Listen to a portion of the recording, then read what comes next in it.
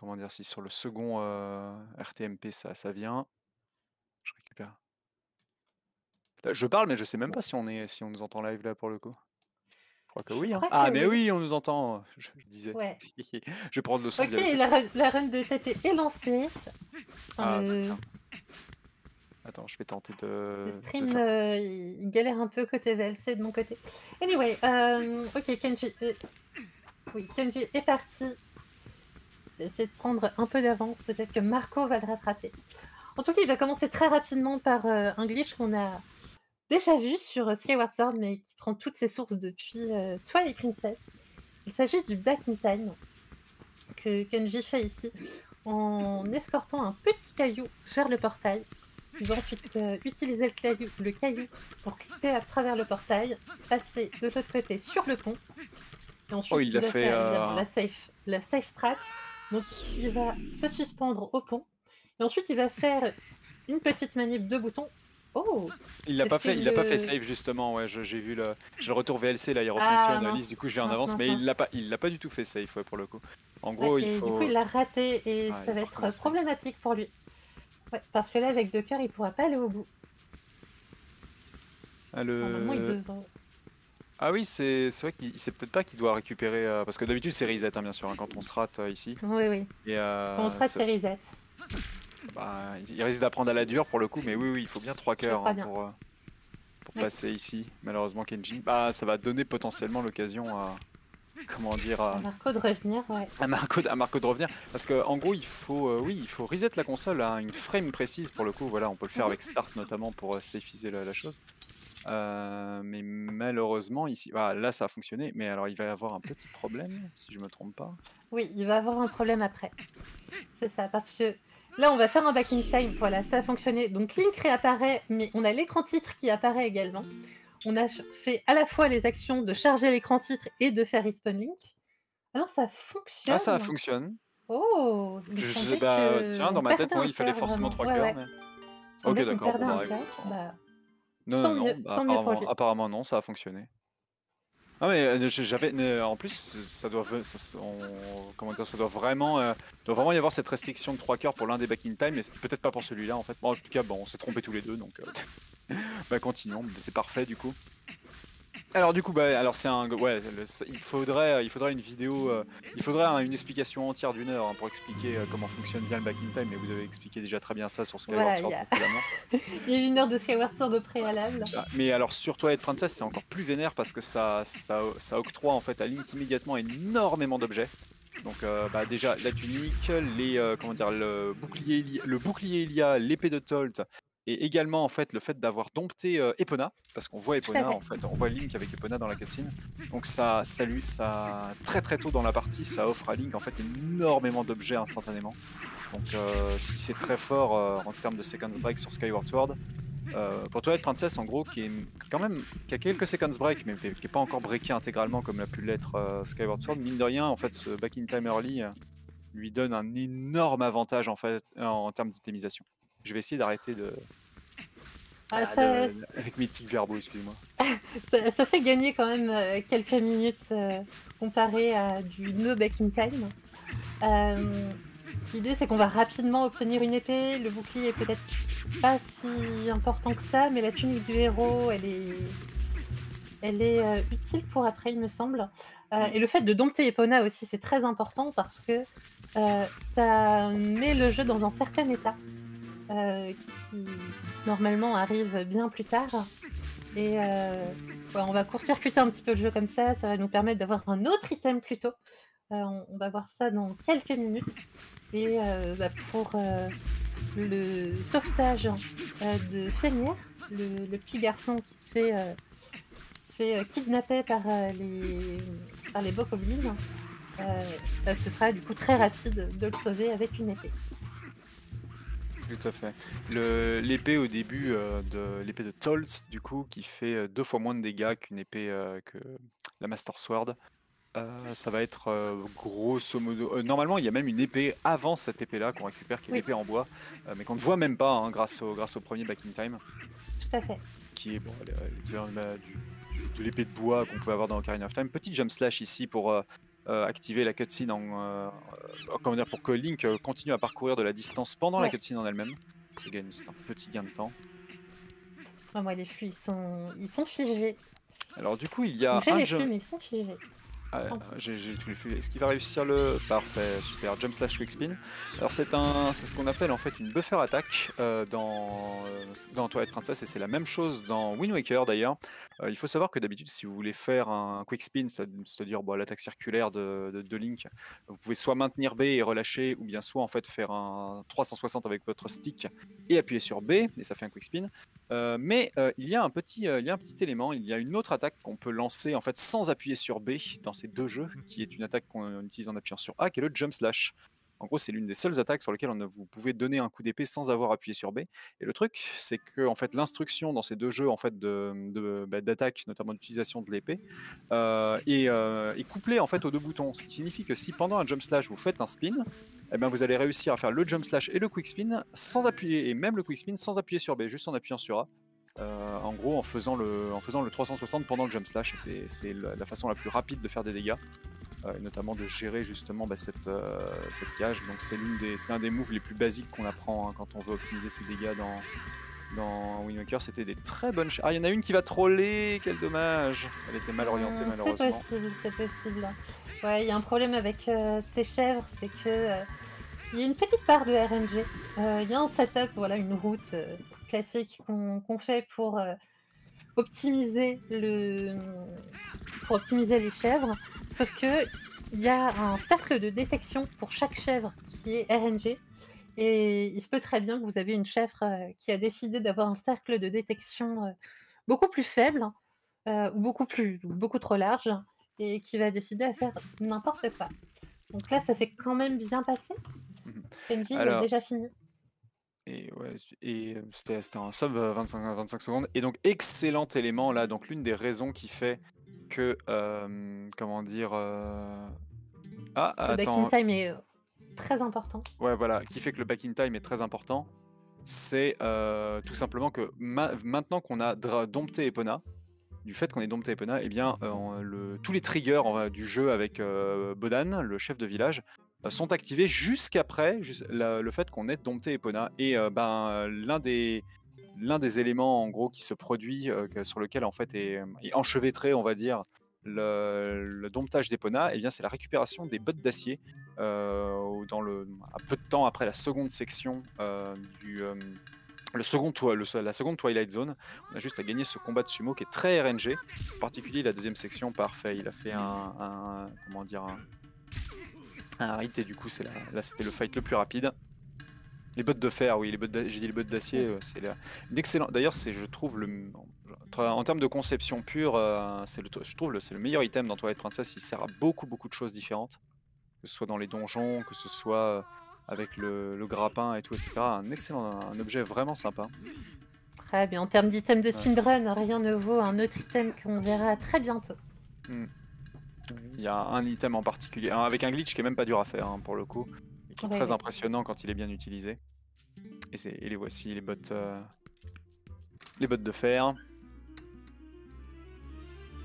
Ah, très- ah, intéressant du coup le comment dire euh, disons euh, Kenji joue en anglais au lieu de jouer en allemand. Alors la différence est minime, hein, c'est l'allemand euh, la langue la plus optimisée. Au passage du coup Oui, petit, de quelques secondes. Ouais, Petit passage sur la, la team, comment dire, euh, notre ami. C'est qui est encore déjà sur OET Je me souviens plus. Excusez-moi. C'est euh, Chalençois. la team bleue, c'est Chalençois, voilà, qui vient de finir, euh, qui vient de finir King Dodongo. Et donc, euh, dans peu de temps, on va avoir le, le Credit Warp qui donnera le top départ à comment dire, à, l'actuel ou à l'an- à l'actuel ou à l'ancien record du monde L'ancien record du monde. Le record du monde, il a, il a, été, il a été battu finalement. Il l'a repris en plus. Hein, il a eu le temps de le reprendre. Et... Euh, là, il l'a pas. hein. Il l'a non, pas, il me semble. non, non. On pourrait vérifier. C'est vrai que j'aurais dû, j'aurais dû vérifier. C'est Alberto, euh, ouais, ouais, c'est un. c'est Mister Alberto qui a le WR en 2h50 et, et quelques secondes. À Et 2,50. GG à Chalençois qui vient de GG finir. Chalençois. Et GG à Chalençois. Et du coup, on va mettre Marco aussi. Alors que Kenji est en train de finir euh, le deuxième jour de Toll, il va arriver dans les, dans les égouts. Je dis, il va arriver, il est peut-être déjà dans les égouts. J'ai encore euh, un décalage parce que je regarde le stream. Ah, Je regarde le, le VLC pour ma part. Ouais, donc, mais euh, le là, VLC, il est, il est figé pour ma part. tu peux faire, tu peux mettre pause et euh, tu peux mettre pause et lecture en fait ou lancer, Bah, j'ai essayé le malheureusement RTMP, plusieurs ouais. fois. Ça, bon. Après, ça, ça peut, ça peut prendre un peu de, ça peut prendre un peu de temps. Je peux essayer de le refaire, mais ouais, pour l'instant, je suis avec le, le avec stream le stream. directement. Compris. Écoute, je vais te, ce que je vais faire, c'est que je vais te streamer mon VLC. Comme ça, auras le, tu l'auras en plus, euh, comment dire, en, en meilleur, euh, comment dire, en, euh, plus rapidement. Euh, c'est lequel? Ah bah après, t'as as besoin des deux en fait, donc en fait, non, ce n'est pas, pas une solution. Pour en revenir du coup à, J'ai rechargé, j'ai des écrans noirs maintenant. Super. Pour en revenir du coup à, à la team Bro qui euh, est dans les égouts, une section très très euh, très très scriptée ici. Il y a quelques éléments de dialogue qu'on peut euh, skipper avec des mouvements relativement précis. Si c'est de l'optimisation de mouvement, pas grande, pas beaucoup de temps à gagner à part des jumps, des, des sauts assez précis et des et des jumps assez précis à mettre au point avec le comment dire le loup. Deux petites spécificités vis-à-vis du vis-à-vis du loup. Euh, déjà, première chose, en gros, on tente de sprinter le plus souvent, tout le temps, hein, tout simplement. Euh, les, euh, comment dire, les déplacements au niveau du loup sont très similaires vis-à-vis, comment dire, euh, vis-à-vis des, des commandes, des commandes d'attaque. À quelques à quelques endroits spécifiques, quand il va plus vite d'attaquer, en fait, en faire de, faire un stab, une sorte d'attaque morsure en fait avec le loup plutôt que de marcher. C'était plus possible justement de sprinter. Et enfin, euh, les, euh, les jumps en gros qu'on fait euh, sur euh, Midna, qu'on vient de rencontrer, sont liés en- au, justement au fait de, de focus, de focus sur Midna. Donc ici, voilà, il va simplement. Ah, dommage. Voilà, par exemple, ce, ce dialogue-là, on peut réussir à, le, à passer à côté avec un, un saut précis sur le, sur le bord, mais malheureusement, ce n'est pas passé. Ouais. Voilà, et on peut pré-shot Je viens de le voir. Ah, tu viens de le Je voir viens de le voir. Bah oui. Au pire, je vais, on, va se mettre- on va tous les deux se mettre sur le stream si tu préfères. Comme ça. Bah du coup, euh, tous les commentaires seront décalés. C'est- le problème. hein. Enfin. Euh, Parce que si, si- ce que tu peux essayer aussi, c'est de fermer et de, de fermer et de réouvrir VLC. Ça fonctionne aussi des fois. En général. je vais sur le- recommencer tout à zéro. Au pire, euh, fais attention aussi aux, barres- aux espaces et aux, et si- et aux, euh, comment dire, aux majuscules. Si Ouais. jamais, si jamais t'as mis des majuscules, là, faut vider le cache de VLC. Ça prend encore plus de temps pour le coup. Allez, du coup, Marco qui est parti de son côté, qui est dans, euh, comment dire, que le back in time a été first try pour, de, a été first try pour lui. Il va en, normalement en fait, euh, comment dire, euh, ah oui c'est vrai que le, le mien, le mien a freeze aussi de ce côté-là. Bon, je vais faire un, je vais faire un refresh aussi. Tu sais quoi, on va utiliser le stream. hein, ça Oh, mais attends. Bah écoute, là je suis en train de d'avoir un stream qui fonctionne. Ah bah parfait, t'as celui de. Ah, t'as putain, ça celui, frise aussi.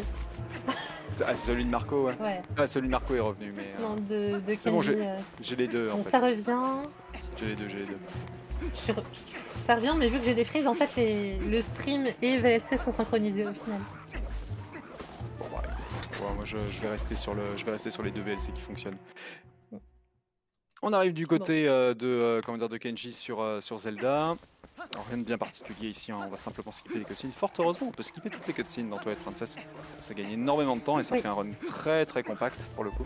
À quelques rares exceptions près, j'ai dit toutes les Mhm. cutscenes, excusez-moi je me corrige, il y a quand même une cutscene qu'on ne peut pas skipper.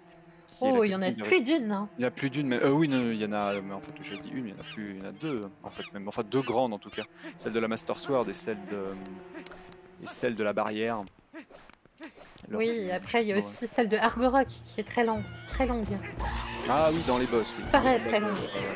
ouais. C'est vrai, celle de, celle de, de la mort de la mort de ce boss-là. Euh, celle de la mort et même euh, celle de l'arrivée de la deuxième phase, qui est très Aussi, lente et qui oui, n'est oui. pas skippable. C'est Ce, une très, ce boss est très lent de base. Alors du coup, on va arriver, euh, comment dire, Marco a, vient de libérer Fenir. Il est, euh, son, son back in time a été first time, a été euh, first try, pardon.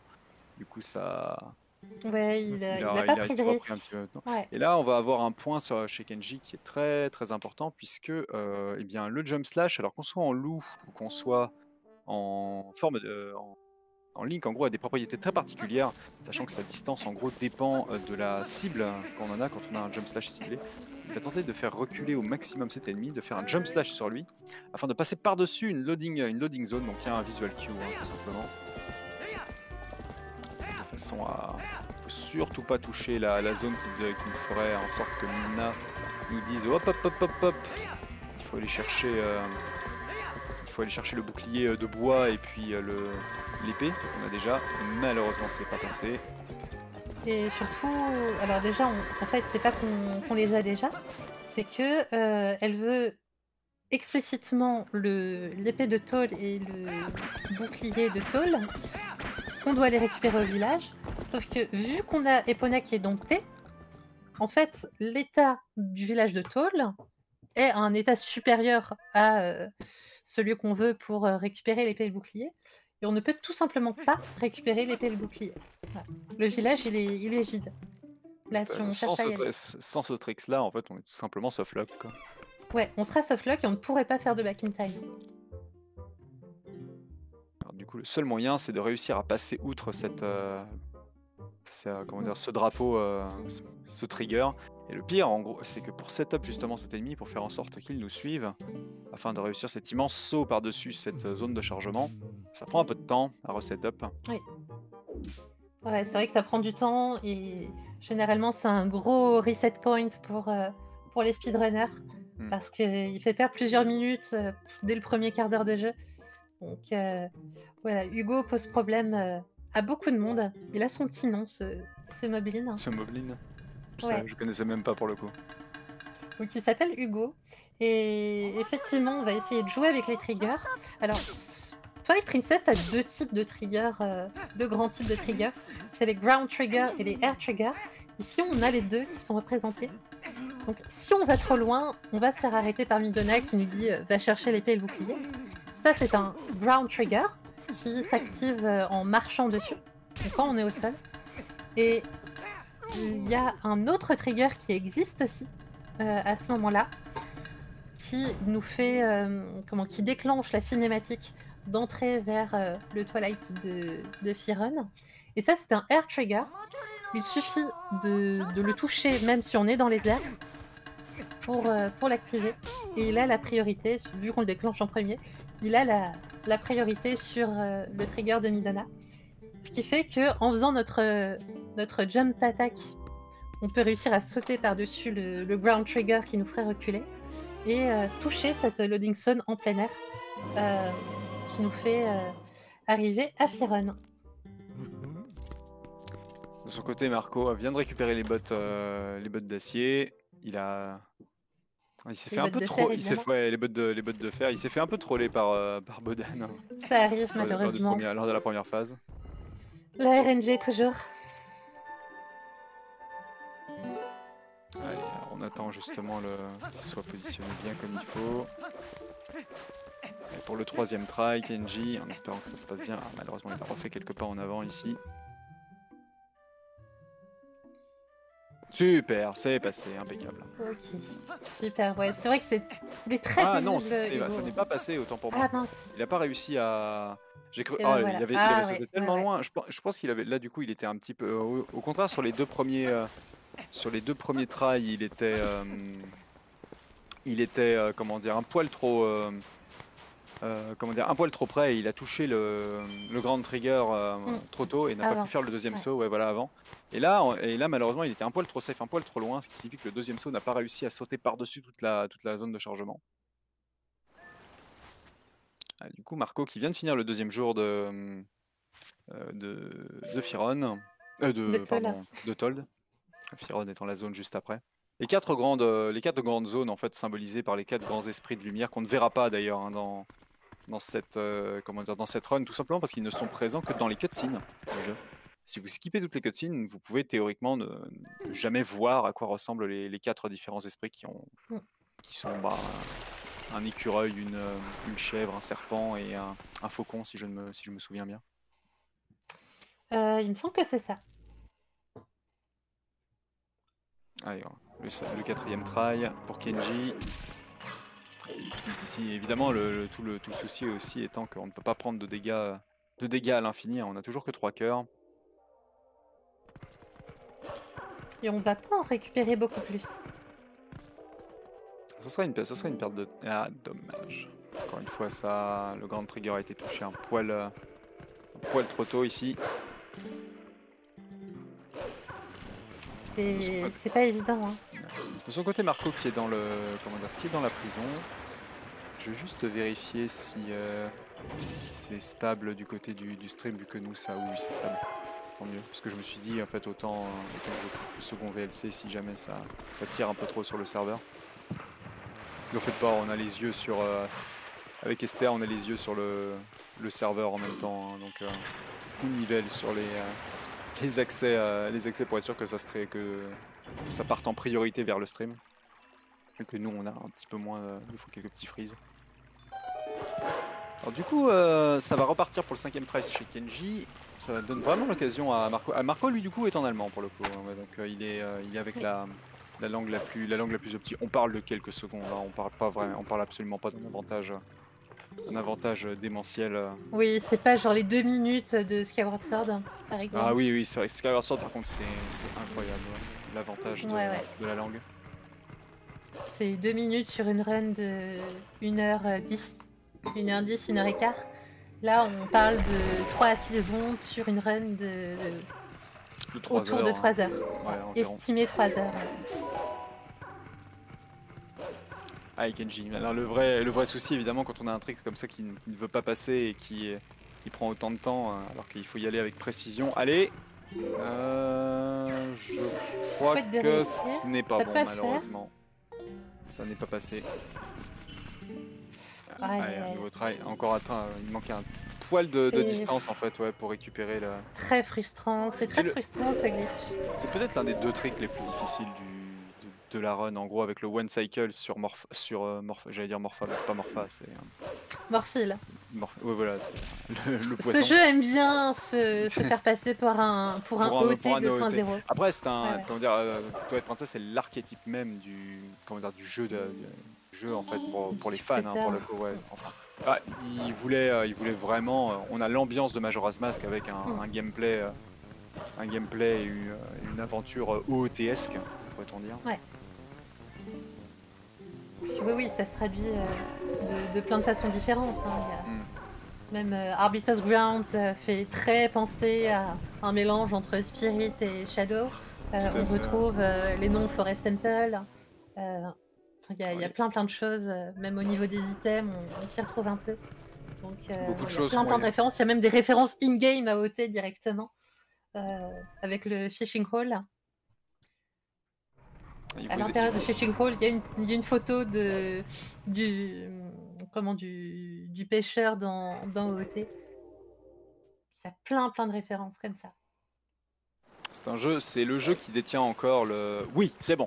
Bravo Kenji, c'est passé. Il a réussi à avoir le, le second, le second trigger. Ah, Et du coup, Alors Marco, est en train de faire alors son... que Marco va faire son first try, bon, premier ouais. try, pardon. Alors peut-être qu'il va first try, mais il est, il est sur le point de setup le premier try sur le ce là, ce qui a remis, euh, ce qui lui a permis de récupérer énormément de temps. Enfin, un- on- énormément de temps. On ne sait pas hein, si jamais il réussit à le faire en, en moins d'essais que ça. Mais honnêtement, euh, du, si on s'en réfère purement au classement et au et euh, comment dire au, au résultat euh, en tournée de runner, Marco est clairement, euh, Marco est clairement devant hein, en, en termes de, de temps et surtout en termes de réalisation pour avoir détenu le record du monde pendant plusieurs fois d'ailleurs pendant un bon moment.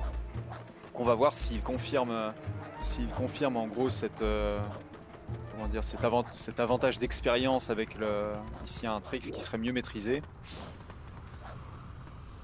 C'est très particulier hein, parce que ce mur, euh, ah bah déjà du coup, euh, je crois qu'il a touché le grand, euh, il a touché le grand trigger Ah oui. euh, bêtement, mais il Mais il va, peut mais recommencer. En fait, c'est pour commencer ouais. parce que, il a pas en touché. fait, euh, en fait, pour le Sword and Skip, à chaque fois on void, on doit recommencer parce que le moblin qu'on attaque a très peu de points de vie et on veut surtout pas le tuer parce que si on le tue, il ne réapparaît pas même si on, même si on, on, tombe et qu'on respawn. Donc euh, veut surtout pas le tuer. Et si on lui fait une attaque, euh, on, on lui met à la moitié de sa vie.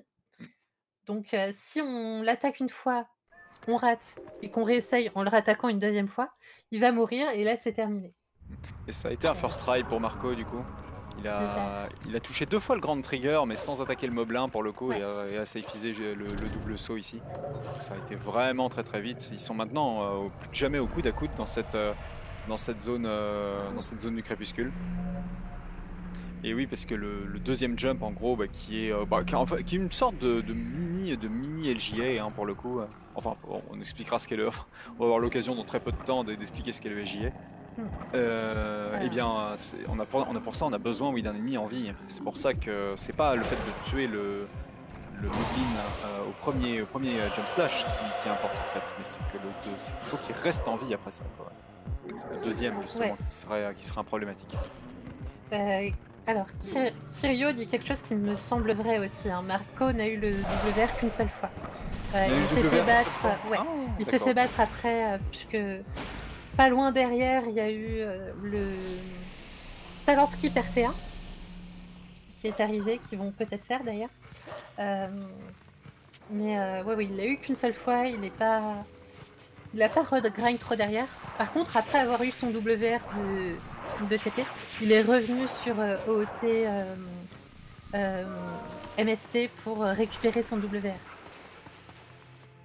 C'était très clean pour le coup. Il y a pendant, pendant longtemps pour, le, pour justement certains skips qui sont dit. Alors quand on dit un skip d'IRTA, en gros, c'est que beaucoup de skips sont faisables, notamment avec des outils, notamment bah, en, en ce qu'on appelle en tout la CC speedrun. C'est passé pour un skip bien plus simple ici chez Kenji, qui est le Master Sword skip, simplement en faisant encore une fois un jump slash vers euh, eh bien cette créature du crépuscule. Ouais. On peut simplement aller se, se- Early Master Sword. voilà, early Master Sword. Bah. Master Sword Skip, euh, c'est pas. C'est bah, le skip connu, vers la, c'est le skip vers la Master Sword en fait. Oui, c'est vrai. C'est pour ça que j'ai, j'ai, euh, je me souviens plus exactement du, du nom en fait ici, mais skippant l'intégralité justement ouais, de, la, de la zone ici avec un OOB, on peut simplement se, re- se retrouver dans les bois perdus. un, un glitch très fort, pas compliqué, même si au début, euh, voilà, il prend peut-être un peu de temps à maîtriser. Euh, une part de RNG aussi sur euh, ce glitch. Mais euh, effectivement, il fait, il fait gagner pas mal de temps. Et puis, bah, pareil, quoi, en, en 20 minutes, on récupère la Master Sword. Euh, même dans le speedrun, on a des références à OT. Petit, petit passage avec cet ersatz de Skull Kids, même s'il n'a pas le, le masque de Majora pour le coup. Bon, Effectivement, on retrouve Skull Kid. On peut, on peut en MM. euh, évidemment à lui et tout le monde. Enfin, ce- ce n'est jamais dit hein, qu'il s'appelle Skull Kid dans, dans Twilight Princess, mais bon, tout le monde l'appelle Skull Kid parce que la, la référence se voit, se voit instantanément. Oh, il me semble que si. Ah, il me semble qu'on l'appelle bien Skull Kid, mais je sais plus. Ah, il y a un texte qui le, qui le spécifie. Oh. Je me souviens pas pour le coup. Parce qu'effectivement, j'ai toujours entendu euh, Skull Kid. Parce que pour le coup, il n'a pas, le vi- il n'a pas le visage de Skull Kids ou, euh, ou son masque pour le coup. Mais oui, en tout cas, c'est Skull Kid. Ouais. Voilà, Sur le site officiel, il l'appelait Skull Kid et il invoque les marionnettes.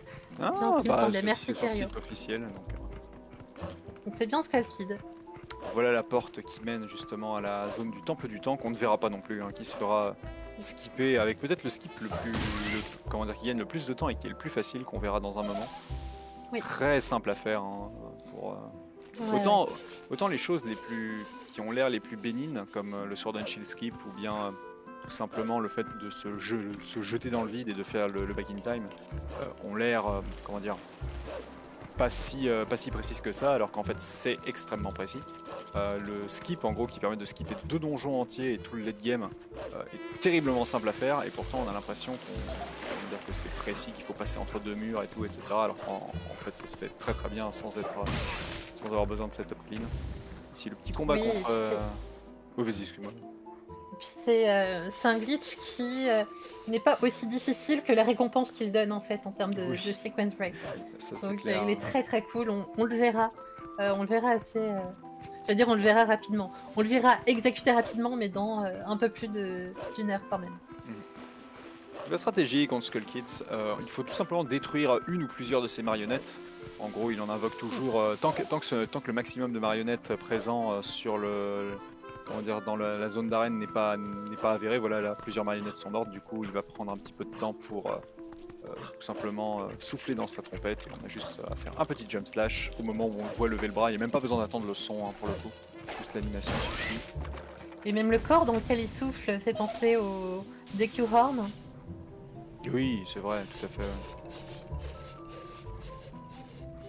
Ok, et puis euh, on Alors, va passer euh, au terrible puzzle de la Master Sword. Celui-ci, beaucoup, beaucoup l'ont, réussi euh, purement en fait en, hein, par hasard.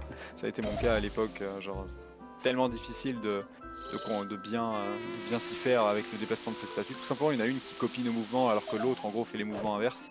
Et les dites statues peuvent être bloquées dans, les murs et les coins. Il y a une séquence qui est, qui est toujours la même.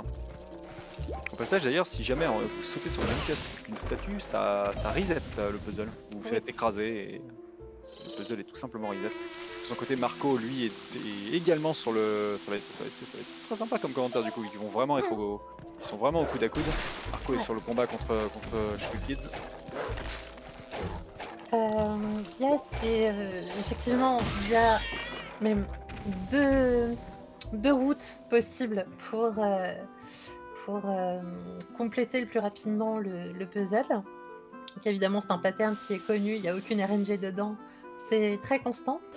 Et ces deux patterns sont euh, symétriques, ce qui fait que si vous jouez sur Wii, qui est une version miroir de la version GameCube, ben vous pouvez copier les mouvements et ça fonctionnerait quand même. Ce qui est extrêmement... Ce qui est, Voilà. euh, très, assez amusant. Ouais, ce qui est très drôle aussi, c'est que ça fonctionne euh, sur les deux différents modes euh, aussi de la Wii U, qui a, bah, qui a à la fois euh, qui a un Eh mode oui. miroir avec le mode héroïque pour le coup aussi. Ce qui ne change rien. Ils sont, ils sont vraiment très. Donc, Voici l'une des. Oui, vas-y.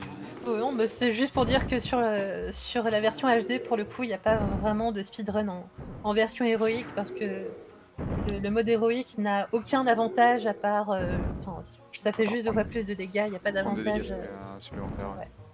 Ouais. pas d'autre avantage. Un excellent challenge d'ailleurs, s'il y en a qui sont euh, fans de, de challenge en plus du speedrun, si vous avez l'amiibo euh, Ganondorf, Ouais. euh, vous pouvez très bien cumuler les deux, euh, cumuler l'amiibo Ganondorf avec le mode héroïque, ce qui quadruple les dégâts et ce qui fait un beau one hit KO mode si vous restez à 3 Ouais, cœurs. c'est- très vénère. Si Ouais. vous restez à 3 cœurs, c'est très très drôle de tenter de compléter. Ça vous met vos Mm. cœurs en bleu en plus, c'est visu- c'est visuel.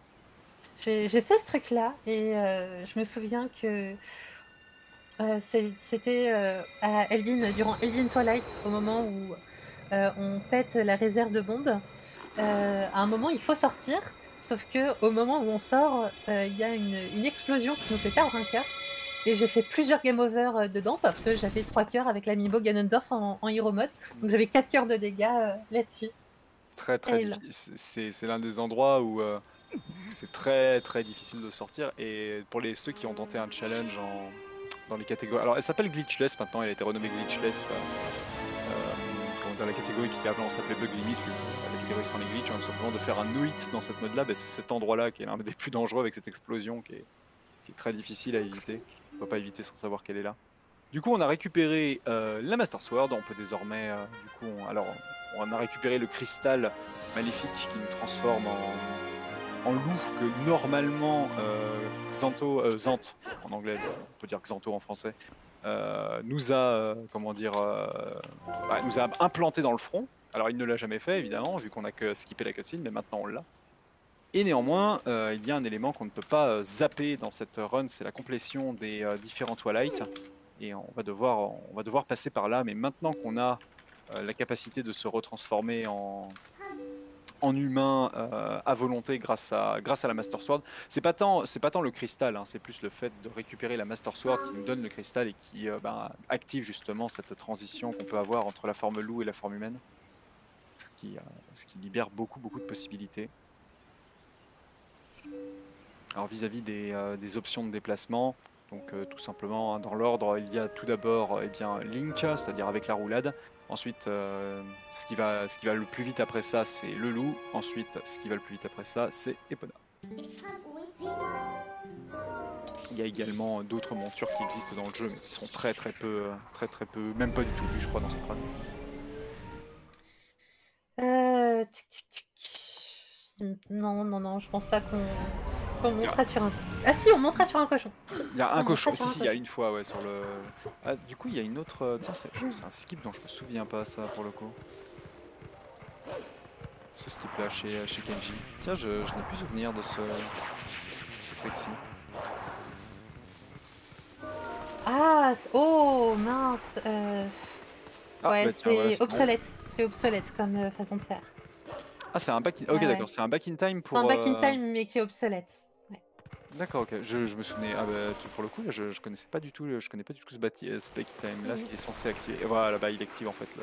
Ouais, en fait, il fait un back in time equate, donc il fait assez tôt. Il va faire un back in time equate ici, donc il revient sur l'écran titre. Sauf que là, il charge une sauvegarde qu'il avait faite euh, à, Fir- à, un petit peu plus tôt, au village de Toll. Ce qui fait que euh, le jeu a chargé le combat contre King Goblin One, parce que manipulation de mémoire, chargement, tout ça. Et euh, il a reset assez tôt durant, le, durant la cinématique. euh, durant la cinématique du boss. Et je crois qu'il l'a raté. Ouais, il a dû rater. Je pense qu'il Ah, recommence. du ouais. coup, il recommence le. Voilà, il le recommence. Hop. Il va se jeter, il va se suicider. De ce côté, Marco est rendu dans la, dans la forêt de, de Firon, si je ne me trompe pas. Voilà. Ok, il va arriver euh, à Forest Temple. hein. Et à Forest Temple, il va faire la même chose, euh, mais un peu différemment. Euh, L'idée, voilà, c'est d'arriver sur l'écran titre, de charger le combat contre contre Belgrade, hein, et de... de... et, euh, de ouais, ça a raté encore, hein, ça raté encore. Hmm. Donc, euh, Marco va passer devant. Il y a les choses que Marco passe devant maintenant, puisque Marco arrive à forêt là, pour le pour le coup. Temple Sylvestre en français. C'est bien, bien, bien sympa, bien sympa hein, pour le coup. C'est un assez rare pour le coup que pour des temples, euh, pour des temples dans, dans Zelda d'avoir un temple sur un seul étage pour monter sur les états ou les premiers pour ne pas avoir cette notion justement d'horizontalité. Mais mine de rien, il était très très, euh, euh, comment dire, euh, il était, très, il était bien dans l'ambiance justement ce, ce, Sylvestre là, avec la. Ok, alors que depuis le temple Sylvestre, on a fait le back in time.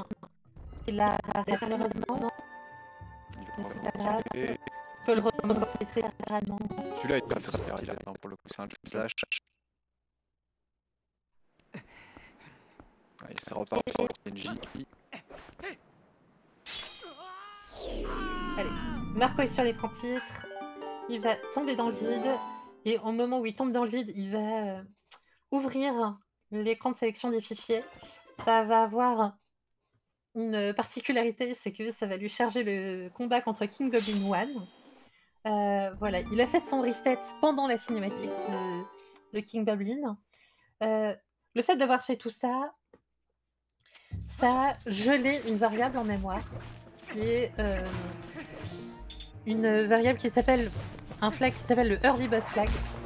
Donc, en gros, c'est une zone mémoire qui, qui là va, va sauvegarder une valeur très très haute. C'est un peu comme ça que le jeu essaye de, de savoir si euh, lorsqu'on charge une zone, euh, on doit euh, on doit déclencher la cinématique d'entrée dans le combat ou le combat réel. Et curieusement, le fait d'avoir cette valeur très très haute, ça nous permet d'avoir les 4 singes très tôt. Puisque en termes d'optimisation, le jeu se dit, vu que t'es pas censé être dans un combat et euh, euh, farmer tes singes euh, en même temps, bah on va réutiliser cette variable mémoire pour que ce soit plus simple et pas, faire de la pollution interne. Ce qui fait que le fait de geler comme ça une valeur très très haute grâce au setup qu'on a fait sur l'écran titre, eh bien le jeu croit qu'on a plus de 4 singes. En fait, peut-être qu'il croit qu'on en a 160. Mais euh, à ce moment-là, voilà. Une fois qu'on a fait ça, une valeur simplement suffit- très haute, voilà, et on les voit là, les singes, justement. Voilà. Il nous suffit d'aller vers la porte euh, vers Hook et nos quatre singes seront déjà présents. On ne voit même pas d'ailleurs la cutscene, oui, de... Enfin, Ouais, on la skip. hein. On peut, on peut, on De peut même pas, on, on ne peut même pas skipper d'ailleurs euh, quand on joue le, le jeu en glitchless pour le coup, on ne peut pas skipper la cutscene. où Les quatre singes se préparent en se mettant sur la, sur la corde pour le coup. Euh, mais là, du coup, elle est skippée puisque bah, Oui, en gros, c'est ça vrai, se ouais. produit au moment du chargement justement de- quand le pont, euh, quand le pont s'effondre. Alors pour ceux qui ont joué à, euh, comment dire, à HD, euh, il y a une grosse différence ici avec euh, SD au début de ce combat en particulier en skippant cette cutscene.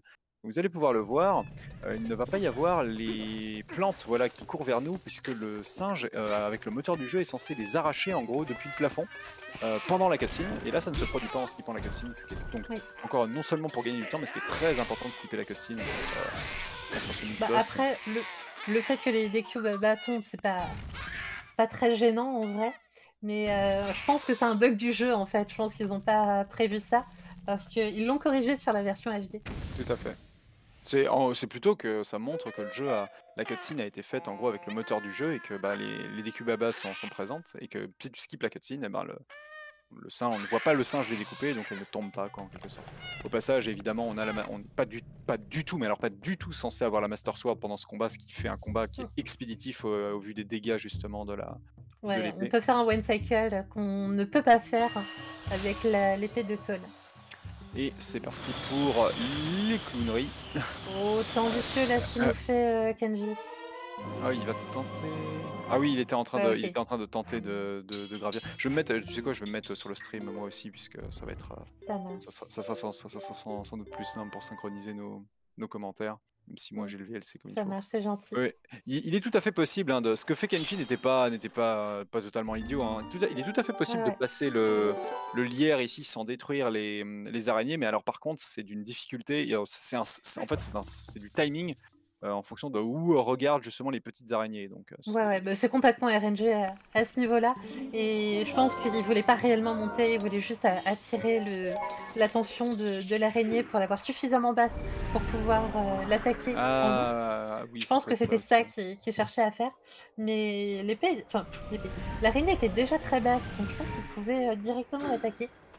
Euh, mais bon. Il a ses quatre singes qu'il a obtenu euh, avec un back in time un petit peu différent. Euh, setup un petit peu différent, mais voilà, il a ses quatre singes, il peut également euh, rejoindre Hook. Et euh, bah, pareil, quoi, avec la Master Sword, il va pouvoir euh, faire un one cycle sur Hook, c'est ce qu'on lui souhaite. Pendant que Marco va. Alors, il va quitter le donjon du temple sylvestre et il va faire ce qu'on appelle le forest, le forest escape, décidément. A aussi ça. Euh, forest escape pour euh, rejoindre la, euh, la province de Chiron, Excellent. aka Herolfield. Et c'est réussi.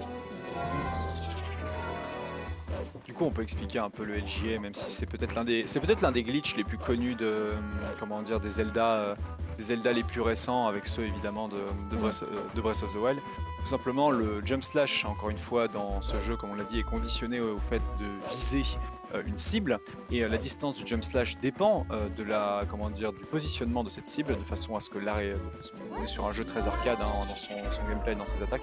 Euh, De nouvelles, une nouvelle fois ici, c'est pour skipper. hein, tiens, avant de je continue mon une nouvelle fois un skip de cutscene pour voilà skipper le marchand.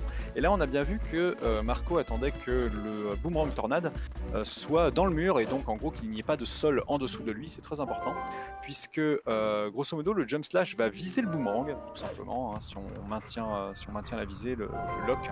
Si on lock on le boomerang, et euh, si justement la cible en question n'a pas de sol sous elle, eh ben, elle est considérée comme étant excessivement loin, tout simplement, ce qui va permettre de faire un jump slash d'une distance totalement abusée. Et ce faisant, eh bien, ça permet de, de sauter, en fait, de ne pas toucher le sol sur de grandes distances. Et comme ça a été expliqué plus tôt, avec le, euh, le skip qu'on a vu avec euh, le petit euh, gobelin pour le Sword and Shield skip, eh bien, c'est un grand, c'est un grand trigger qu'il y a ici. Et il y a beaucoup de grands triggers à différents endroits, comme le Forest Escape ou tout simplement bah, ici le, le messager qui était censé nous délivrer une lettre. Et bien, en passant par-dessus, sans, toucher le sol avec un jump évidemment, on fait, on fait ces skips de façon très simple. Et donc on va voir ça pendant, euh, on va voir ça de très nombreuses fois vu que c'est un glitch euh, très facilement utilisable, réutilisable à de très, à de très nombreux endroits, polyvalent, que ce soit tout Ouais. simplement pour euh, sauter par-dessus des zones de chargement ou tout simplement par-dessus des trous. D'ailleurs, euh, en rando, c'est grosso modo le, le seul glitch qui est autorisé parce que il est très facile, il marche à peu près partout pour peu qu'on respecte les conditions de, de fonctionnement. Et euh, bah, c'est un beau quality of life. Pareil, son setup intéressant, euh, comme, intéressant comme setup là, encore un, un très ancien chez- setup chez Kenji là pour le coup. Ouais, ouais, ouais. Alors ça, ça peut fonctionner. C'est passé. C'est passé. Très bien. C'est ce qui compte. Euh, faudra le faire deux fois, le Forest Escape. Euh, quoi dire aussi? Oui, sur Wii, euh, sur la version Wii, il n'y a pas Ah oui. de, de boomerang LJ. Euh, le LJ, le principe du LJ fonctionne, mais il ne fonctionne pas avec le boomerang pour une question d'animation qui a été euh, rajoutée sur Wii. Il a été involontairement patché. Et euh, le Forest Escape, le Faron Escape, ne fonctionne pas. Enfin, on peut pas le faire. Donc il y a toute une stratégie euh, en early game pour la version Wii qui fait que le speedrun n'a rien à voir sur la première heure. Ah, c'est totalement différent. C'est très peu vu d'ailleurs. hein. C'est assez Ouais, peu. C'est bien version, moins ouais. grindé que la version euh, que la version euh, dire euh, GameCube. GameCube. Alors petit skip ici avec le, le loup tout simplement. On va bonker dans la porte de façon à ce qu'elle bouge euh, afin qu'elle laisse un, petit euh, et voilà un, petit espace qui va simplement permettre à notre loup de, de passer à travers. Encore une fois avec des cues visuels assez simples et euh, des side jump, on peut, on peut simplement bonker dans la porte et rebonker dessus. Et du coup, on a été euh, immédiatement, euh, du coup, en touchant, en passant cette porte, on a été, euh, on est arrivé dans la zone de l'Anel, euh, où normalement il y a le Twilight. Et donc, bah, on a eu un, voilà, un espèce, tout simplement téléporté dans le Twilight. Et le but ne va pas être de le, comment dire, de le faire, mais tout simplement vu qu'on a déjà les bottes de, les bottes de fer, de plonger dans le, comment dire, dans le, dans le lac, si je ne me trompe pas à ce moment-là. Attends, que, que Kenji est en train de se replacer. Donc là, il y a un truc que fait Kanji qui m'échappe un peu, c'est qu'il n'est pas passé euh, par le. Qu'est-ce qu'il fait? Euh, il a peut-être oublié ouais, d'enlever les. Il a peut-être oublié d'enlever Ouais, les bottes et du coup il s'est noyé. Ah, ah Oui, non, oui, c'est- il y a de ça. Il y a de ça, et alors. euh, Je crois qu'il a oublié, il a, il a sans doute oublié d'enlever les. Il a mis les bottes ou peut-être une erreur. Il a oublié de les enlever. Mais après, il n'est pas passé par les gorges. Normalement, on passe par les gorges avant. Et là, non, il va directement au, au lac. Alors, pourquoi pas Ouais, après, il fait un, un petit setup. Il fait pas un LJ ici, mais juste il se positionne. Ok, en fait, je pense que ça fait partie de son setup. Ah d'accord, ok. Attends, c'est un, Donc du coup là, le setup qu'est en train de faire Marco est celui que, qui, est le plus, euh, qui est le plus connu. Qui- Alors c'est un, un, un glitch très difficile. C'est peut-être l'un des, l'un des OOB les plus dangereux du jeu. Et alors c'est passé pour Marco. Il va falloir qu'il touche la, trigger, la, zone de, la trigger zone avant de faire game over. Et c'est passé. Oui. Et vraiment, ça se joue à, Ah, à très très peu de choses. hein. Ce pillar clip qui fait que Marco passe euh, bien devant. Euh, le pillar clip, donc on, on, on arrive à être poussé au OB euh, grâce à, à Midona et le pilier pour euh, rejoindre le, j'allais dire le temple sylvestre, le temple abyssal, pardon. Kenji, Et malheureusement on il va a faire pas le trouvé. temple abyssal sans l'armure Zora. En tout cas, on arrive ici sans l'armure Zora. Malheureusement, euh, du coup, Kenji qui a raté le. qui n'a pas clippé, du coup ça va simplement faire game over et on va devoir recommencer. Et donc oui, l'armure Zora, alors avait, euh, qui était l'une des, des deux armures supplémentaires. euh, sur les quatre tenues que peut avoir euh, Link, en gros seulement trois sont sélectionnables euh, une fois qu'on a passé justement Twald. Et euh, l'une de ces trois, de ces trois euh, tuniques en fait sélectionnables c'est, euh, est l'armure Zora, qui a la capacité bien de respirer sous l'eau et puis surtout de pouvoir, de pouvoir nager, euh, mais qui double les dégâts de glace et de feu. C'est pouvez, x euh, 2,5. Alors c'est x 2,5 sur GameCube et x 5 sur Oui. 2,5. Me Ah semble. ouais, Je, je, je crois que c'était fois, je crois que c'était x2 tiens pour le coup. ou alors x 5 et x 10. Je sais plus. Wow, ouais, bon, c'est- Si beaucoup, quelqu'un a de- le, ouais, si quelqu'un a l'info, c'est beaucoup, beaucoup de dégâts. c'est- ouais, faut- ridicule. Ça peut être rigolo de, de finir le jeu. C'est rigolo de finir le jeu en fait en armure. euh, dans- mais dans la, dans la run glitchless, pour le coup, on finit le jeu en armure Zora vu qu'on ne prend pas le. euh, une fois qu'on affronte Zant, on est obligé de la prendre du coup Mm. et du coup on affronte Zant avec. pareil pour la version HD. euh, la version HD est obligée de récupérer l'armure Zora et Mm. va finir euh, tout le, tout le jeu avec euh, l'armure Zora. Elle est belle hein, en plus hein, avec son Elle est sympa, ouais. elle est sympa. le, le Et bonnet de aussi- Link. ouais. Il y a aussi quelque chose, c'est que euh, tant que vous ne finissez pas Euh, Yes, le- GG Kenji. Super pour Kenji. Tant que vous ne finissez pas le Twilight de Firon, vous n'avez pas la tunique verte dans votre inventaire. Et si vous équipez la tunique Zora parce que vous le- l'obtenez plus tard, vous ne pourrez plus revenir en arrière. Vous ne pourrez plus euh, équiper la tunique du héros à la place de l'armure Zora. C'était un, Ouais. un trigger que je connaissais pas pour le coup. La dernière armure qu'on ne verra pas, hein, qu'on ne voit qu'en 100%, c'est euh, euh, l'armure magique Oui, l'armure magique. qui, est bro- qui est broken si vous avez beaucoup de pognon. hein. Ok, petit LJ. Euh, Temple, donc le temple abyssal, est, est bourré d'endroits pour faire des LJ. Donc euh, c'est très pratique et on arrive déjà euh, devant le mini-boss. Et d'ailleurs, le mini-boss, on va faire un truc un petit peu euh, rigolo à nouveau. C'est que on arrive par la sortie en plus. euh, oui, nous passons par la sortie et on peut quand même déclencher le combat. Euh, ça c'est vachement pratique, c'est parce qu'on a le early boss fly, donc notre variable euh, pour euh, les combats de boss et des singes, qui est euh, toujours à une, une valeur supérieure à 0. et le fait qu'elle soit une va- valeur supérieure à 0, ça fait qu'en passant par la sortie, on peut quand même euh, activer le combat. Et euh, bah, ça, ça nous permet d'éviter de, de passer par le chemin classique. Tout à fait. Et alors, euh, je crois que Marco n'a pas réussi à faire ses 10 jump slash. euh, il a fait le combo, 10 il a fait un combo, il a fait un combo classique, mais je crois qu'il a, Ah, dommage.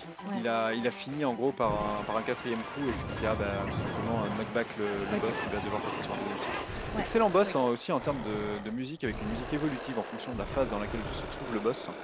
Euh, la musique en gros cut et reprend à certains endroits justement de la, de la, de la tracks, tout simplement du, du- de la musique euh, au moment où le boss saute en l'air, ce qui était très, très très sympa. On voit du coup Baba du côté de, de Kenji. Euh, ou euh, Oko, euh, c'est Oko, c'est ça si, en, anglais, ouais, en, en anglais. Ouais, et. Tante en allemand. Et qui est du coup le, hum, comment dire, bah, qui est un objet hein, quand, quand même, c'est un petit personnage qui parle, qui permet de quitter le temple et de revenir à la même position. Euh, et ça peut être très très pratique, en particulier si on a, euh, si on doit mettre en, posi- mettre en Mm. pause un temple dans le speedrun pour aller choper un objet, un, un objet qui nous serait utile à certains endroits. Notamment ici, c'est le cas avec les, les bombes, les hydrobombes qu'on va récupérer un peu plus tard pour la fin. Euh, voilà, encore une fois, hein, c'est une petite référence à OT. Ça fait écho à Farrowwind. Et donc, du coup, Euh, voilà, on a un peu le même principe ici avec euh, Oku. Et donc petit rappel euh, vis-à-vis du fonctionnement des bombes dans euh, Twilight Princess. Alors tout simplement vous avez des sacs de bombes. Il y en a jusqu'à 3 mais on en enverra pas. je crois qu'on en, on aura qu'un hein, bien sûr. hein, sur Alors, le- on, en, on en aura qu'un, mais on en verra deux. Ah euh, d'accord ok. Donc euh, je, je, je n'ai plus exactement. En tout cas chaque sac de bombes ne peut avoir qu'un seul type de bombe à l'intérieur, bah, en son sein hein, tout simplement.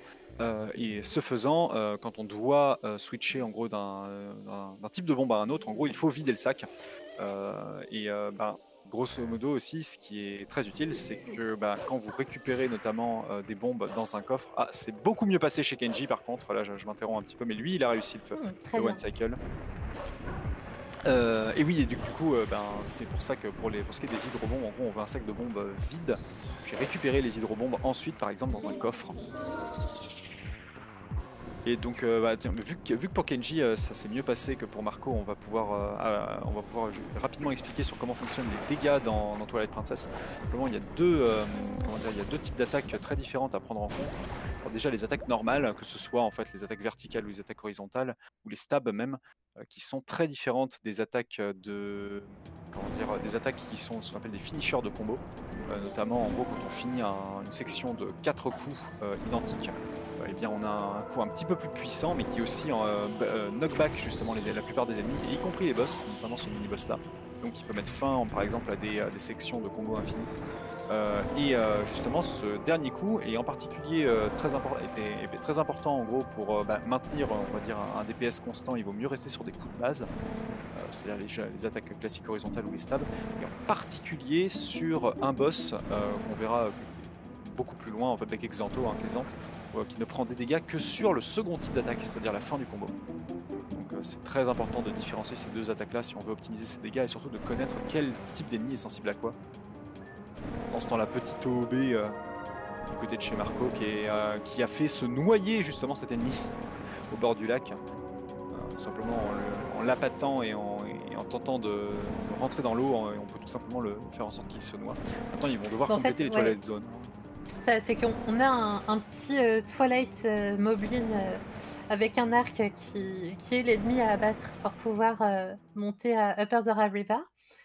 Et bah, au lieu de le combattre, alors Kenji, je crois qu'il va chercher à le battre. Au lieu de chercher à le battre, on peut l'attirer dans l'eau. Et lorsqu'un un ennemi touche l'eau, un ennemi non aquatique, genre Twilight Moblin touche l'eau, il meurt instantanément.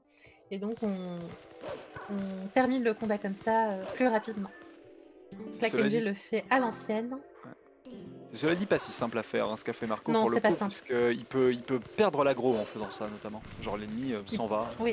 Il peut perdre l'aggro et s'il se fait euh, attraper, parce qu'il est en humain à ce moment-là, s'il se fait attraper en tant qu'humain, le jeu va crash. ce qui est très dangereux. C'est très dangereux, c'est pas tellement ce qu'on veut. Certains ont, comment dire, après, dans ce qui est assez intéressant dans ce, dans ce run-ci en termes de, on va dire, de, pour ce qui est des races, euh, comme c'est le cas à l'heure actuelle, ou euh, tout simplement en termes de constance euh, pour des, des runs en gros qu'on veut nos resets pour des runs de, justement de showcase, c'est que bah, mine de rien, il y a quand même pas mal de sauvegardes du fait des back in time. Euh, et euh, le jeu nous propose de sauvegarder un sacré paquet de fois. Dans beaucoup de sections, notamment après les boss. Euh, du coup, Kenji qui n'a pas fait le OB, qui va, qui va simplement aller euh, comment dire, faire la section 3. C'est pas, pas une grosse perte de temps, honnêtement, de pas faire le Non, OB. non, non, qu'a il y a Marco. 6 secondes d'écart entre les deux méthodes.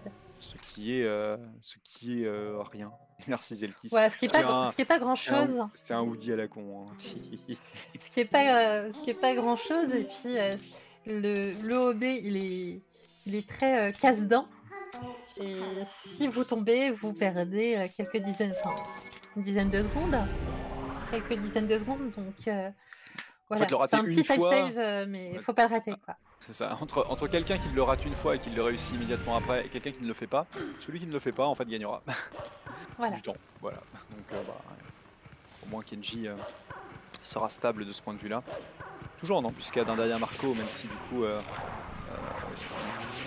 comment dire, le, on voit, il y a très très peu de, enfin très très peu de perte de temps du côté de Marco. Le seul, la, la seule perte de temps que je vois pour l'instant, c'était le, ce second ce fight contre le mini-boss peu optimisé, mais euh, du reste, en fait, il- eu, euh, il prend juste beaucoup plus son temps sur les setups euh, et, et en particulier le Sword and Shield Skip, ce qui lui a fait gagner beaucoup de temps vis-à-vis de, vis-à-vis de Kenji. Il est reparti pour, pour Fear and Skip. Il y a aussi quelque chose, c'est que euh, Marco, il est déjà passé aux gorges de Cocorico. Donc là, il va juste refaire le trajet et puis, euh, euh, et puis aller à Cocorico. Alors que Kenji n'est pas encore allé euh, aux, aux gorges.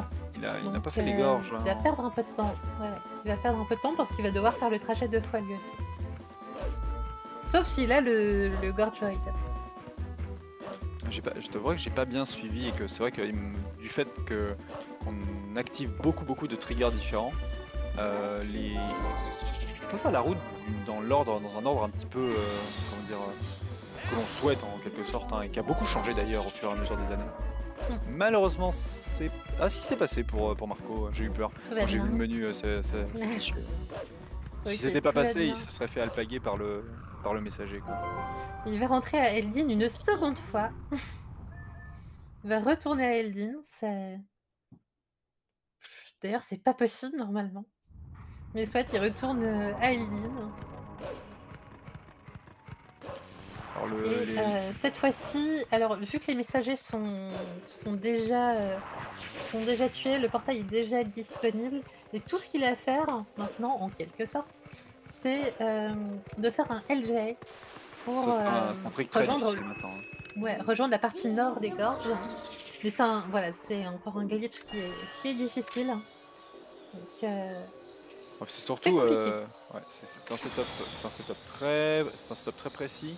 Et euh, le- surtout, c'est que c'est c'est quasiment impossible de le faire tout le temps exactement de la même façon. Donc il y, a des- il y a des petites corrections à mettre en place. Et alors là, qu'on qu'on a, comment dire, qu'on ne, ne peut faire que si on est bien expérimenté. Quoi. Attention.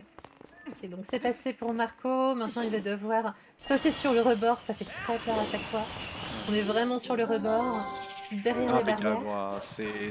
Et voilà, Ouais, un c'est LJ, passé. et on arrive tout juste euh, de l'autre côté. Et ça nous évite de téléporter le pont. En sachant qu'on ne peut pas téléporter le pont malheureusement. Parce que euh, pour téléporter le pont, il y a deux conditions et on n'en a respecté aucune. C'est qu'il faut avoir terminé euh, le Twilight de Firon. Et il faut également avoir terminé euh, Forest Temple. Si on n'a pas fait les deux, on ne peut pas téléporter le pont. On va se retrouver devant, mais Midona ne nous proposera pas de, de téléporter le pont. Donc euh, à ce moment-là, il y a deux options qui s'offrent à nous. Soit on fait le, le rookie roll, rookie roll qu'on a vu euh, avec Marco, soit on fait un back in time equip qui, à vrai dire, nécessite quand même de finir euh, Forest Temple. Euh, mais on fait un back in time equip pour euh, rejoindre euh, Cocorico. Le rupee roll, du coup, qui est le fait de se faire arrêter par le rubis au moment de la roulade, ici. Euh, Oui. On voit, la- on a la cutscene, grosso modo, où on récupère le rubis. Pour ça, il faut positionner le rubis avec le, avec justement le boomerang, euh, comment dire, le boomerang tornade. Enfin, c'est tout un setup qui a été, euh, enfin, le- la découverte de ce setup était assez incroyable. Ah, malheureusement, Kenji qui est rentré dans le, dans le grand trigger du, du mar- C'est pas du- bien grave, on voit le facteur. du facteur. Un facteur d'ailleurs avec son, euh, son lapin qui sera qu'on reverra et qui sera même euh, le- le le- l'élément de la quête centrale des quêtes secondaires de Spirit Tracks. Petit lapin justement à récupérer. Et là du coup on voyait bien justement dans son espèce de drapeau de samouraï euh, justement l'icône du lapin. On revoit dans de très nombreux, dans de très nombreux Zelda ensuite. C'est parti pour Nintendo la... aime beaucoup les lapins. Oui, oui, c'est. C'est c'est un animal symbolique au Japon, donc euh, ils aiment bien les lapins. Et du coup, on est parti pour euh, le. euh, oui, la zone Goron. euh, co- comment euh, Ordine, c'est ça. Euh, les, euh, les différents looms à récupérer sur Ordine. Encore une fois, grosse différence pour ceux qui, auraient joué plutôt à la version HD, qui serait potentiellement plus jeune. Il, y avait beaucoup plus de looms à récupérer dans les, dans Twilight Zone des, de la version SD. Ces, zo- ces, zones-là, dans le, justement dans les, ténèbres en loup, en gros, n'ont pas été les plus appréciées pour le coup. Elles sont assez, lentes en fait à compléter. Oui, Et à oui, oui, c'est euh, pas le, truc le plus fun, euh, ces zones de Twilight. Malheureusement, il y a du potentiel, mais Ouais. pour moi, il, Elles il ont- manque quelque chose. elles ont pas fait l'unanimité. Par contre, elles ont été reprises d'une excellente façon, je trouve, dans Skyward Sword. Voilà, pour les, moi, euh, Skyward Sword, c'est vraiment le. Désolé, on s'est planté avec Twilight Princess, on voulait faire ça, voilà, regardez ça, c'est rigolo, on vous le propose quand même. Et je pense que ça, dans. Enfin, les épreuves de la. de- comment de. Pas de la DS, mais voilà, les, les psy-salis de Skyward Sword appliqués à Twilight Princess, ça aurait été, mais. perf- perfect. Mais, on, mais on, euh, on fait le. Quand on voit les. Quand on arrive dans Skyward Sword, qu'on a joué à Twilight Princess et qu'on voit les Psychalis, on- enfin, on se dit Ah oui, d'accord, ok, c'est bon. on voit à peu près d'où ça vient. Alors, Même, même au niveau de la colorimétrie, on, vo- on voyait très bien d'où ça vient. Alors, de nouveau, ici, les insectes qui sont invincibles hein, au moment où ils sont euh, illuminés de- d'électricité euh, violette. hein, on ne peut pas les, on peut pas les tuer à ce moment-ci. Le déplacement des, le déplacement des looms, en gros, qui en fonction de, de l'endroit où l'insecte meurt, se replace tout le Les temps. hein, perles de même- lumière, enfin, on n'est pas dans Rayman. ah oui. Un peu ça tout le temps les looms puisque c'était. Oh c'est looms jaunes, les looms blancs. les perles de lumière en effet avec le. C'est le catalyse, c'est ça de Ah malheureusement Forest Skip n'est pas passé. Le calice, c'est ça. oui. Oui désolé, j'ai l'habitude d'appeler ça des. d'appeler ça des, des, des looms. C'est amusant. Ok, évidemment, euh, le Gorgoy n'est pas passé côté Kenji, il refait son setup. Et Ses c'est setups sont plus lents, donc euh, à chaque fois il perd un peu de temps là-dessus. C'est dommage. c'est Bienvenue dans Rayman, toi et Princess. Alors, dans les euh, dans les différents euh, comment dire euh, le dans les différents noms propres qui existent justement dans Twilight Princess et justement dans tout ce qui est la dans tout ce l'aspect euh, lore et dans tout ce qui peut être nommé Twilight Princess comprend énormément énormément énormément d'éléments de, de lore en gros commun à beaucoup beaucoup de Zelda. Que ce soit le peuple Zora bien sûr le peuple Goron les co- les les Kokiri sont en quelques sont assez absents, on va, pour le coup, même si pour la forêt, pour le, comment dire, pour le peuple sylvestre, justement, on a quand même une petite référence à, Skull Kids dans le, dans le bois perdu. Et puis bah, surtout, en gros, toute la partie, euh, comment dire, du, peuple, du peuple du crépuscule, euh, qui, est- qui est- assez peu utilisé, qui est peut-être le, qui est peut-être le, alors de, de ce qu'on sait, en gros, des problèmes de développement qu'il y a eu sur le, sur le jeu, l'avant-dernier donjon du jeu, qui fait plutôt office de, c'était pas, en tout cas le palais du crépuscule était censé être, on va dire, euh, une ersatz, on va dire, de monde des ténèbres comme il y avait dans dans Link to the Past, mais malheureusement, ben, je crois qu'il n'y avait plus le temps, hein, tout simplement, de ce que j'ai cru lire. Il faut savoir que le jeu est resté, a eu un retard de 4 ans en développement. Ça, il était censé sortir bien, il était censé. euh, Wind Waker n'existe que parce que justement Twilight Princess n'était pas prêt. hein. Ah oui, effectivement. hein, enfin, la démo de la première démo de Wind Waker fait beaucoup plus penser à du Twilight Princess. Et Twilight Princess était prévu pour sortir sur GameCube Tout à fait. Oh, c'est avant d'être le justesse. titre, euh, Ouais, euh, le titre de la sortie de la Wii. c'est ça. ouais. Oui, c'est vrai, il était prévu pour la sortie de la GameCube. Incroyable. Allez, c'est parti. Pour, euh, j'espère que ça va bien se passer pour Kenji. Il a fait le plus dur, honnêtement. Il a fait le roupie roll. Il faut encore réussir ce, ce dernier, euh, Surtout pas dernier LGA. C'est parfait, c'est passé, impeccable. Ils ont tous les deux first try super. ce- cet, euh, cet enchaînement justement de déplacements qui sont, euh, qui sont très très, qui sont très très difficiles. Pareil, Ah, le repeat roll c'est très punitif aussi hein, quand, tu le, quand tu le rates. Il y a bien de backup, mais qui est, qui est très euh, difficile aussi. Donc, euh, ouais, ouais, c'est- bien qu'ils aient réussi du premier coup tous les deux. Merci, euh, merci de la précision, euh, Kairo. Je savais pas pour le coup. En tout cas, je, je, je- savais que pour la sortie de la GameCube, c'était Twilight Princess qui était prévu pour le coup, et que bah, mine de rien, du coup, ça a été. euh, bah, Wind Waker est sorti bien avant, quoi, pour le coup. Et oui, le moteur est le même entre les, entre les jeux. euh, si, on, si on prend, euh, comme l'a dit Zepkis, si on prend euh, Skyward Sword, Twilight Princess et Wind Waker, le moteur du jeu est le même pour les trois. Et c'est ce qui fait que le B, c'est ce qui fait que le back in time est, fonctionne pour les trois. Il y a même du, on peut même back in time sur Sur Wind Waker. Waker. Malheureusement, ça n'a aucune, ça n'a aucune utilité. Ouais, malheureusement, sur Wind Waker, ça ne sert à rien. Il n'y a Ouais. aucun avantage à faire du, du back in time. Mais on peut le faire. Il n'y a pas grand chose d'activé dans la cutscene. quoi. Genre, tu es encore en pyjama dans, dans ta Ouais, cutscene. sur donc- l'île de l'aurore, avec Ouais, aucun donc, item. Donc, donc, euh, euh, vraiment pas intéressant. Quelle chance que du coup on- la cutscene soit avec un, un, un Link bien épique là en train de chevaucher par-dessus le pont d'Ordine. Ça aura permis ça- cette run incroyable, cette run incroyable d'exister en fait, hautement, euh, hautement breaké pour le coup. Mais bon là on est dans le... ça s'appelle le back in time, alors qu'au final, on s'en sert très tôt pour euh, s'octroyer des items, comme si on faisait plutôt un forward in time.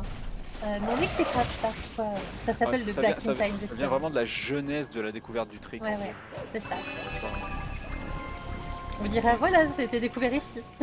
Après, si vous êtes, euh, si vous êtes euh, bien avec l'anglais, hein, anglophone, une excellente vidéo d'un comment dire, oh, d'un runner pas du tout connu hein, qui s'appelle Gymnast, euh, qui explique justement toute la jeunesse du back in time, qui est excellente à voir. C'est un petit nouveau, ça, gymnaste. Oui, je suis un, un random, Il, je est, pense. il émerge. joint, qui a- joint la communauté Zelda Speedrun il y a pas longtemps, je pense. Oh bah c'est ça. C'est pour ça que je commence à voir son nom. Et du coup, c'est bon pour le pour le calice chez euh, chez Marco. Il va pouvoir retourner au domaine Zora, à cette salle du trône du domaine Zora qui, est, Ouais. qui était vraiment classe quoi, devant l'énorme cascade. On va pas rester longtemps. Hein. Ouais. Malheure- Oui. malheureusement. Ouais, il aurait peut-être pas dû venir ici. Hein. Parce que voilà, ce qu'il faut, c'est aller au. euh, comment à Death Mountain. Et à Death Mountain, on va avoir la météorite qui va tomber. Météorite qui est très chaude et qui va nous permettre de dégeler le lac Zara.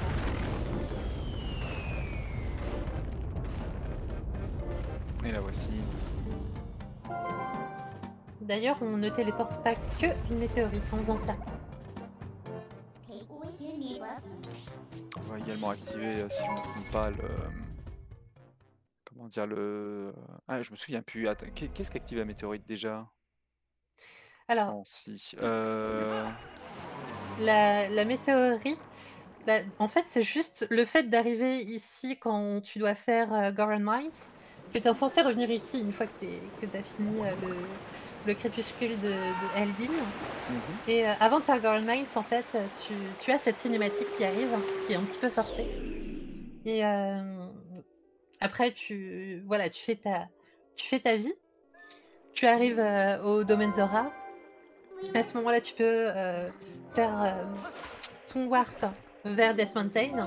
Et là, Midona, c'est assez drôle, elle te dit Dis donc, ça fait longtemps qu'il est là, ce, ce caillou. On peut peut-être s'en servir? Alors qu'en fait, euh, dans le speedrun, il vient d'apparaître. il vient d'apparaître à l'instant, ouais, pour le coup. Voilà. Et effectivement, c'est vrai qu'on n'en parle pas, mais euh, avec euh, nos histoires d'aller un peu plus tôt à Laneru pour, pour aller au domaine Zora et débloquer le, le portail, ça nous a permis de skipper, euh, de skipper Goron Mines. Donc là, euh, c'est assez Donc, subtil, mais on vient de skipper un donjon. Ouais, oui. Et, euh, avec, et on vient de skipper également l'arme qu'il contenait, c'est-à-dire c'est-à-dire l'arc, qui est normalement un, qui est normalement un objet hautement nécessaire dans, dans beaucoup, de, dans beaucoup de combats. Euh, et ici qu'on ne verra pas avec euh, en plus sa feature assez incroyable de, qui lui permettait de le coupler avec les bombes. Et euh, bah, les bombes arrows, les bombes explosifs en gros, euh, bah, on ne les verra pas non plus. Alors que par exemple, vrai. en gros, dans, certains, dans, certains, dans certaines catégories, notamment en fait sur HD, euh, bah, ça permet, elles sont complètement, elles sont complètement craquées parce que elles peuvent, on peut par exemple se prendre, il y a plein de tricks qu'on peut faire avec les bombes arrows euh, qui sont, qui sont complètes, euh, qui sont complètement Sauf fous. que là, pour le coup, sur la version HD, t'as ni l'arc ni les bombes. Donc tes flèches bombées, euh, Ouais. Ah, dans la, en any, pour- en pourcent, dans certaines catégories, connais notamment ouais, en bug limit, euh, par exemple, tu es là et tu peux littéralement exemple, prendre Ouais. volontairement des coups pour tuer tout le monde autour de toi, vu que enfin, il y a plein de tricks qui existent. C'est un, un item vraiment, vraiment sympa, surtout en particulier vis- vis-à-vis des dégâts qu'il fait. Il y a même un trick pour, avoir- pour les avoir à l'infini pour le coup, Effectivement. Alors, qui ne- qu'on ne voit jamais en speedrun parce que c'est beaucoup trop difficile à faire. Bah, c'est surtout que, enfin, c'est pas réellement que c'est difficile, mais euh, la mise en place prend plus d'une heure. Euh, Il faut mettre temps, en place un fichier de setup et faire un back in time pour euh, ensuite faire comme ça le, le transfert. Donc, c'est pas évident. Ou alors, je-. Oui, y a, y a- c'est pas, pas seulement ça. Je crois qu'on peut, on peut s'escape justement de la, oui, de tu la- peux t'escape, oui, c'est vrai que t'as ça aussi. Tu peux te l'escape, ouais. pour, pour, pour te barrer avec justement avec Mm. les, les bombes infinis. Ouais. Non, je confonds avec le bomb bag que tu peux avoir dès le début. Kenji Qui a décidé de. Kenji qui est du coup en train de, de compléter les. euh, Oui, c'est encore un trick différent. Il y a beaucoup, beaucoup de tricks différents qu'on peut faire, en particulier grâce au back in time ou grâce aux, aux, euh, différentes, euh, différentes exploitations du HGA dans, dans ce jeu-là. Kenji qui est en train de finir de, de remplir le, le calice euh, côté Ordine, alors que de son côté, Marco lui fait le calice côté Laneru. Ouais. Qui est un poil plus lent et qui comprend d'ailleurs le, bah, le- un boss en gros euh, qui est le, on va dire le boss dauphin des trois Twilight Zone. Oui. Qui est bien, pen- qui est bien pensé pour le coup, mais qui est pas très, pas très compliqué, mais qui est sujette à certaines optimisations. Bah, surtout que c'est sympa d'avoir un, Ah, un boss qui se combat en, en loup. oui, il y en a, il y en a de combat en loup, on a peu. Ben, c'est assez peu. Il y a quelques boss qui utilisent ça. Alors Ganon, Ganondorf lui-même, bien sûr, mais pour une très très courte, euh, pour une très très courte période. L'un des mid-boss également dans la Tour du Jugement, qui est le premier gros donjon nécessitant de switcher euh, très souvent entre la forme de loup et la forme de, euh, de Link. En Très gros, bien pensé d'ailleurs ce donjon. ouais, ouais, utilise beaucoup ça. À ceci près que malheureusement le combat de boss en lui-même n'est fait qu'en forme, euh, forme humaine, quoi. Ouais. Plutôt qu'en forme de toupie Beyblade. Ah, c'est le le meilleur item jamais inventé pour moi, l'aérouage. Le.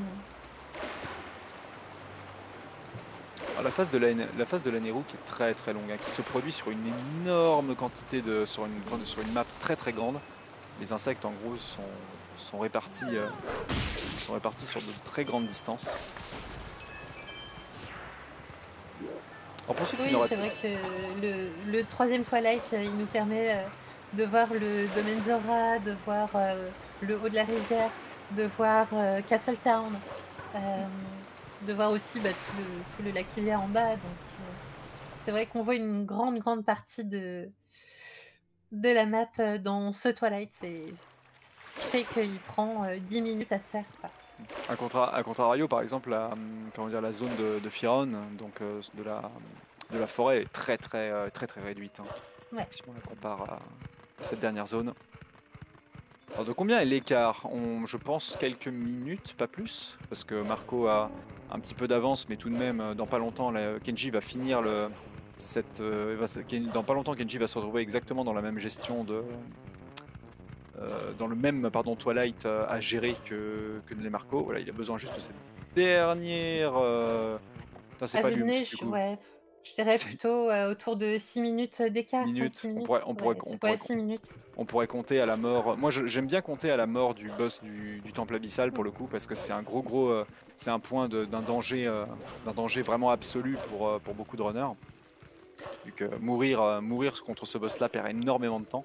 Donc, on n'aura qu'à prendre le temps. je- grande chance que Marco soit le premier à abattre ce boss. Donc, on n'aura qu'à prendre le temps de Marco au moment où, où ce boss-là tombera et on fera le, on fera le différentiel. Ah, C'est une run très clean hein, pour, euh, pour Marco. Il s'est fait un peu troller par quelques insectes là dans la, zone du Twilight pour l'instant, mais euh, on pouvait s'y attendre hein, du. Alors là, on l'a vu, il a fait d'ailleurs, bah tiens, on peut- parler peut-être de petites optimisations.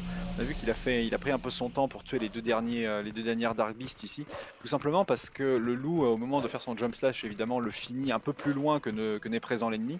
Et ce qu'il faut surtout pas faire quand on doit, euh, quand on veut en fait tuer tous ses ennemis de la même, comment dire, avec le même, avec la même attaque, ce qui est très important pour éviter que l'un d'entre eux se retrouve seul et du coup ressuscite les autres, c'est qu'il ne faut surtout pas faire un jump slash vers un mur. Si jamais on touche un mur pendant la, pendant la phase pendant laquelle le loup en fait est en train de tuer tout le monde, ça va interrompre justement son attaque et du coup en général laisser un, laisser un ennemi en vie et là c'est la catastrophe. tout, le monde, tout le monde ressuscite. C'est pour ça que Marco a pris le temps de se rapprocher du, de l'ennemi qui était à l'extérieur de la zone, euh, puisque le loup va toujours sauter en priorité sur l'ennemi qui est le plus proche de lui. Alors ici des déplacements un petit peu plus précis, un petit peu euh, bizarres qu'on peut voir avec euh, Marco.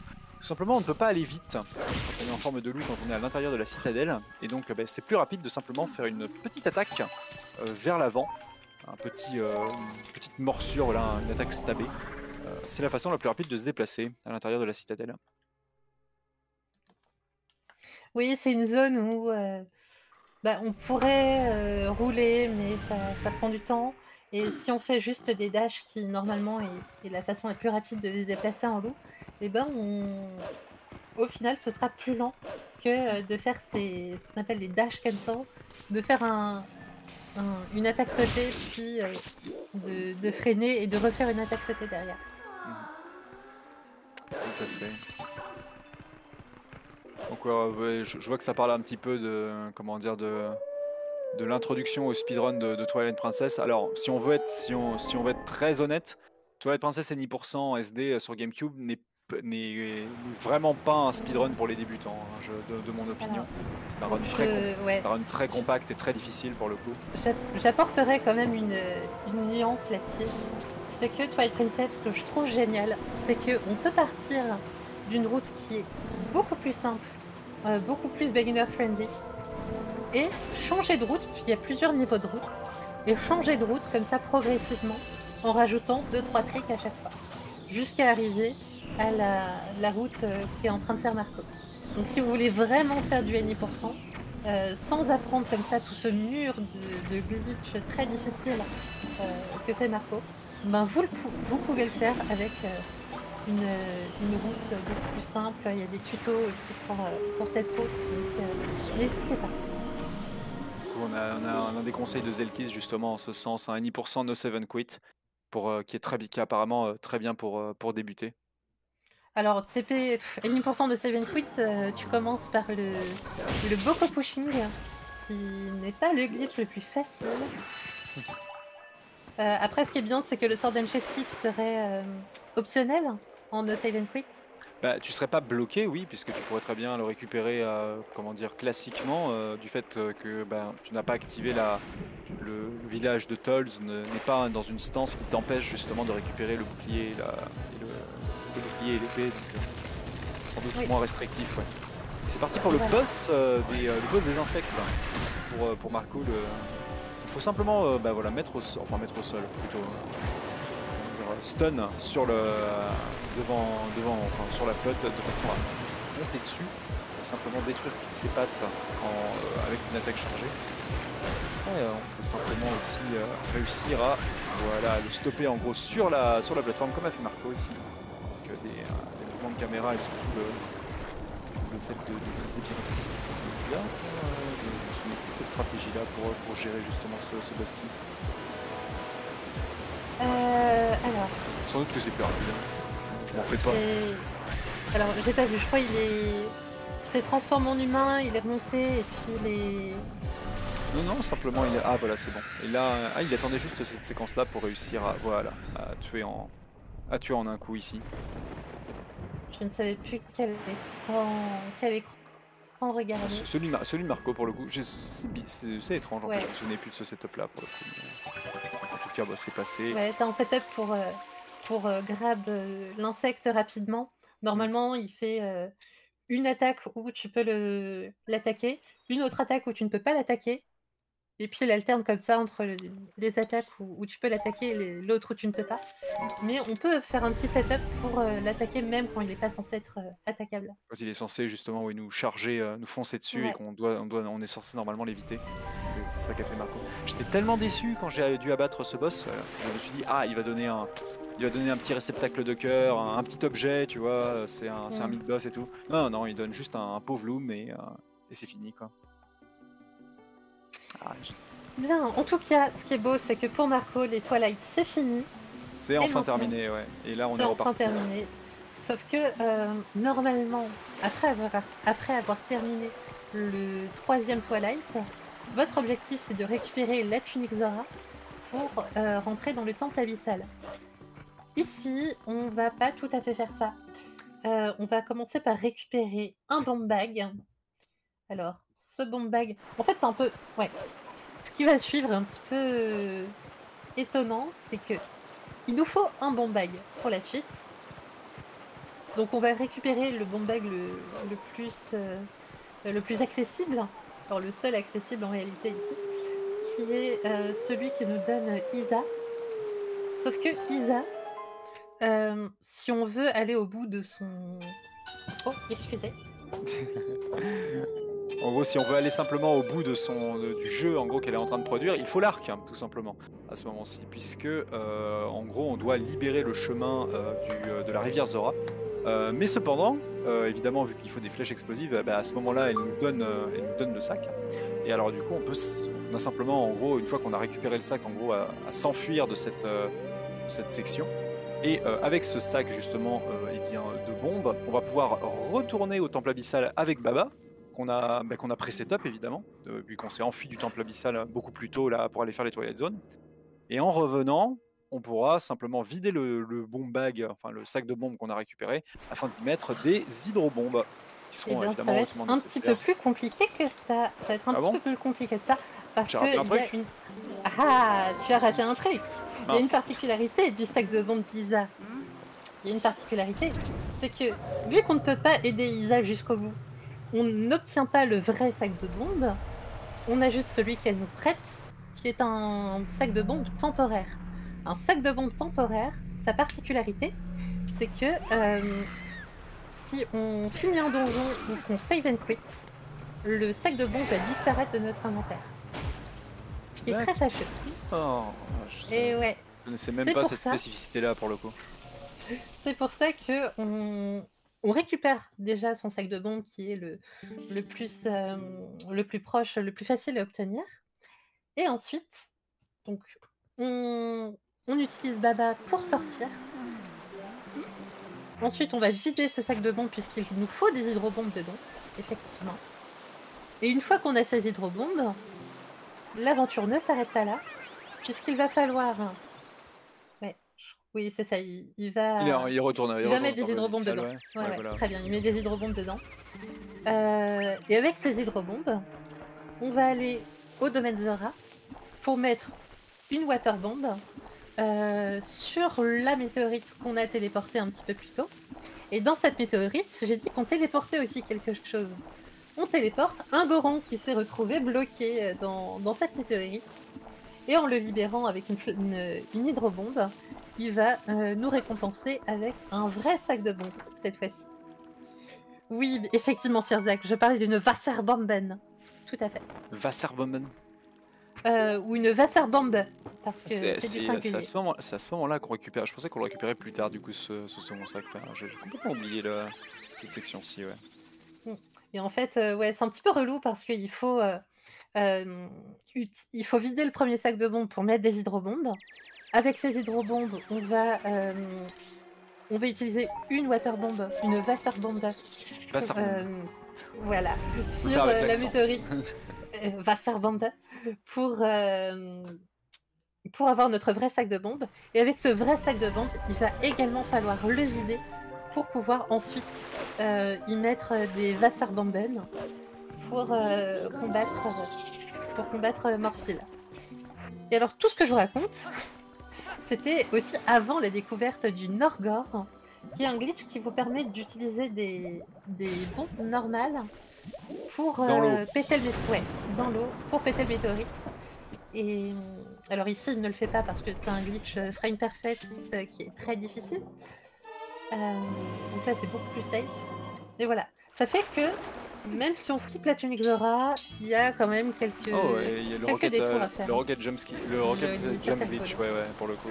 Qui est, un glitch qu'on peut faire dans l'eau pour euh, remonter immédiatement à la surface. Ouais. Qui est, Ouais, qui, ouais. du coup, fait gagner un temps, un temps phénoménal ici. Je Un glitch qui est très rigolo, effectivement. Le Rocket Link, effectivement, qui évite Rocket de. qui évite de mourir parce qu'on n'a pas assez d'air après pour remonter. Donc, Très, très peu. Je crois qu'on en a pas assez. Je, Anyway. en- je crois qu'avec les bombes, tu, tu peux te faire toucher, tu sais, volontairement avec les hydrobombes, parce que la, la strat qu'on fait évidemment dans le, euh, comment dire, dans le boss, euh, ben, dans le boss du, trois- du, don- du donjon abyssal, du temple abyssal, pour, re- pour refill justement la barre d'air. Euh, mais évidemment, c'est beaucoup plus lent que de simplement réussir ce glitch qui te ramène immédiatement à la surface.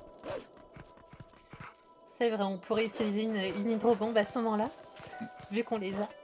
Et du coup, on est parti dans Euh. une section euh, du jeu euh, dans les euh, pics, euh, c'est les pics de, c'est pas les pics de glace, c'est euh, les, je me souviens plus en français. Alors, Les, alors c'est Snopic Province qui en français et euh, je ne sais plus quoi. Il y a le manoir des pics blancs. Donc, euh, C'est le manoir, le, le manoir des pics blancs, je me souviens, mais c'est un nom, euh, c'est Ouais. un nom spécifique en, comment dire en français.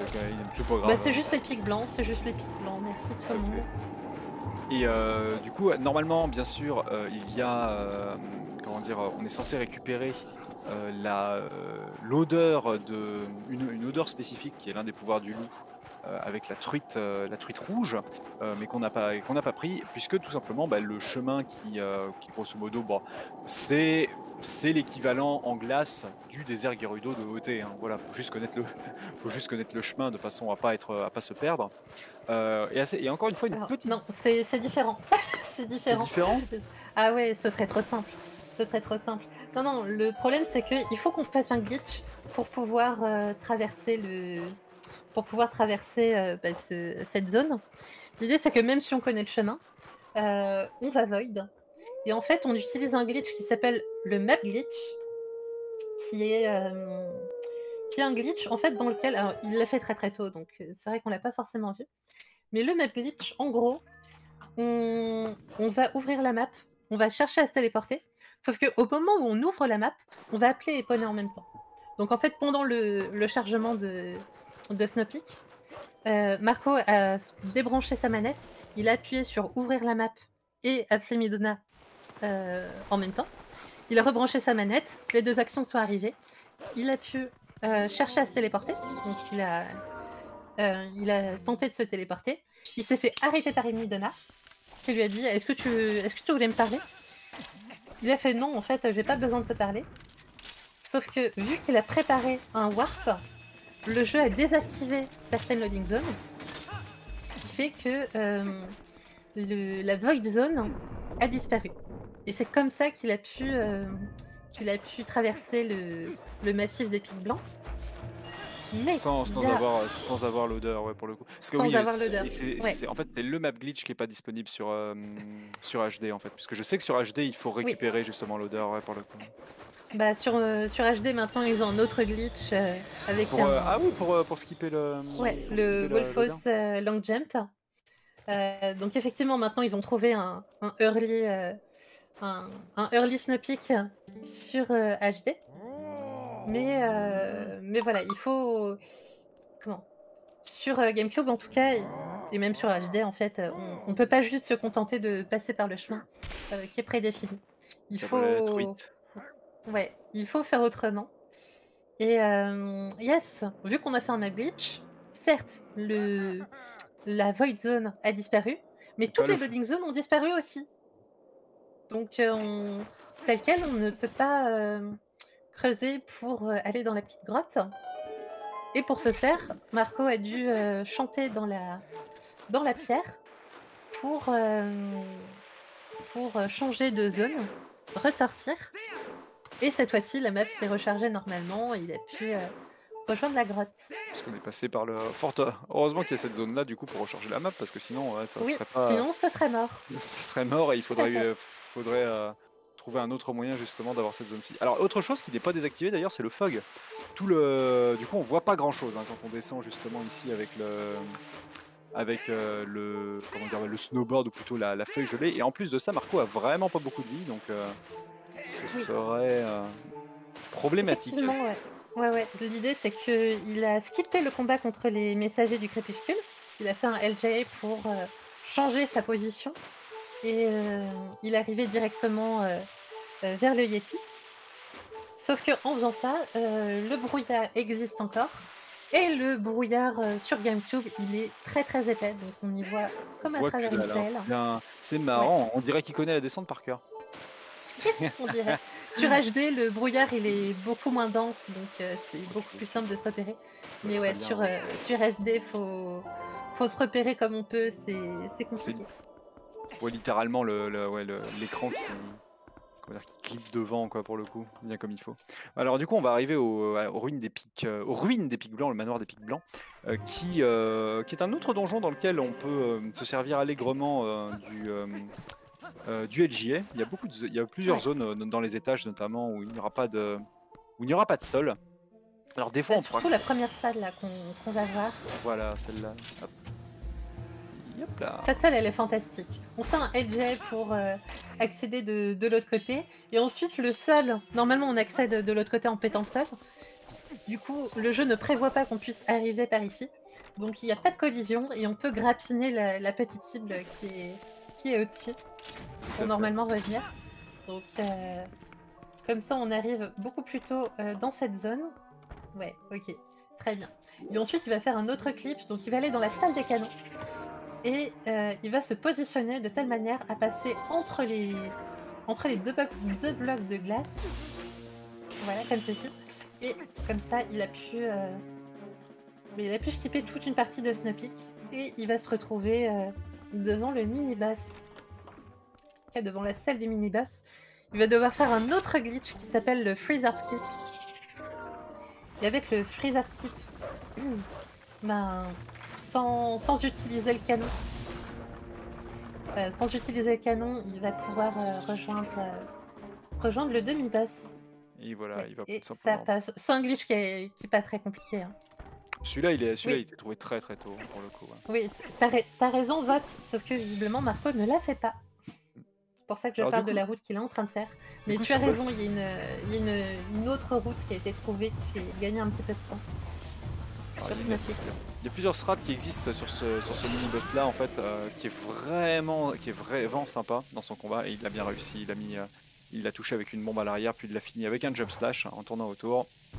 Euh, en, en- comment dire, quand on fait le jeu la première fois en casual, justement, cette, euh, ce, le boss là n'est pas seulement, euh, comment dire, n'est pas seulement dangereux du point de vue justement des dégâts qu'il met, mais également dans la salle dans laquelle on se trouve. C'est une salle très exiguë, une espèce de couloir dans lequel il est relativement difficile de passer derrière lui. Et en fait, euh, l'idée est de, se, est de se suspendre en gros au plafond. Il y a plusieurs endroits sur lesquels on peut accrocher le grappin. C'est un, c'était un, je trouve que c'est l'un des mini-boss les mieux pensés, je trouve, de Twilight Princess pour le coup. Ouais, ouais, j'aime bien, hein, j'aime bien ce demi-boss. Alors après, euh, il... pff, le... Ouais, il, se fait, il se fait rosser, on est d'accord, en speedrun pour le coup. Bah, le problème en fait, c'est qu'il est complètement foiré au niveau de, de, de son trigger pour, euh, euh, comment pour sa queue, sa zone sensible. Ce qui fait que tu- même si tu as bien target euh, la queue, ben, tu peux te retrouver à taper l'armure. Et c'est stupide. hein. C'est vraiment stupide. hein. c'est dommage. Alors, on a vu Mais ouais, Marco sinon il y a pas mal de, y a pas mal de setups pour, euh, même euh, des setups sans, sans, sans euh, clochette, sans grappin sur euh, ce mini boss. Ah malheureusement Marco n'a pas réussi le, le, le skip euh, comme, on- comme il l'avait réussi justement sur le- la zone précédente. En gros tout simplement en faisant en marchant sur les, les gros rubis comme les rubis à 100 euh, ici euh, déclenche une pe- un petit dialogue pour dire waouh c'est un rubis orange il vaut, il vaut 100 rubis etc. Il y a moyen de skipper ça tout simplement en sautant sur le rubis en faisant un side jump comme il l'a fait en le récupérant le premier dans l'armure. Malheureusement là le rubis en question il a tenté de side jumper dessus mais il était un poil dans le mur et donc du coup il a dû marcher dessus normalement. Une perte de temps, encore une fois une petite perte de temps bénie. Pas si, euh, pas grave. Ah, dommage. Là, ben là, pour le coup, là, c'est l'exemple d'un LJR raté là du côté de Marco. Le boomerang n'était pas par-dessus une zone, une zone vide. Voilà. Là, il était bien euh, dans le mur, en fait, dans le mur euh. Alors attention, il y, a- deux, façons de faire un LJ. Soit le boomerang arrive au-dessus du vide, soit il est sur une plateforme surélevée. S'il est sur une plateforme surélevée ou sur une pente, bref, qu'il est dans une position plus haute Link, à ce moment-là, Link va faire un LJ. C'est- Il y a aussi ça pour éviter que euh, bah, si on veut euh, target un ennemi qui est euh, sur une pente, Link se retrouve à, bah, à se prendre les pieds dans l'herbe. Euh, ça marche Ça aussi. fait, un tout, pe- ça fait un tout petit saut ouais, quand c'est raté. Ouais. Ça, ça, vraiment à deux pas devant toi. quoi. Alors parmi les petites optimisations aussi comme ça qui sont invisibles et qu'on voit pas, euh, en gros nos runners, euh, on parlera de ça plus tard parce que là il y a le, le boss pour le coup, un dé- un déplacement assez précis euh, pour voilà rentrer dans cette rambarde, tout simplement avec des, des back jumps assez précis ici, on va de, on pourrait de- normalement tomber à l'intérieur, voilà. Et c'est très et là c'est très sympa pour le coup ce, ce Ouais. parce que en gros dans la petite particularité de Twilight Princess c'est que c'est le fait d'ouvrir une porte qui des fois en fait charge la salle les salles suivantes mais c'est pas le cas pour cette salle de boss là parce que en gros euh, la porte qu'on ouvre euh, avec la clé du boss ne donne accès qu'à un trou un peu comme quand on tombe dans bah, sur euh, Bongo Bongo dans OOT. Donc là c'est pareil en fait on accède à cette salle dans laquelle il y a le trou simplement en fait en clippant à l'intérieur ce qui est fort pratique, ça nous permet de skipper l'intégralité du donjon. Et donc c'est un boss très, dan- enfin c'est un boss en, euh, très stressant et très dangereux dans le speedrun. Allez un petit jump slash quick spin, parfait Marco. Du coup il a fait Yes. suffisamment de dégâts pour passer immédiatement à la P2. Ok, super. Donc il va passer à la P2. Ouais, il a mis une.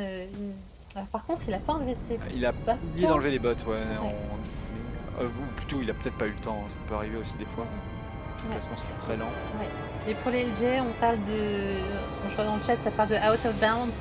Euh, c'est un abus de langage, hein, les out of bounds. Faut pas les compter dedans. Parce que euh, le LJ out of bounds ne va fonctionner que si le dit out of bounds est au-dessus du vide. Voilà. S'il n'y a, pas- si- de sol en dessous. Donc si vous avez un out of bounds avec du sol en dessous, et ça arrive à, à, à Palace of Twilight, ça arrive à, à Hyrule Castle, euh, votre LJ ne fonctionnera pas. Donc voilà. Out of bounds, c'est un peu un abus de langage. Ouais, on, on l'a bien vu, hein, on était au, euh, pour faire euh, early, euh, early Master Sword, on était au OOB à certains endroits et il y avait du sol pour le coup. Malheureusement, c'est mal passé pour Marco. Le, le- ce boss est assez RNG, hein, ses déplacements sont, ne, sont pas du tout, ne sont pas du tout scriptés. Il, il nage autour de la map, là il va Ouais. faire son attaque. Est-ce que ça va, ça, ça va passer? Alors bien, évidemment- bien évidemment, si on se fait aspirer une seule fois dans la bouche du boss, hein, c'est terminé. hein. Il y aura, euh, on prend beaucoup de dégâts et surtout on perdrait, on, on prendrait game over immédiatement à cause de la, du temps que ça met euh, euh, vis-à-vis justement bah, de, de cette, euh, de cette barrière. Voilà, donc là, on a- est-ce que Marco va avoir le temps? Ouais, il va avoir le temps, mais ça va être très très juste. Allez, C'était juste, juste, juste, mais c'est passé. c'est très très juste. C'est pour ça que toutes les techniques comme ça, sans armure d'aura, elles font hyper peur. Genre, t'as pas d'air, mais physiquement, tu retiens ton souffle.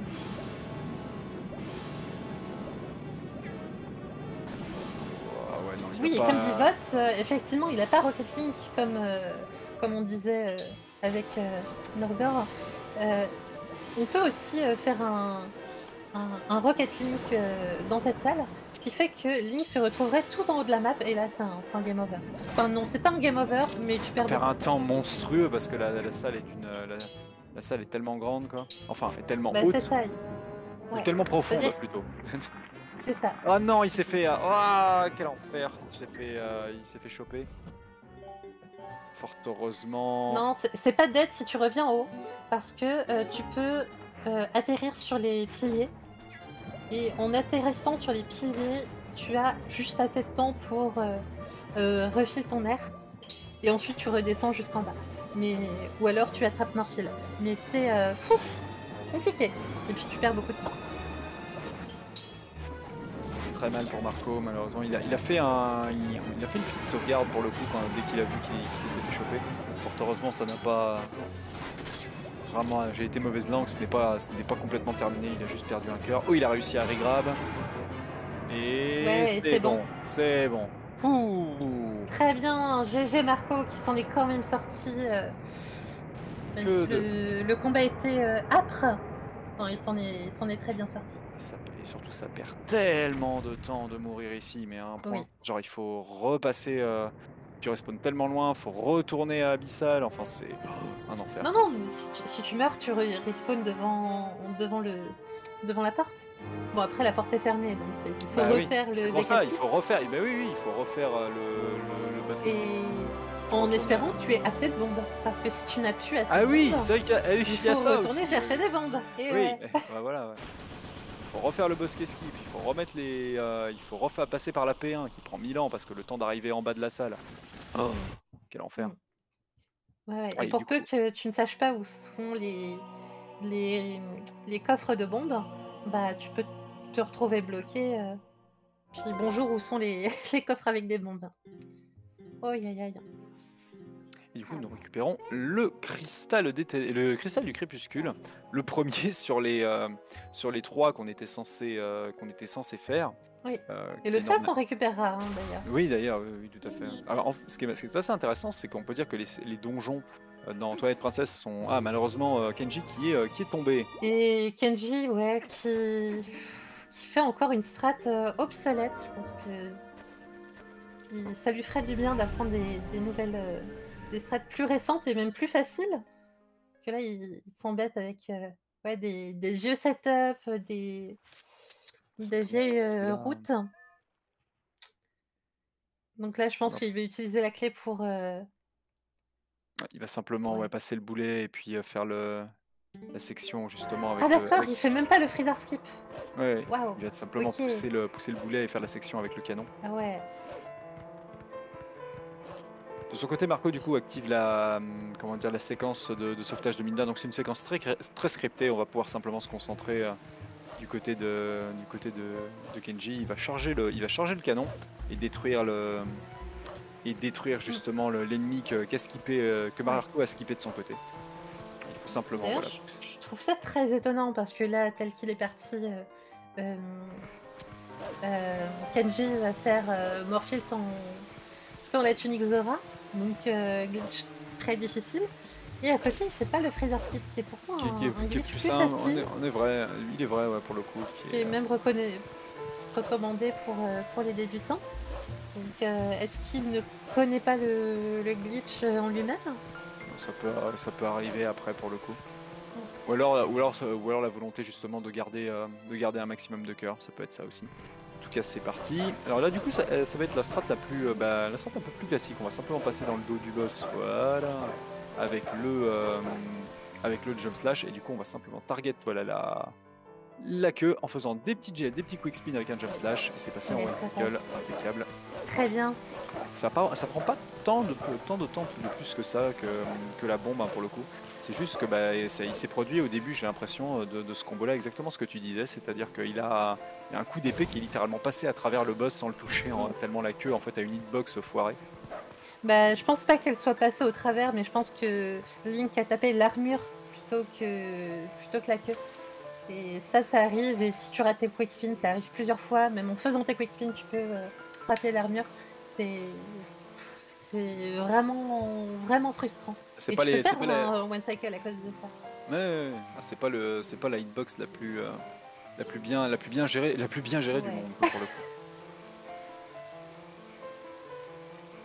Et c'est vrai que dans cette seed, dans cette seed, oh, dans cette run, on va avoir besoin de 300 reboots.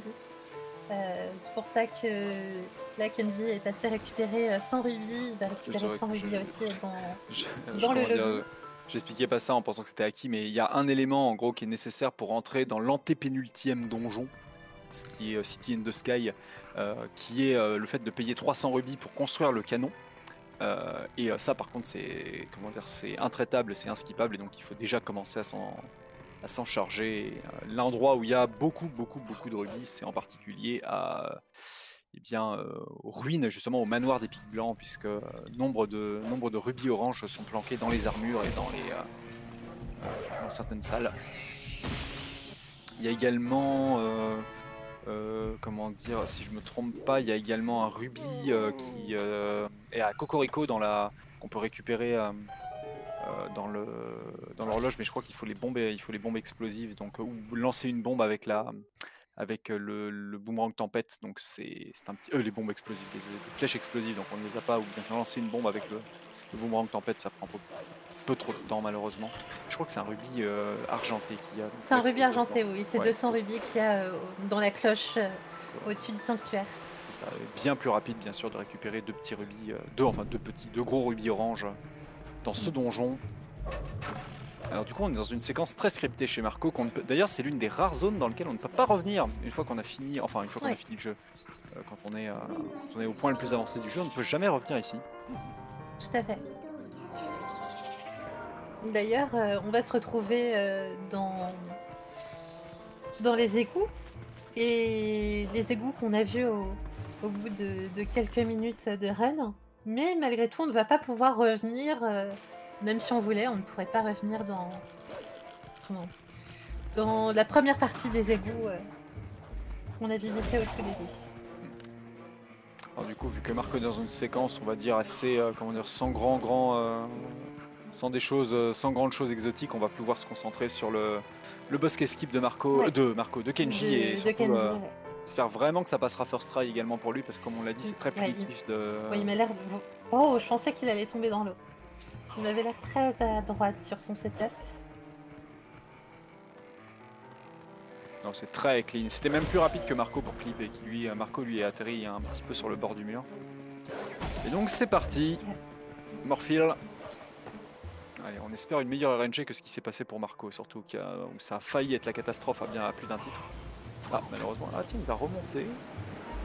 Il, il voulait, euh, il voulait partir d'un certain, d'un certain point. Ah non, il voulait rééquiper, d'accord. Ah voilà, il voulait, euh, je sais pas, taper dans le mur apparemment. oui. Kenji, il n'était pas sûr. Effectivement, sans grappin ici, ça va être euh, compliqué. Oui. Pour attraper euh, l'œil justement qui a qui apparaît dans l'interface de kill. Oula En même temps j'ai vu la, la- c'est le, le petit early, Mm. le petit early cycle chez Marco, j'ai eu peur quoi pour le coup. Ouais, il fait un peu peur ce, ce saut. Parce que à chaque fois c'est très très proche, mais effectivement c'est passé, tout va bien. Si, on... euh, si on respecte bien la ligne droite, euh, ça, ça fonctionne, mais ça fait Malheureusement, peur. malheureusement Kenji il a lui non plus pas eu le temps de, de retirer les bottes ici?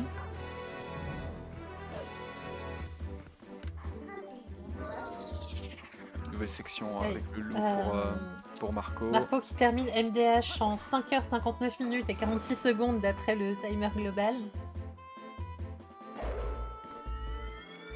Un peu moins de 6 Ah oui, c'est vrai. donc, euh, voilà, euh, on va prendre, on va prendre. Donc au moment où le loup a sauté sur Marco, on était à 6 heures. Du coup, je prendrai le même timer au moment euh, pour pour Kenji pour connaître un petit peu l'écart entre nos deux, entre les deux équipes.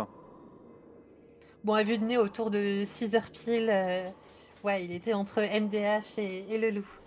Quel RNG de, quel RNG de merde. C'est. Il y a hein, Morphil, c'est Morphil qui, a gagné, Morphil qui a gagné de la hauteur au dernier moment, empêchant Kenji justement de se retrouver en hauteur pour récupérer l'œil. Il l'a chopé avec un angle complètement fermé. Ça Mm. s'est ça s'est bien passé. Est-ce qu'il va pouvoir regrab immédiatement après? Ah, ça, ça, ça sera pas le cas. Il pourra pas en fait. Voilà, il va pas y aller. Pas assez de temps. Simplement reprendre une bombe, utiliser euh, le, le glitch permettant de refill l'air en larguant la bombe. Voilà. Oh, C'est dangereux. Ouais, il va simplement mettre les bottes, il va pas. euh, ouais, voilà. Il va pas risquer. Ah, Morphile qui aura trollé nos. qui aura trollé les deux équipes, hein. Ouais. Avec Zeko. Allez, il faut bien que tu restes proche du sol. Non, faut pas remonter. Et Marco qui récupère euh, le coup de grâce qui est euh, nécessaire pour euh, compléter la run. Sans ce coup de grâce, on se retrouverait bloqué contre Ganondorf. Pas le tuer en effet. C'est le seul coup qui permet de. qui permet d'activer la cutscene de fin, ouais, voilà. Voilà. Sachant que oui, ouais, faut pas l'oublier. Ouais. D'ailleurs, oui, Ganondorf qui n'a hum, comment dire, qui n'a même pas de, barre de vie. En fait, il a un nombre de fois sur lequel il faut euh, activer le fait qu'il lui mette un genou à terre. Donc en fait, si on considère que Ganondorf a des, points de vie, en fait, il en a que 3. Puisque enfin, c'est pas vraiment des points de vie, c'est juste le nombre de fois où justement il doit mettre genou à terre. quoi. Ouais, faut le mettre trois fois à terre.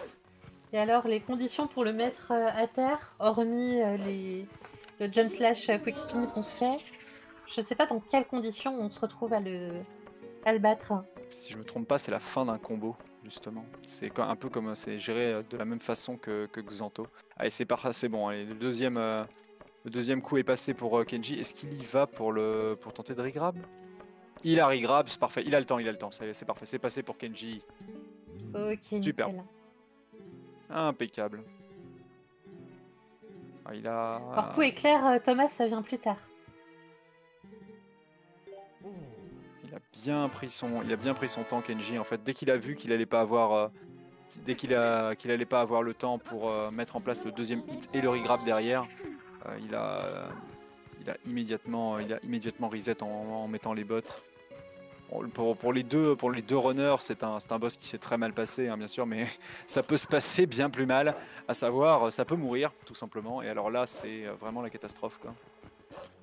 Heureusement, Morphine n'aura eu raison d'aucun des deux runners. Alors ce pilier ici, du côté de chez Marco, qui est un poil magique, qui, euh, qui en fait on ne voit pas. Ah, mais c'est n'importe quoi cet endroit. Mm. C'est c'est du TP tout craché. Ouais. Si vous êtes trop derrière le- trop derrière le poteau, vous n'allez pas pouvoir euh, vous transformer en humain. Si vous êtes trop devant, vous n'allez pas pouvoir vous transformer en humain. Mais fou- si vous êtes à quelques pixels euh, au niveau de, Du pilier, euh, vous allez vous pouvoir vous transformer en humain. ouais, là c'est vraiment les- le genre de hitbox complètement, complètement bizarre ouais, que, que contient, que contient Twilight Princess. Quoi.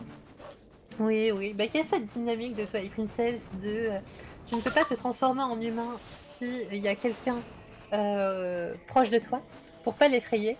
Sauf que euh, bah, les, les conditions pour euh, que le jeu considère comme étant euh, le fait que quelqu'un vous voit ou non, euh, c'est complètement stupide par moment. Hmm. Notamment ce pilier pour que Fire ne nous voit pas. Du coup, avec la complétion euh, de euh, tous ces éléments-ci du côté de chez Marco euh, et bah, la récupération du coup de grâce et entre, autres, entre autres éléments à activer après avoir complété le, le sauvetage de, de Midna, eh bien, on est rendu dans le désert Gerudo avec justement le camp de base des, euh, des gobelins. Mais alors normalement on est censé justement les abattre, prendre un sanglier et détruire les barricades de façon à progresser justement dans le, dans le camp de base. C'est même pas nécessaire, on peut simplement, on peut tr- très simplement clipper en fait à travers les barrières qu'on va voir ici. Oui, et avant ça, on va avoir besoin du boulet qu'on a obtenu un petit peu plus tôt pour euh, péter cette petite tour. Et voilà. En pétant la tour, on peut passer derrière la barrière. Et ensuite, on va voilà, venir clipper euh, à côté de l'autre barrière. Et comme ça, on évite d'utiliser les, les sangliers.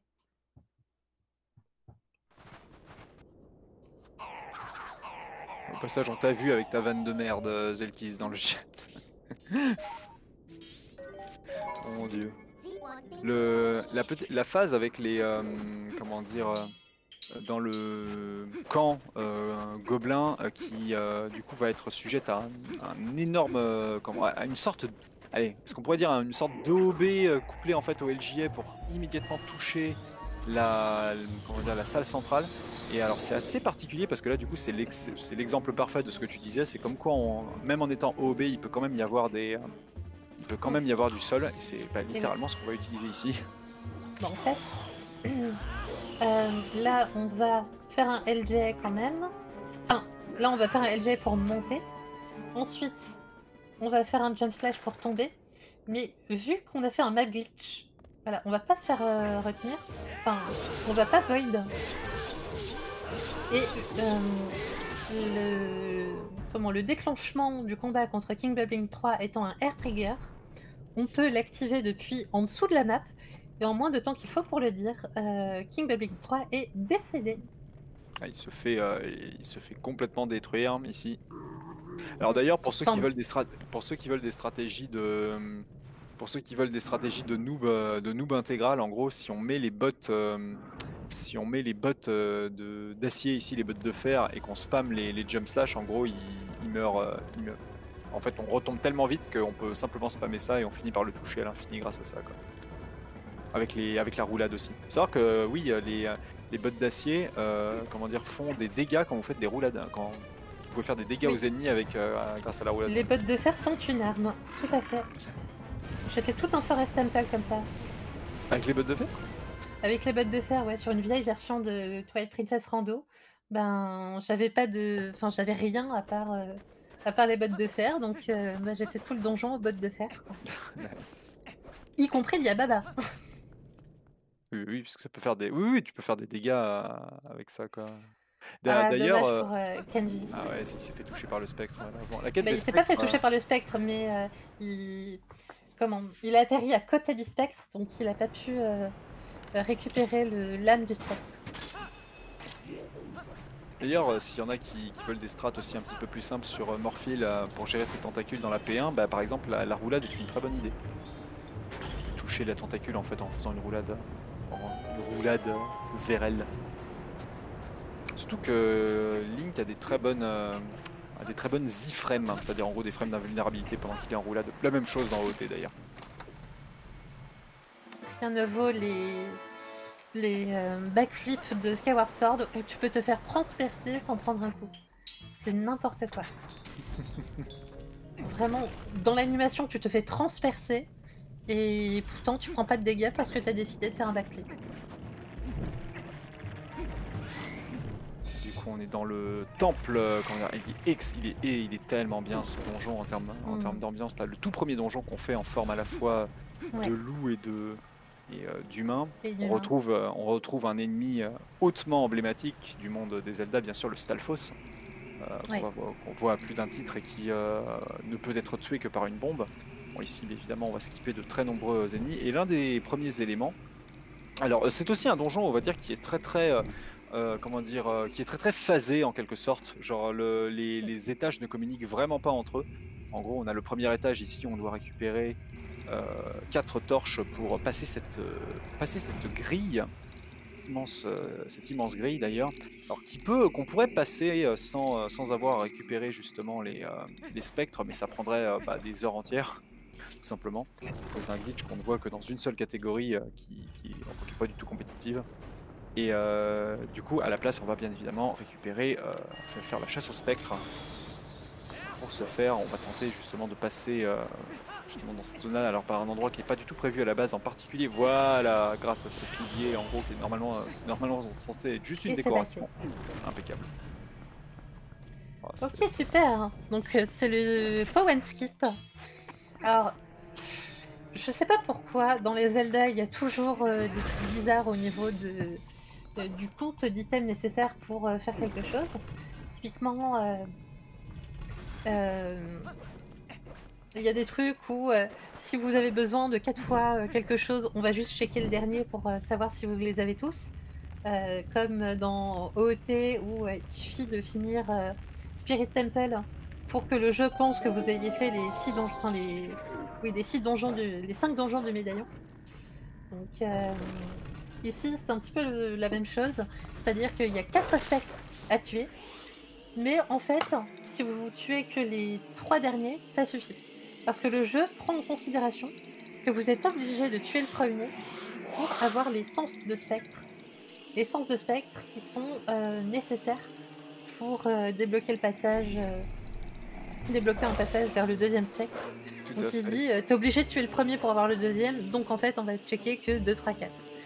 En, en- en fait, c'est le, le- il y a une, grosso modo une espèce de cuve de sable qui bloque le, qui bloque l'interrupteur permettant d'ouvrir le chemin.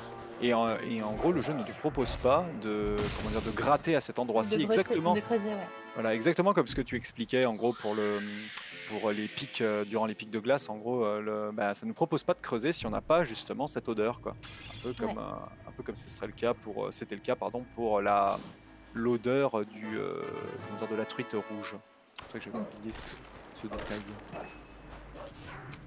Ok, ouais, 11 minutes de retard. 11 minutes de retard, ouais, ça y est, on en arrive ici sur euh, la récupération du, du coup de grâce. On va voir exact. euh, oui, voilà, c'était environ, environ 11 minutes. Ce qui est pas, ce qui est pas irrattrapable. Hein, en Breath of the Wild euh, et, euh, et ce qu'il y a derrière, en gros, sont des. euh, sont pas les. Comment dire Une, une petite mort à Calamity Ganon, c'est 6 minutes. Hein. Enfin, 6 minutes. Non, moins. Mais c'est pas mal quand même, en fait, en termes de minutes. Ok, euh, dans Arbitrage Grounds aussi, on va récupérer les derniers rubis qui nous manquent. Euh, on skip complètement le, premier spectre, puisque euh, on disait qu'on avait besoin de, des sens de spectre pour pouvoir creuser. Normalement, on est censé récupérer sur le premier spectre, sauf qu'en réalité, on peut également le récupérer sur n'importe quel spectre. Donc ici, on le récupère sur le quatrième. Ce qui fait qu'avec le quatrième, bah, on a nos, sens de, de spectre. Et il nous reste juste à prendre le deuxième et troisième spectre pour pouvoir euh, ouvrir la grille. D'ailleurs, encore une fois, une petite référence à OT, les, spectres qui, font référence au, au spectre dans le temple de la forêt de, de, of Time. Croiser un, épouvantable effroi, mais qui s'est fait défoncer par bah, le ball and chain, enfin le, le boulet hein, en français. hein. La, la boule et la chaîne, tout simplement, qui est un, objet beaucoup trop, qui est un objet beaucoup trop fort, hein, qui fait beaucoup trop de dégâts. On va voir si on arrive à récupérer justement le, flux de, Kenji euh, en même temps. Euh, de toute façon, il était, euh, euh, sur la, section ici avec Mina dans le désert. Rien de bien, bah, le, le revoilà d'ailleurs. Euh, oui, si on le et, retrouve euh, à Ganon, c'est qu'il a triché. ça, ça a splitté. c'est du, spli- c'est du splicing. Il a. Je reconnais, c'est du splicing, ouais. Parler euh, vite fait aussi euh, en termes de. Comment dire C'est tr- c'est très difficile de. Comment dire de, de tricher, on va dire, sur cette run. Euh, en particulier sur Twilight Princess, alors pour plusieurs raisons. La première, c'est qu'il y a beaucoup, euh, déjà, il y a une énorme connaissance évidemment de ce qu'il est possible de faire dans le, jeu. Euh, et puis surtout, maintenant, comment dire, la plupart des, des strates qui ont été mises en place, comme, par exemple une strat qu'on va voir dans pas très longtemps, sur le mid-boss justement du donjon dans lequel est Marco, sont des strates euh, où on a tenté de caler des strates qui étaient task only sur bah, sur des choses qui seraient possibles de faire en fait en RTA. Euh, et ce faisant, en gros, bah, quand on joint justement comme ça la connaissance des tasseurs et la connaissance des joueurs et des modérateurs, bah, ça donne en général en fait un jeu où euh, il est relativement difficile de flouer en fait, euh, de, de flouer une communauté quand littéralement ceux qui travaillent sur ordinateur et ceux qui travaillent à la vraie manette en fait ont fait font tout simplement front commun quoi. Et là c'est particulièrement Oui, le cas. ça, sur, qui euh, connaissent très bien les limites de chaque glitch, de quel pixel va fonctionner, quelle position Voilà. va fonctionner, quel cue regarder pour euh, voir si c'est réaliste. La, Euh, le- le- la strat, la ouais. strat qu'on va voir, en gros, si on remonte d'une, allez, si on remonte d'une dizaine d'années, c'est, très compliqué de, c'est très compliqué d'avoir, euh, comment dire, de, considérer ça comme une stratégie viable en RTA pour euh, le skip, euh, le skip du mini-boss qu'on va, va voir dans pas longtemps chez Marco. Ceci dit, alors il y a quelques runners qui ont tenté ça RTA, en RTA, en event notamment. Bah, Il y a par exemple le Samurai Man qui durant je crois, c'était le, ça devait être le SA Winter 2019. Durant sa run, il a tenté de, le faire alors que c'était normalement que Tasson Ça s'est raté. et Il, a, il s'est, ravisé en fait un- après pour le coup. Et c'est un, c'est encore une fois l'utilisation d'un jump slash hein, qu'on va, on va être, on va être témoin. Attention ici aussi au passage à cet effroi qui regarde le mur puisqu'on est rentré dans cette salle par, par sa sortie en réalité. C'est bien Ouais. plus pratique.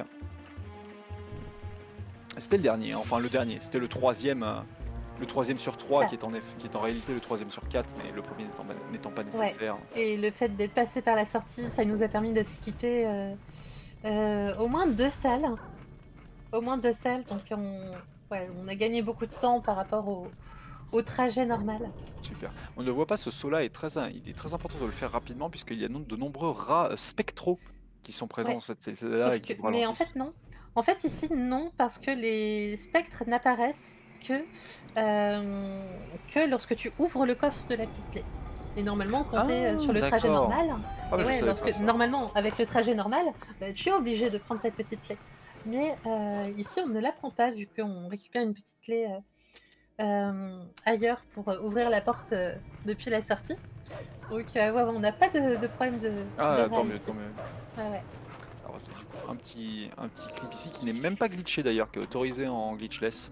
Ce petit passage ici avec les jump slash euh, du loot. Euh, c'est, je euh, crois pas qu'il soit autorisé en glitchless celui-là, Ah bon? Mais il y a une façon euh, sans clip qui existe pour le faire, qui est Ah, pas c'est- évidente. Ah, c'est bizarre, j'ai de nombreuses runs validées avec ce, en glitchless, avec, ce, En avec, cet, glitchless élé- avec cet élément-là. Oui, tout à fait. Vu qu'on Ah bah, c'est tellement abusé, facilité que. Ah, c'est très facile, c'est très facile à faire.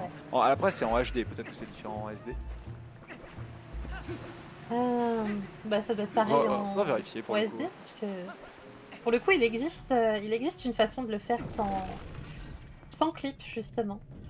Et Marco qui a bien réussi à, skipper une petite partie de, de cette salle, c'est- c'est propre, c'est joli. On saute immédiatement ici en loup. Une nouvelle fois, ici, il y a des stalfos à gérer.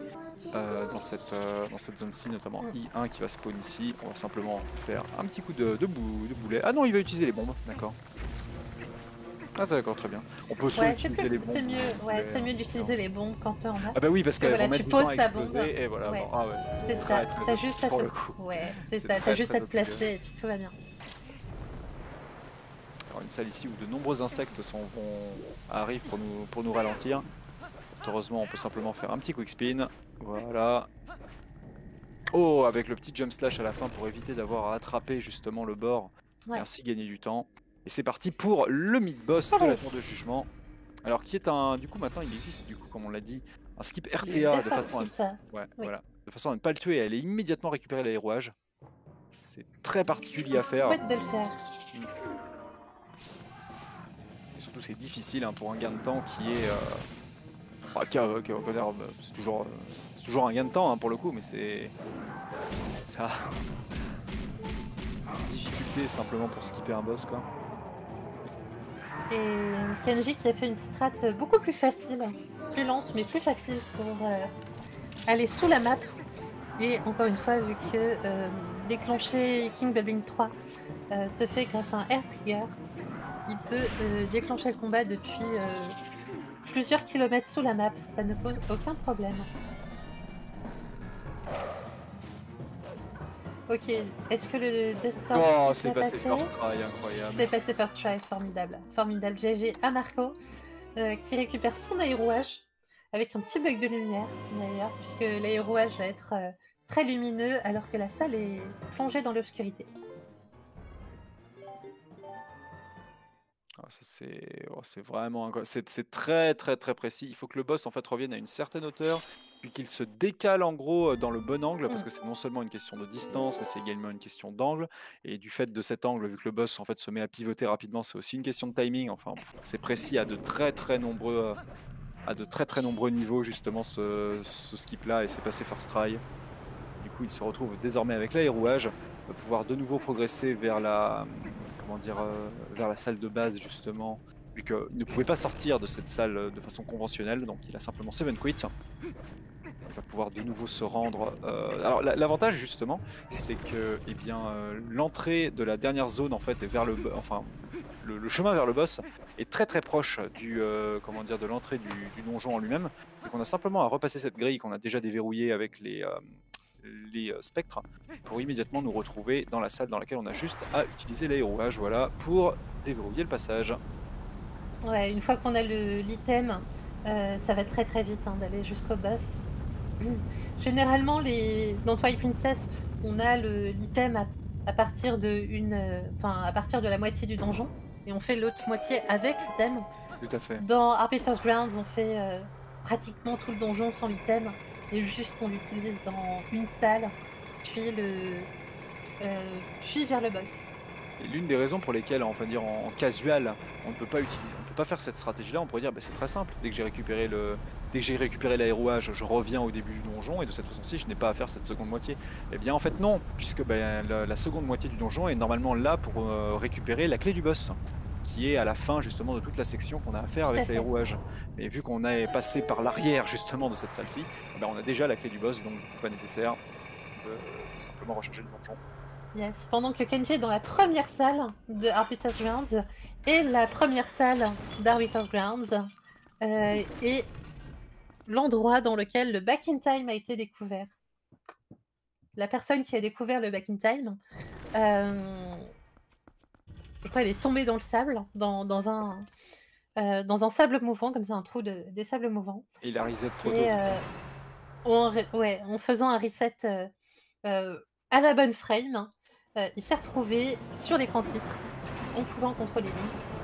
Euh, il a ensuite euh, fait un game over qui lui a permis de déclencher King Goblin 1.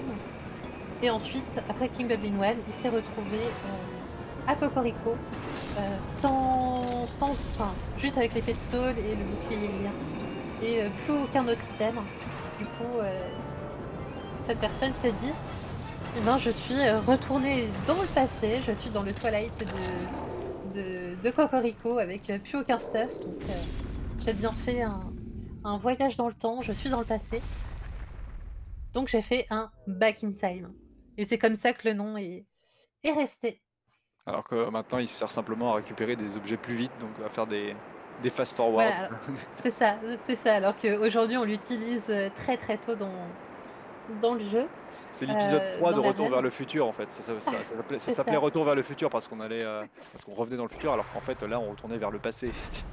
Ouais, et Là, dans Skyward Sword, ça a en plus rien à voir. Ça n'a strictement rien à voir dans Skyward Sword, mais ça s'appelle quand même un back in time. Parce que ça utilise justement le même glitch et que le, comme on l'a dit, le moteur Oui. du jeu est le même pour ce jeu-ci quoi. Ah le boss est ouais, le boss est mort chez Marco, il l'a il l'a tué. Alors que ça fait pas du tout une très belle arène là pour la P2. Ah, tu sais, t'as compris que le boss n'est pas en fait mort quand tu vois quand tu vois ça quoi. Alors du coup il y a un skip pour la P2 de, Sta, de Stallord qui c'est Stallord c'est ça si je me souviens bien en anglais. C'est. Ouais, ouais. Et, euh, oui, c'est Stallard euh, en anglais. Qui consiste tout simplement à attendre un timing précis lorsqu'il va cracher sa, sa boule de feu de façon à immédiatement, voilà, se retrouver à côté et le bloquer intégralement. C'est parti pour le one cycle. Pour ça, il faut réussir un nombre de quick spin. Oh, il en a raté un. Il a mis un coup euh, normal. Marco, est-ce que ça Ouais, va c'est pas très euh, grave s'il en rate un. Il, Oh, il il a une petite marge. Ah, Mais il s'est raté malheureusement. Euh, Oh non. il a- Ah, Ouais, il y a- ouais. ah, putain. on l'a vu mettre euh, de, Quel dommage, coups, hein. De nombreux coups euh, normaux. Et là, du coup, c'est plus faisable. hein. Il va devoir monter, euh, monter euh, toute la section. Alors, c'est néanmoins, c'est comme si le boss en fait avait très peu de vie, donc il va avoir de nombreux, de nombreux, comment dire, obstacles à éviter, mais pas très, pas très compliqué. Juste à revenir, voilà, à survivre suffisamment longtemps en revenant en fait vers la zone intérieure qui gagne, qui gagne de la hauteur. Ah bien Ouais, dommage. et là on voit qu'il y a des. Il y a des pics des deux côtés. Enfin, il y avait des pics des deux côtés. Euh, ce qui signifie que euh, Marco est arrivé à la troisième phase. Enfin, au troisième cycle de cette deuxième phase. Donc euh, ça prouve Il manquait pas que grand-chose, en effet. Voilà, voilà dommage. n'a plus beaucoup de vie, donc euh, c'est bon. Jump slash quick spin et c'est fini. D'ailleurs, euh, Stallord qui a la même musique que euh, euh, c'est Volvagia en, sur si je ne me trompe pas. Et du coup, et qui a à peu près, on va dire, la même, le, même, le même crâne en fait avec les quatre, les quatre cornes. Les deux boss, du coup, il y a beaucoup de, de théories qui, qui viennent du fait que les deux boss sont, seraient liés de, quelque façon. Coup, on va pouvoir. Alors, euh, chose très particulière d'ailleurs, si vous utilisez l'aérouage dans cette salle, l'aérouage va terriblement vite. Euh, Oui. dans... Parce que, bah, en gros, il est considéré. Voilà, hop là. Tout simplement, je pense que bah, par défaut, euh, ils ont codé dans le jeu que dans cette salle, l'aérouage doit aller très vite de façon à rendre la- le combat de boss très impressionnant, hein, tout Ouais. simplement.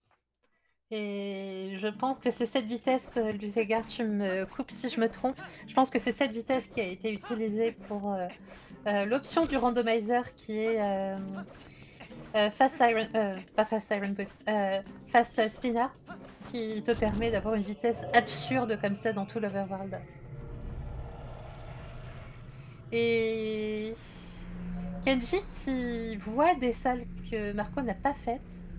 Je... Ouais. je pense qu'il ne va pas faire. Bah, il fait pas le point skip en fait. Il fait pas du tout le point skip. Il fait bah, ce qui se faisait avant le skip justement. Voilà, quelques, quelques petits LJA bien, bien sentis là, voilà, par-dessus ce lustre. Tout à fait.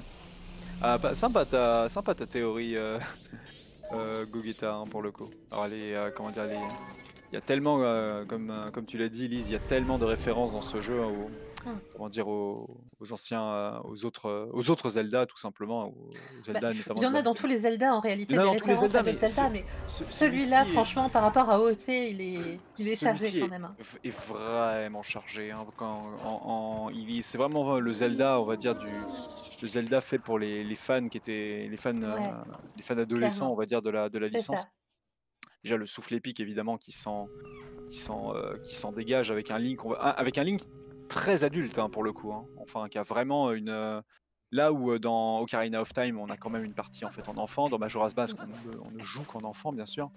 Twilight Princess, c'est vraiment celui où euh, on est euh, bah, Ouais. parmi euh, le, le groupe de. Et Marco va faire euh, le glitch Ah oui, voilà, qu'on attendait fameux- depuis le départ. Le Alors, fameux step clip et qui n'est pas du tout difficile. Et voilà. qui n'est pas difficile.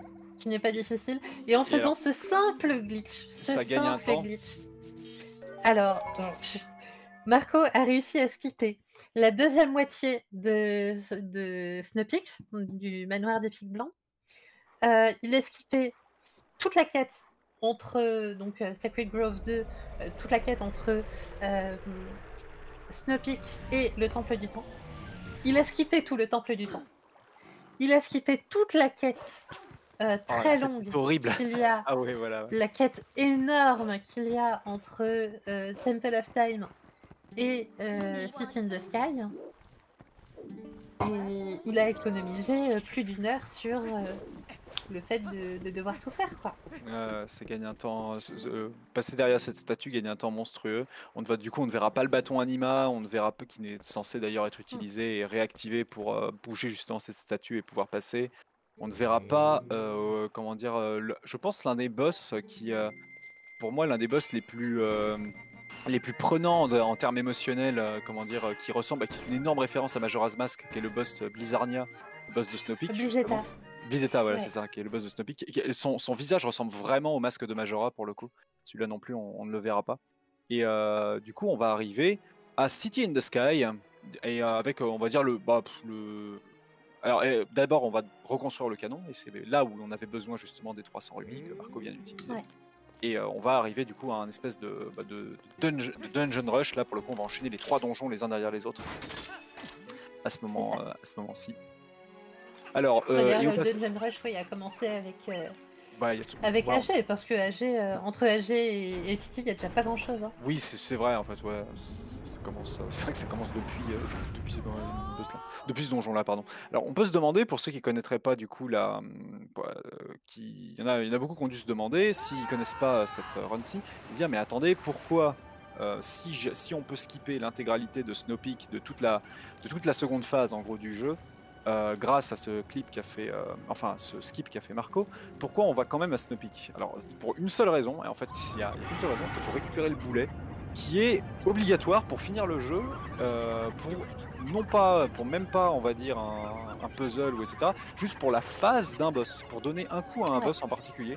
Parce qu'on n'a trouvé aucun autre moyen euh, de, de toucher euh, Xanto dans sa phase, euh, si je ne me trompe pas, sa phase 5, euh, si, je, si je compte bien, euh, que le boulet. Parce que le boulet est le seul objet qui permet de lui faire des dégâts à ce moment-là. Si jamais quelqu'un un jour trouve un moyen de tuer Xanto sans le boulet, il va économiser euh, des dizaines de minutes, enfin potentiellement des dizaines de minutes.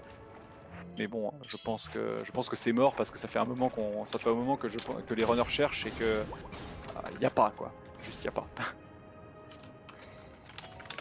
Bah, Et du coup, Kenji qu'il au- a été, ouais, ça a été cherché euh, Ouais, bah oui. fois.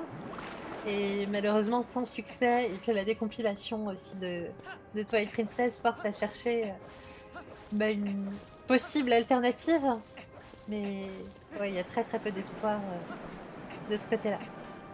Ouais, surtout que maintenant ils ont accès, enfin vu qu'un randomizer a été développé, euh, que comment Voilà. dire, qu'il y a beaucoup de recherches, ils ont accès au code du jeu. Donc euh, dès que tu as du rétro-engineering qui est fait sur le jeu, c'est compliqué de de- d'imaginer. Faudrait trouver un. Le seul moyen ce serait de trouver littéralement un ace, c'est-à-dire en gros de l'arbitrary code execution pour pouvoir euh, pour pouvoir passer ça. Mais là, bon, bah, on n'en est pas là quoi. Alors City Là, Sky, ouais, vas-y, Ouais, il y avait un truc à peu près prometteur euh, qui malheureusement euh, n'a pas porté ses fruits avec. Oh, Euh, Marco qui s'est fait troller par, euh, par un ennemi. Excuse-moi, Marco qui s'est fait troller par un ennemi qui s'est fait euh, jeter dans le vide. Oui, tu disais, il y a un, truc ça prometteur. Oui, il y avait un truc prometteur en fait de surcharge de mémoire pour euh, bah, essayer de la contrôler.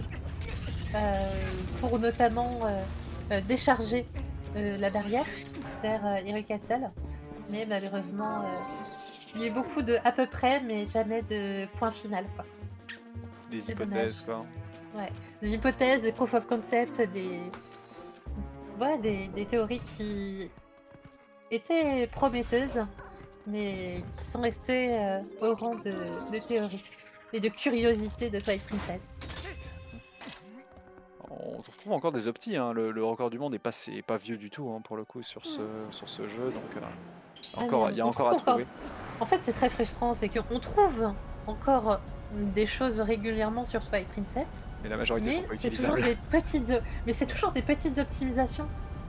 Euh, la dernière date, je crois que c'était euh, euh, un- une opti pour Snowpeak qui sert bien pour pour le Holden Chance et pour les 10%, ça fait gagner quelques secondes. Donc c'est très frustrant. Quoi. Déjà tellement de séquences break qui ont été trouvées dans ce, dans ce jeu-là Ouais. avec tous les triggers, mais mine de rien, euh, on doit quand même passer par beaucoup d'éléments obligatoires. Donc le boulet, comme on l'a Oui. dit, mais les Twilight Zone aussi. Les Twilight Zone, Oui. on, est, on, on doit la, on doit la compléter, quoi. On n'a pas le choix. Alors du coup, euh, petite spécificité de City in the Sky, ou Celestia en français, euh, c'est que, bah, vu que c'est une cité dans le ciel, évidemment, il y a énormément, énormément, énormément d'endroits dans lesquels il n'y a pas de sol. Et alors, bah, quand il n'y a pas de sol, du coup, bah, c'est euh, quoi de mieux euh, pour l'utilisation des LGA et donc ça fait, ça fait de City in the Sky le donjon le plus, euh, le plus impressionnant hein, vis-à-vis justement de ce glitch, euh, ce glitch incroyable. Il y a vraiment des sections entières euh, assez insane. Hum, Il y a encore Max, des tu tricks parlais d'un clip à Celestia, est-ce que tu peux nous en dire plus? Parce que là, ça me parle pas. Ah, y a, Celestia est l'un des endroits sur lequel il reste pas mal de strats Tassonly notamment.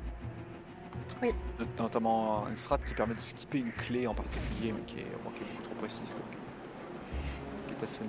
Alors, euh, un petit, un petit point du côté de Kenji. Il est en face du mid-boss euh, de la tour de jugement. Est-ce qu'il va tenter le, euh, le clip ou est-ce qu'il va. Non, il va simplement le tuer de façon à la loyale? Voilà. Et là, du coup, on peut faire ce qu'on appelle. Voilà, on peut faire un infinite stab. Tout simplement en ne finissant jamais le combo contre ce boss-ci. Donc, ça, c'est une strat euh, totalement glitchless, hein, mais qui est très facile à faire. Eh bien, il ne va jamais prendre le knockback. Il ne va jamais. euh, voilà. Et il va prendre tout simplement un one cycle. Et c'est très facile à faire, hein. il suffit de ne jamais finir le combo intégralement, de faire 1, 2, 3 quelques pas en arrière, 1, 2, 3 quelques pas en arrière, et avec ce timing précis, on peut infiniser ce mid-boss. Et Donc voilà, c'est pas forcément beaucoup plus long que, comment dire, que, le clip qu'a fait, le skip qu'a fait Marco, mais, euh, mais c'est quand même plus long, et Marco a réussi à sauver ça avec son premier, euh, avec son first try sur ce, sur ce clip-là. Oh le petit, euh, malheureusement le petit, euh, bonk dans les escaliers de, Kenji. Ça, quel, plaisir par contre dans Twilight. Moi, s'il y a bien un truc qui fait que j'aime beaucoup Twilight Princess euh, par rapport à, à Wind Waker, c'est le fait de pouvoir faire des roulades dans les escaliers. Ça, ça fait plaisir. Oui, sauf euh, Alec Bed. Euh, a raison, le dernier en date, c'est pas celui de Snowpeak, c'est euh, un, clip à euh, City in Sky, justement, au moment de récupérer au moment de récupérer la grande clé. Donc on va voir si Marco le fait tout à l'heure. Mais effectivement, normalement, pour récupérer la grande clé, on doit passer à l'extérieur pour monter au premier étage. Et. Enfin, à l'étage Oh supérieur. Oh là, il s'est fait troller Kenji deux fois d'affilée. Il s'est fait rentrer dedans par un ennemi Aïe, en aïe. visant la, en visant la, la- le, comment dire le, le grillage en fait sur le côté. Et là, au moment, au moment où il allait sauter, il s'est fait sauter dessus par un ennemi qui l'a envoyé immédiatement dans le trou. saleté de serpent beaucoup trop fort. Oh Oh là, oh là, oh là, oh là, oh là, non c'est bon, il va se transformer en loup, il va jumper. Non, c'est pas possible. Ok, Ah, tout, est, tout est bon pour Marco. Ouais. Oh, Ouais. Kenji, euh, Ken- Ken- Kenji, il a, ouais, il a. Là pour le coup, c'est vraiment une- le la deuxième mort est vraiment une erreur, mais on, on sent que ça, on sent, on sent que ça a eu un impact psychologique ici. Ouais, on sent qu'il y a de la fatigue sur euh, tout ce qu'il a pu avoir avant. Il va passer simplement ici, voilà, de façon classique avec le loup. C'est bien plus simple. C'est plus lent, mais c'est plus simple. Tout simplement, on peut survivre, on peut survivre infiniment, hein, à l'infini dans le sable avec le loup ici, en faisant des petits sauts. En fait, on remonte en, on remonte en hauteur à chaque fois. C'est très facile à faire. Voilà, effectivement, c'est vrai qu'on on a euh, encore un glitch qui a été découvert euh, il, y a, il y a quelques semaines euh, à City in the Sky, mais il fait gagner quelques secondes, quoi. C'est très frustrant. Ouais. Quel, serait, le- quel serait le, pour moi, si on, si on réfléchit en termes de seconds break à trouver, si on, enfin, si on veut penser hors de la boîte hein, en quelque sorte, ce serait de trouver un moyen de, de skipper le boulet. Si, si ça c'est fait, déjà ça, ça gagne un temps, mais phénoménal, ça c'est sûr. Après, l'autre élément, ce serait de trouver un moyen de, si, si jamais un, un glitch Hunter True, de ne pas avoir à finir les, les Twilight Zone, tu vois. Ce, ce- ce sera un Oui, autre en élément. fait, ouais. Pour, pas- ouais, pour, euh, pour ça, il faudrait un, pense un early désert, et encore ça suffirait pas. Un early palace, ce serait, ce serait magnifique. Ouais, ce serait fou. Mais c'est pour ça qu'il y avait beaucoup, comme tu le disais, il y avait beaucoup, beaucoup d'espoir vis-à-vis du fait de décharger la barrière qui nous empêche d'accéder au d'accéder en fait au, euh, au château. En gros, la Oui. barrière qui bloque à l'heure actuelle l'entrée dans le dernier donjon et euh, donc euh, Ganondorf, hein, tout simplement, c'est bah, une, une titanesque barrière qui ne qui n'est réactivable que par Minna quand elle récupère tous les cristaux. C'est-à-dire qu'une fois que Xanto est, est mort, donc en gros c'est une cutscene qui désactive la barrière. Le problème, c'est que, mais ce qui est intéressant, c'est que cette barrière spawn quand on sort de la citadelle, après avoir sauvé Minna. En gros, elle, a- elle apparaît pendant une cutscene, justement, c'est un espèce de gros losange jaune. Et c'est vrai que si ça, ça ne spawn pas, euh, théoriquement, Mm. on pourrait tout skipper, la deuxième partie de la- du jeu. Et Attention, Marco qui tente de skipper a le, autre le chose but qui de nous skip. bloque. euh, Il y a autre chose qui nous bloque euh, euh, pour ça.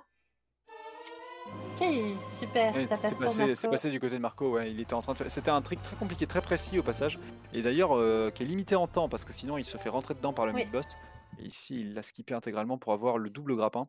Et du coup, en même, dans le même temps, du coup, on va pouvoir voir si Kenji, ça se passe euh, aussi bien. euh, on, on en a, on en a pas parlé du fight de la P1 de Marco contre, euh, contre, St- contre mais ça s'est ultra bien passé. Ah, et malheureusement. C'est très bien passé, ouais. Et pourtant, c'est un glitch qui est. Enfin, c'est pas un glitch, mais ouais, c'est un, un combat qui est RNG. Mm. Que la position des Stall Troops est, est RNG. Donc, euh, Allez, encore un petit, euh, un, petit un petit rebond, un petit rebond bien senti parce que là maintenant il va y avoir un mur de ce- un mur justement de zombies euh, empêchant la- l'accès. Ah, il va plutôt détruire. Ah, il va pouvoir peut-être repasser en arrière. Non, c'est bon. Oh, il est dans son dos, il est dans son dos, mais il y a encore, oh, il y a encore les troupes. Non, ça passera pas. Le troisième essai. Ce qui me fait peur aussi, c'est sa quantité d'HP. hein. Oh, c'est passé à rien du tout. Allez, pas rester sur le mur ici parce que s'il se fait toucher par les pics. bon, en tout cas, il y a oh, oui, c'est bon, c'est bon, c'est bon. devant. Bah oui. Il a réussi Il y a plus de à- devant. Ouais, ouais, il a réussi un espèce de double rebond euh, sur les Stall Troops, c'est parfait. Allez Kenji, si, euh, si jamais ça, comment dire, euh, est-ce qu'il peut réussir là où Marco a échoué avec ce petit one cycle, euh, one cycle de la P2, le temps qu'il construise l'arène, on va pouvoir voir Marco continuer de progresser sur. va faire la technique Non, il va pas faire la technique. Ok. Ben, Marco va perdre 6 secondes par rapport euh, au temps théorique euh, possible. Il y a un, comment dire, il y a un, si je me trompe pas, il y a des, des runners euh, très assidus justement de Twilight Princess qui ont mis au point, je crois, un multi-segment, euh, une vidéo multi-segmentée de tout ce qui est faisable en fait en RTA, euh, qui avait été justement présentée par Gymnast, mais je, je sais plus exactement, il l'a commenté justement, c'était soit ça ou soit un TAS, je me souviens plus. Très sympa à voir. Ouais, pour le coup, hein, c'est devenu une run. Combien de... Ouais, combien de temps fait gagner le map glitch au désert Pas beaucoup de temps. Euh, ça fait pas gagner énormément de temps. C'est plus pratique. C'était un Mais on peut faire 100. On pourrait faire 100, je pense, une dizaine de secondes. Alors, du coup, euh, Kenji, qui n'a, euh, je crois qu'il n'a pas tenté le, comment dire, le, le skip justement de la première phase. Par contre, en mettant du fait que là, Euh, Stallord a l'intégralité de ses points de vie, il n'a aucun, euh, comment dire, il n'y a euh, ben, aucun obstacle.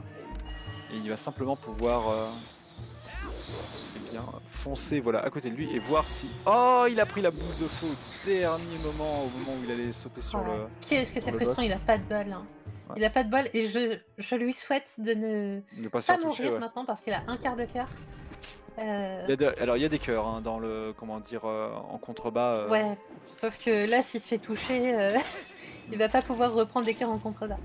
Ah non là bah oui là, là c'est soit Ouais. il, euh, il le met il- c'est soit il le met par terre soit c'est oh, après il pourrait désactiver. ah Soit non, c'est lui il- qui, qui est Il prendra, des, il prendra les dégâts de chute s'il désactive l'aérouage. Donc là, c'est tuer ou être tué. Quoi. Oui. Allez, attention. Allez, un petit one cycle. Allez, je Spin. lui souhaite. Spin. Oh, Et c'est très très clean. C'est très très clean. Allez, voilà, le petit one Allez. cycle sur. Impeccable. Allez, c'est mérité ce one cycle. Peut- pendant que Marco est en train d'arriver doucement vers euh, Argorok, le boss de City in the Sky, qui a aussi pas mal de, de techniques euh, sympathiques. d'optimisation justement de, ouais, de passage d'une d'un- d'une phase, à, un- d'une phase à, à une autre. Euh, et au passage, d'ailleurs, le, euh, on a une petite précision à faire vis-à-vis des spins qu'on a vu euh, sur euh, Stallord. Il y a deux types de, spins en vrai dans Twilight Princess. Ils en ont codé deux. Un dans, un dans le sens horaire et un dans le sens anti-horaire. Et celui dans le sens anti-horaire, c'est-à-dire où Link, en gros, ben, comment dire, ou, bah, bah, spin dans le sens anti-horaire, en fait, fait des dégâts plus tôt un tout petit peu plus tôt, vu que bah, l'épée part de sa main gauche, hein, Link est, est gaucher dans Twilight Princess. Enfin, il est gaucher dans la version GameCube. Parce que dans la version Wii, justement, il est droitier. Et euh, du coup, c'est pour ça qu'ils préfèrent euh, tous deux en fait faire le, le spin en gros dans le sens anti-horaire. Je crois que je suis anti-horaire. Hein. Ouais, je suis complètement anti-horaire. Ouais, ça, ça, par contre, c'est une habitude, c'est une habitude euh, très particulière à perdre, ou à- parce que tout le monde a forcément l'habitude de, de spinner dans un sens plutôt que dans l'autre. quoi. Je préfère Alors- commencer par tirer le stick plutôt que le pousser. T'es en train de tester pour le coup. Oui, je suis en train de tester, ouais. La P1 Est-ce que dans le sens horaire, ça me va Après, c'est une différence assez minime hein, pour le coup. Par contre, ça fait en sorte que, enfin, théoriquement, vu que tu tapes plus tôt, tu as plus de chances, si tu t'es pas full full opti, de réussir justement ce one cycle. quoi. Alors du coup, on doit Ah amener, euh, bah, tu, tu veux- vu que en termes de vitesse, tu as besoin d'aller moins vite, en quelque sorte, euh, de, de- de- de réussir le dernier euh, spin du sens anti-horaire moins vite. Mais on parle de quelques frames, hein, c'est très très. Ok, et Marco a eu le Rick Grab de Argorok. Euh, normalement, vous, vous attaquez euh, Ar- Argorok une première fois, puis il va faire un petit tour, il va se promener autour de, de l'arène, et il revient une deuxième fois un peu plus haut. Et là, vous pouvez le le- l'attaquer une deuxième fois. Donc tout ça, ça prend euh, 45 secondes. Sauf que il existe un regrab qui est possible qui vous permet instantanément de, de, euh, regrab euh, Argorok. Ce qui fait que Marco arrive déjà dans la deuxième phase d'Argorok.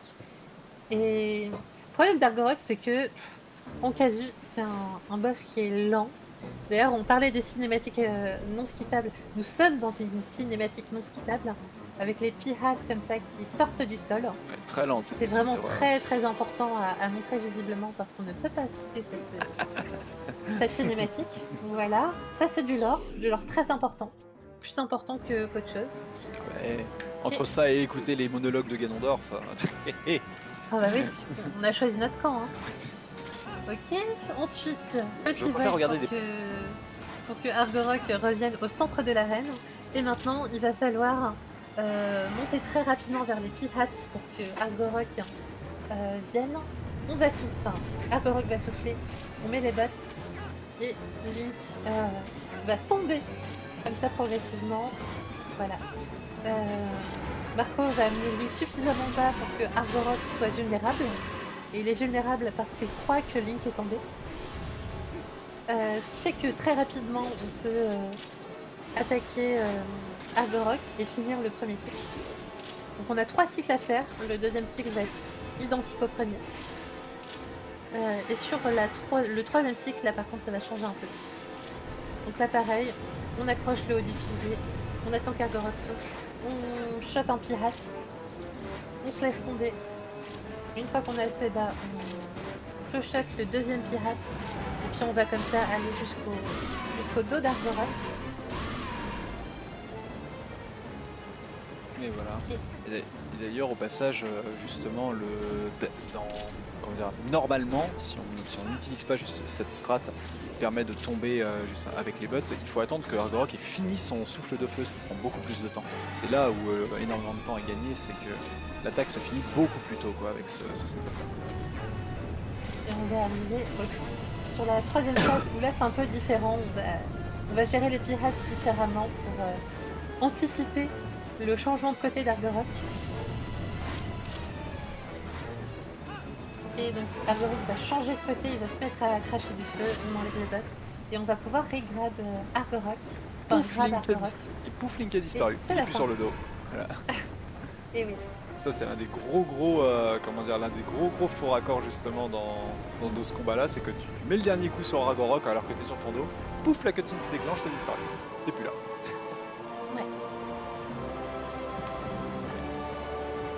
C'est une belle cinématique de mort, quoi. Alors, Kirio qui dit que euh, le boss Argorok est très très cool. J'ai détesté ce boss. Voilà, je tiens à le dire. Bah, il est très, comment dire, il est très scripté, quoi. Dans s'il y a bien, En s'il y a bien un boss qui représente les, alors un coup, deux coups, trois coups, tu sais, c'est c'est bien lui, quoi. Je, je déteste les, les boss où tu as du temps mort. Et sur Argorok, tu as du temps mort partout. Tu passes ton temps à attendre. Et ça, je trouve ça insupportable. Ils auraient pu faire un truc tellement classe avec un dragon. Et ils ont fait juste, euh, je balance du feu à gauche, je balance du feu à droite. Et puis, euh, vas-y que tu fais le tour avec tes clochettes. Qu'est-ce que c'est non fun Et Moi, puis, moi, ça, tu, fais ça lorsque euh, t'es pas sur une phase euh, où juste tu attends. Le fait qu'il y a beaucoup justement de, temps mort comme ça et beaucoup de phases d'observation euh, à de longues distances dans ce fight là, ça m'a beaucoup fait penser à l'un des boss volants de Shadow, of the Colossus justement, qui, euh, qui vole euh, comment dire, très haut dans les airs et que bah, grosso modo il y a beaucoup de phases d'observation entre les deux, comment dire, bah, entre le boss et toi justement. J'aime bien aimer justement ce genre de boss là très cyclique quoi. A contrario des... à contrario, par exemple, un boss qui est, je trouve, assez pas géré de façon, on va dire, très très euh, très très clean dans, dans Twilight Princess, ce serait plutôt euh, le premier, c'est-à-dire la, la plante. Euh, puisque, ben, en fait, le petit problème, c'est que le, le singe, euh, comment dire, qui balance, enfin, qu'on n'a pas vu justement, mais qui est le mid-boss, en fait, il y a une très bonne, il y a une très bonne complicité, en fait, vu que le boss, qui le, le mid-boss, en fait, revient pour nous aider, en gros, dans la phase, dans, la- dans le combat contre la plante. Par contre, l'une de ses attaques est complètement im- impossible à comment dire à deviner qu'il faut l'interrompre avec le boomerang. Genre j'ai jamais pu deviner ça quoi. Genre il y avait aucun d'habitude dans Zelda dans un toi- dans un Zelda tu sais on te dit par exemple que le mur est cassable avec une petite fissure tu vois. Euh, dans ce boss là en fait t'avais aucune indication que tu pouvais bloquer certaines de ses attaques notamment avec le boomerang quoi. Interrompre par exemple le jet d'acide etc en, Mm. en lui jetant la, la plante et tout etc. Bon après Rien n'est par- rien n'est parfait pour le coup, mais c'est vrai que sur Argorok, pour le- il est bien moins dynamique que ne peuvent l'être certains boss. quoi. Tu vois la vitesse avec laquelle, par exemple, a lieu le combat contre euh, le combat contre, euh, je vais y arriver. euh, ah, le deuxième boss là, qui est en fait Darunia, mais c'est pas Darunia, c'est C'est Firis. voilà exactement. Euh, lui qui est, qui est méga impressionnant, hein, avec une caméra en contre-plongée et tout, avec des attaques qui viennent souvent. Quoi. Alors le boss c'est pas dur. Lui, hein. pour le coup, il est, il est facile, mais euh, il est, euh, il est fast pace. Il est compact, quoi, rapide, quoi. Ouais, ouais. Ressemble pas mal, ressemble pas mal à comment s'appelle au à euh, Morph- euh, Morphine. Dans l'eau en fait. en. Oui. Et en plus, ils ont la même musique. Oui, c'est vrai. Et Morphile partagent la même musique. Et le même item de donjon. Et du coup, nous sommes partis pour euh, le Palais du Crépuscule. Qui, euh, à la base, évidemment, bon, qui est une énorme référence, bien sûr, à- au monde des ténèbres de, de euh, Link to the Past. Mais euh, néanmoins, ça restera. euh, ce n'est qu'un donjon, en fait. C'est pas le, le monde des ténèbres, en fait, en, en entier. Enfin, c'est pas. le- Ouais. Quel gâchis. Quel gâchis. ouais, dommage. enfin, Bah, là, Palais moi, j'ai- Crépuscule. Moi, j'ai été très déçu. Enfin, c'est- c'est la, je me suis dit, ça y est, on va rentrer dans la zone du crépuscule et tout, Ouais. hein, ayant joué dont à nous bah, parle depuis le début. Ouais, voilà, c'est ça. Et t'arrives là et en fait non, c'est juste un donjon. Quoi. Bon. Alors après le donjon est le donjon est très très euh, est très très original. Et après que le donjon est démarré, en gros, j'ai rapidement été euh, comment dire, été de nouveau réjoui en retrouvant un ennemi qui n'était qui était euh, un, un ennemi du tout premier Zelda. C'est les fameuses La mains, main. les, les, les mombes. Alors là, quand tu revois cet ennemi-là, tu dis waouh, ouais d'accord. Là tu, là tu parles ma langue, le jeu. Là le jeu, tu parles ma langue. Ah ouais, ce- cet ennemi-là est, est l'archétype même en gros du, du stress quoi. Excellent, excellent petit passage ici euh, de Marco. Ouais. très facile à faire sur ce coffre pour l'utiliser afin de gravir justement ce mur. Et on va arriver Ouais, dans le palais du crépuscule est assez, euh, assez original dans sa construction. On n'a pas vraiment d'item de donjon euh, avec un, un demi-boss. On a plutôt une amélioration de l'épée. On va récupérer l'épée de lumière ou la Butter Sword, comme certains aiment dire. Euh, et pour ce faire, on a ce- cette première moitié du palais du crépuscule où on va devoir aller dans l'aile gauche, puis dans l'aile droite. Et dans chaque aile, on va avoir un, couloir de trois salles. Dans la troisième salle, on a euh, Phantom euh, Xanto. Phantom Xant. On va devoir attaquer avec un, un nombre de coups assez précis hein, pour, euh, pour éviter que Xanto parte dans tous les sens. Surtout pas finir un combo en fait. voilà, surtout ça. Voilà. Ça, on- on- Enfin, sauf pour le finir lui-même. voilà, comme vient Ouais. de faire Marco. Voilà. En fait, trois fois, on va lui donner que trois coups, on termine pas le combo. Et la quatrième fois, on va le faire un combo, un combo entier, ce qui va permettre à Xanto de rester vulnérable, hein, en fait, euh, d'une fois à l'autre, plutôt que euh, de faire une attaque et puis euh, se téléporter dans toute la salle. Et une fois qu'on a battu Phantom euh, Xanto, on va pouvoir récupérer un, sol, une petite boule de lumière.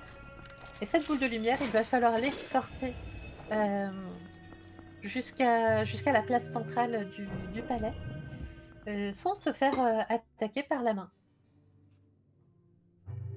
C'est une bonne question. On Ça, fait- à quel, euh, ouais. quel, euh, euh, horaire a commencé Marco?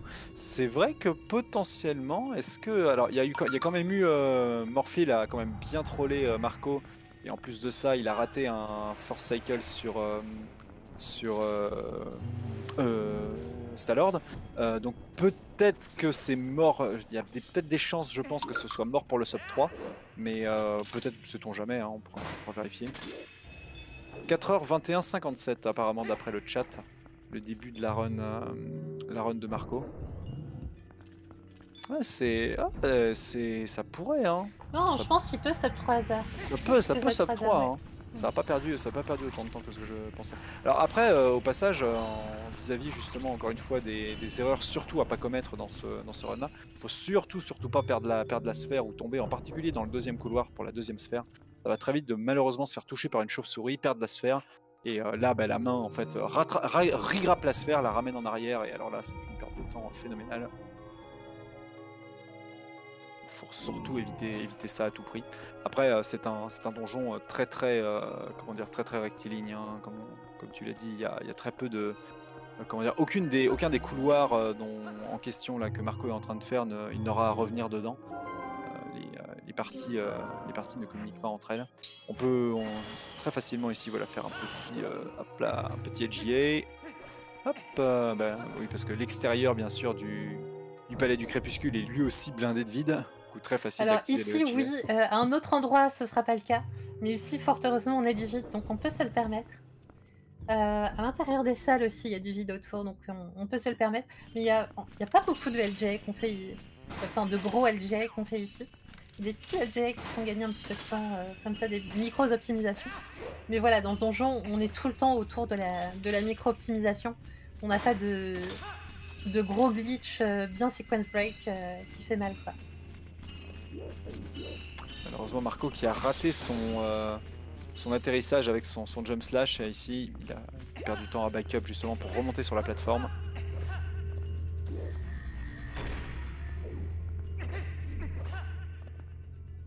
Ah, malheureusement, mauvais timing sur le. Sur le. Il va devoir attendre. Ah, et c'est pas le bon, c'est dangereux ce setup là. Surtout que. Oh, c'est passé. Il a, fait un, il a fait un spin au corps à corps. Faut savoir que Link d'ailleurs n'est pas immobile hein, quand, vous faites un, quand vous faites un spin, il avance un petit peu. Et d'ailleurs, c'est même ce qui est utilisé pour faire certains setups, hein, comme on l'a vu dans le temple abyssal. Oui. Euh, donc, euh, du coup, quand vous faites un spin en bord de plateforme, euh, il n'est pas rare que ça mène à une chute. Justement, vous faites quelques petits pas vers l'avant. Ok, donc deuxième grappin obtenu. Heureusement, il a, il a pas passé beaucoup de temps sur euh, Aeralphos. Donc euh, maintenant, go hard rock pour euh, Kenji. Pendant que Marco est déjà bientôt à Phantom Zant.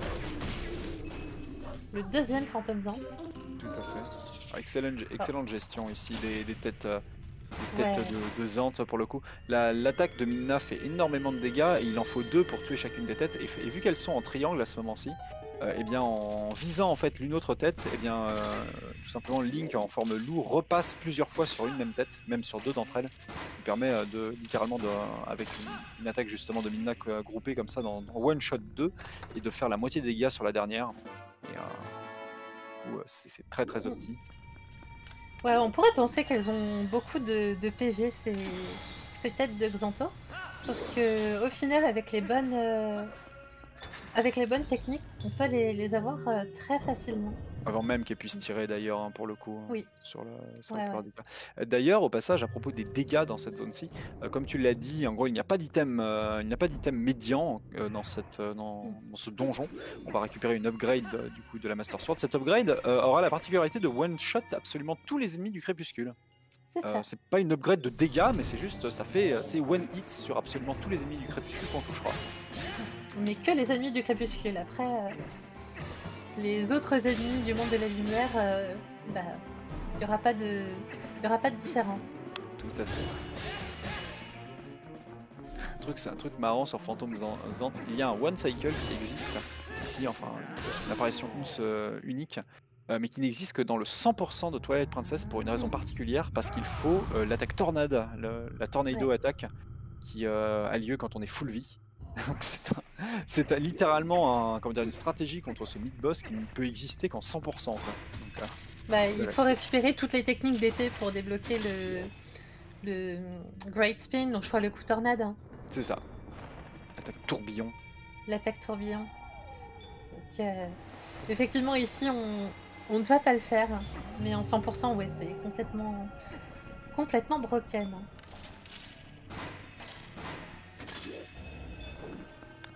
On, récupère évidemment la sphère.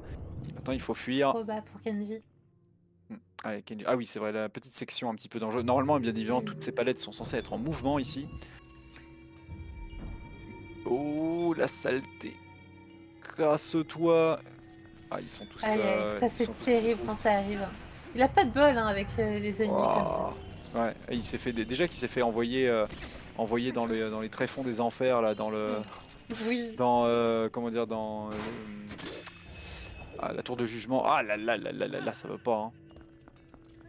Barrez-vous qu'on ah mais c'est terrible. Hein. Quand- franchement, la RNG de Twilight Princess, elle me sort par les yeux parce que quand le jeu a décidé de te punir, il va te punir.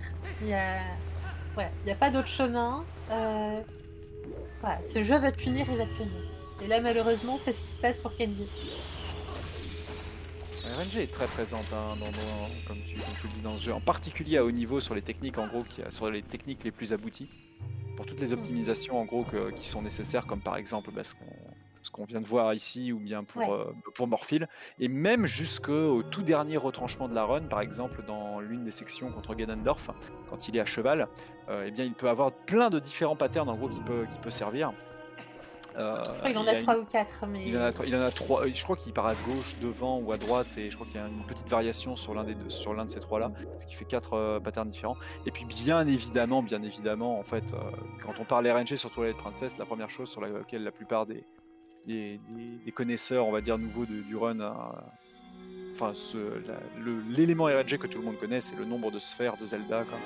la première phase du combat contre Ganondorf, hein, est littéralement le, bah, le- le dernier boss du jeu et bah, il y a un énorme élément RNG au début de ce combat là. ça va. En fait, t'as les patterns ABC, mais je crois que t'as B1, B2 qui existent. Je... Il me semble que le pattern B il est décomposé en deux. tout cas, tout a été très bien étudié, mais encore une fois, la gestion de ces différents patterns n'est pas, n'est pas équitemporelle. Ce qui fait que, bah, voilà, encore une fois, une notion, euh, notion NG. Alors, autre, autre, autre effet d'ailleurs, évidemment, de la de l'upgrade de la Master Sword que Marco vient de récupérer, euh, c'est qu'elle permet de gérer euh, tous les, nu- tous les nuages justement de euh, les nuages des ténèbres comme ça qui nous transformeraient pardon, automatiquement en, en loup. Je crois que c'est dans le lore, c'est des nuages de cristaux justement comme le cristal que, que Xanto Mm. nous avait implanté dans nous avait implanté justement dans le front. Ouais. Donc, on le fait qu'on se transforme automatiquement. Mais juste à donner des petits coups d'épée, voilà, de façon à faire, à se faire, euh, à faire disparaître justement ces nuages. Et avec un spin, euh, on, fait une énorme, euh, par contre, on fait une énorme onde de, onde de choc, en gros, qui vraiment disperse l'intégralité de la poussière. Ouais, et d'ailleurs, pour la cascade vers la tour nord, ben, il y a en plus de cette cascade un mur invisible qui ne part que quand vous avez la, la light sword. Et voilà. Et là, par contre, toutes les têtes de Xanto se font one shot, puisqu'on a la, Ouais. on a la, la Master Sword améliorée. Bam bam, voilà. Avec vrai, Engie même si on n'avait pas la, si on n'avait pas la, la light sword, ce serait pas si long que ça de, de tuer les têtes de Xanto. Oui, oui, tout à fait. Ça, ça prendrait deux, ça prendrait deux, trois spins, deux spins, quelque chose comme ça. Quand, quand... C'est- particulier parce que beaucoup des têtes au début du donjon se font gérer quand on est en loup, tu vois. J'ai pas encore bien les notions de différence de dégâts entre le loup et le, la Master Sword. Bah, C'est- pas un passé pour le 3 regard ça suffit. Hmm. Donc, euh, non, c'est c'est gérable. hein. Ça va très vite pour le coup. Malheureusement, le regrap n'est pas passé pour Kenji. Il va devoir attendre de nouveau que, le dragon. ce qu'on disait avec les, les phases mortes, les Ah, phases bah ouais. d'attente. Voilà. On suit le tracé lentement d'Arc Rock. D'ailleurs, Kenji qui va être peut-être trop bas là, je crois. Ah non, c'est bon. Non. Ouais. Heureusement que le clochot se transforme en long shot euh, quand il y a besoin. Euh, la longueur du clochot, euh, à chaque fois, c'est absurde parce qu'un truc proche va être parfois, euh, Parfois inatteignable. Il y a, il y a et la même, parfois, un truc très loin va être euh, atteignable. il y a la même chose dans. Comment dire Il y a le, le clochot, justement, euh, peut attraper des choses. Normalement, il y a un curseur particulier, bien sûr, qui, qui s'active au moment où on peut attraper justement un élément. Euh, mais même quand il n'est pas actif, en gros, des fois, il peut attraper justement un élément hors, au-delà de sa Oui. range. ouais. Oui, c'est ridicule d'ailleurs. À quoi c'est dû la longueur du clochot? Bah, soit avec Princess. Ça Voilà. change. Des fois, des fois, je crois que ça dépend des. Je crois que ça dépend des, des salles dans certains endroits, ou de. Non, non, de la cible dans certains endroits.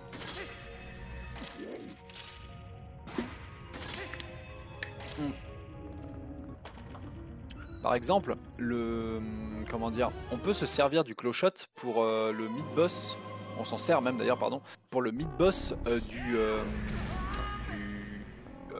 de la tour de jugement euh, que Marco a skippé et que, euh, et que Kenji du coup a fait euh, legit pour l'activer. Mais alors du coup, il a une la hitbox est, est- est beau et vraiment bizarre. Des fois, en gros, tu le rates, c'est-à-dire que tu tapes, tu tapes à côté, et pourtant ça va le toucher quand même, genre, tu vois. Ouais, bah c'est le. C'est la hitbox de, de Stalord qui est. Non, de, de Death Sword qui est bizarre. hein. Ouais, qui, qui doit, qui doit être étrange pour le coup. Mais ouais, il y a plein d'éléments comme ça dans Twilight Princess qui font que. Ah, le jeu, le, le jeu, euh, le jeu, franchement, a une patte, on va dire graphique assez. euh, comment dire bon, C'est les, c'est les jeux de, c'est les jeux. On rappelle, hein, il est sorti en 2013, hein, je crois. Quand même pour 2013. c'est quand Oula, non, il est sorti en 2007. De- 2007, c'est ça Non, 2000 et donc 2000, non, 2013 c'est HD, euh, c'est Wind Waker Ouais. HD tout à fait. 2007 et du coup 2007 et 2016, c'est ça.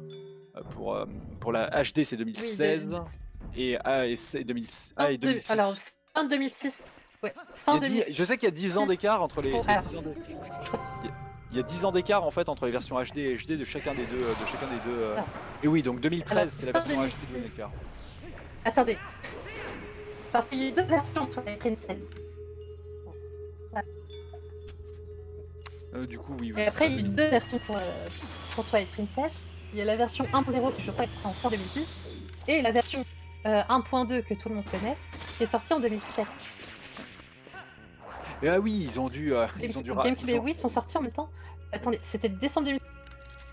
Il semblait que c'était 2007. Ok, donc euh, fin 2006 quand même pour. Euh... décembre c'était 2006, novembre et ah, décembre. Décembre 2006. Allez, restons non, sur 2006. 2006. Restons sur 2006. Oui, ouais, c'est ça. Et 2013, et 2013, c'est Wind Waker HD, je crois. Wind Waker HD. ouais. Ah, Et a- message donc pour euh, TPHD. Et oui, c'est vrai que euh, au passage, euh, pour, pour- alors pour certaines des versions, justement, le jeu a de nombreuses, euh, comment dire, de nombreux disques du jeu euh, ont été euh, ont été rappelés après leur sortie pour le coup pour corriger le, le fameux le fameux softlock du pont d'Ordine qui avait ruiné la partie de nombre de personnes. Oui, oui, oui. C'est la version Wii faite. 1.0. Ouais, La voilà, version c'est ça. Wii 1.0, ouais, euh, aux États-Unis qui, qui a posé problème. Euh, ce qui fait qu'aujourd'hui on a la version 1.2. Alors le speedrun sur Wii se fait plutôt sur la version 1.0, qui est difficile à trouver aujourd'hui, mais euh, qui offre euh, des, glitches supplémentaires qui ont été patchés entre temps. Et du coup, la P3 de Stallord, euh, de Stallord, pardon, du notre ami le Dragonnet pour Kenji, qui va changer de sens. Et on repart dans l'autre sens. Vous allez fait la strat, euh, la strat sur Argorok quand même. Non, il l'a fait pas. Non, non, il l'a pas fait, hein, pour le coup. Il, il a simplement... donc il perd encore beaucoup de temps. Euh, le problème avec le pont d'Ordine, c'est que Wow. euh, avant d'accéder au, au, au Twilight de l'Anairo, euh, t'as cette phase avec les, les messagers du crépuscule du pont d'Ordine euh, qui intervient après avoir euh, euh, pété le pont. Donc en fait, ils pètent le pont et ensuite tu les combats. Sauf que si tu meurs pendant le combat des messagers, tu respawns de l'autre côté du pont. Voilà. Ils n'ont pas pensé à, à replacer le, le, le point de respawn. Ce qui fait que tu es de l'autre côté de- du pont et tu ne peux plus les toucher. Donc tu te retrouves euh, softlock euh, T'es softlock, tu ne peux plus passer en fait pour le coup. Et non, non, non, tu peux pas save toi, tu peux pas save warp non plus, puisque bah, la sauvegarde en question en fait est de l'autre côté du pont elle aussi. Dans cette version-là, tout du moins, dans cette version-là, pas patché. Allez, Zant Zanto L'ursupateur. J'arrive pas à dire ursu- ursupateur ou l'ursupateur. C'est un mot que j'arrive pas à prononcer. On va simplement activer du coup, on va repasser par différentes phases ici, et surtout, le, alors le plus important pour, euh, pour Zant, c'est euh, de euh, le toucher avec la fin du combo. C'est pour ça que ici, voilà, Marco va préparer justement les quelques, premiers coups en fait et va taper dans le vide afin de pouvoir toucher euh, Zant avec bah, on le stab final ou bien l'attaque finale justement du, combo en question. Et il faut en placer deux pour le passer justement à la phase suivante. Là, avec ce premier jump slash quick spin plus les dégâts supplémentaires, ça a été suffisant. Il va simplement avoir besoin de toucher voilà Xanto avec un. Enfin, Zant avec un nouveau jump slash quick spin. On passe à la phase dans l'eau, mais malheureusement, on n'a toujours pas la tunique Zora. Du coup, on va devoir une nouvelle fois utiliser la stratégie qui permet de refill euh, la barre, euh, la barre d'oxygène. Alors euh, la première ici, euh, cette euh, phase est en elle-même en deux sous-phases, euh, pourrait-on dire. Donc la première ici, on doit simplement voilà, attraper euh, Xanto et, euh, et lui mettre un combo, on lui met juste un combo complet. On récupère notre oxygène et surtout, alors très important, c'est que maintenant il y a trois têtes différentes qui vont apparaître euh, en cercle tout simplement, mais on peut... euh, il y en a quatre? Pas Oui. trois? Ah, il y en a Quatre. quatre, pardon. Et euh, du coup, on peut, on peut euh, deviner, euh, enfin deviner, ou plutôt faire spawner en gros sur l'une des, sur la tête en gros, sur- dans laquelle, bah, voilà, il- sur laquelle on a le, la plus longue distance, celle où on est le plus loin. Ouais, Et voilà. c'est- Et en fait, la position de Xanto est déterminée au moment où les yeux euh, sortent du sable. Donc là, maintenant, euh, Marco sait où va spawner Xanto. Donc il doit quand même attendre que euh, euh, Xanto lâche son attaque. Et ensuite, il va Ah ouais. pouvoir l'attaquer avec peu- un combo complet. Et c'est la fin.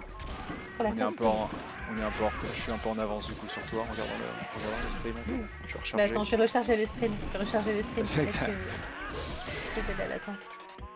Alors utilisation ici du Ball and Chain pour euh, eh bien, spawn euh, justement, bah, spawn kill on va dire, euh, ou plutôt faire spawn tomber euh, Xanto sur le, le totem du centre, puisqu'il spawn dans la deuxième partie, il spawn toujours au centre. Et voici la fameuse phase euh, qui est normalement l'arène du boss de la des ruines des pics blancs.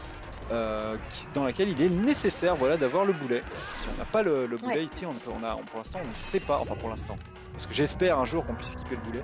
Donc si un jour vous arrivez à passer cette phase-là sans le boulet, bah, sachez que vous allez faire gagner des minutes entières à tous les speedrunners du monde. voilà. Mais bon, hein, Il y a peu de chances que ce en tout soit. cas, ceux qui jouent à Twilight Princess. Oui, voilà, ceux qui jouent à Twilight Princess. On le fait devenir tout petit. Encore une fois, on finit un combo. Paf Voilà. Ok, très bien. C'est la fin pour euh, la phase de Blizzeta. Euh, on pourrait ne plus avoir besoin de notre boulet. On va quand même l'utiliser encore un peu. Mais euh, il n'est plus nécessaire désormais. Ça servir pour optimiser notamment phases de, de Ganon. Allez, encore une fois, on met quelques coups dans le vide de façon à toucher Xanto avec. Voilà, la fin du combo. il y a- a un setup. Si jamais on foire le setup, après c'est très compliqué de revenir.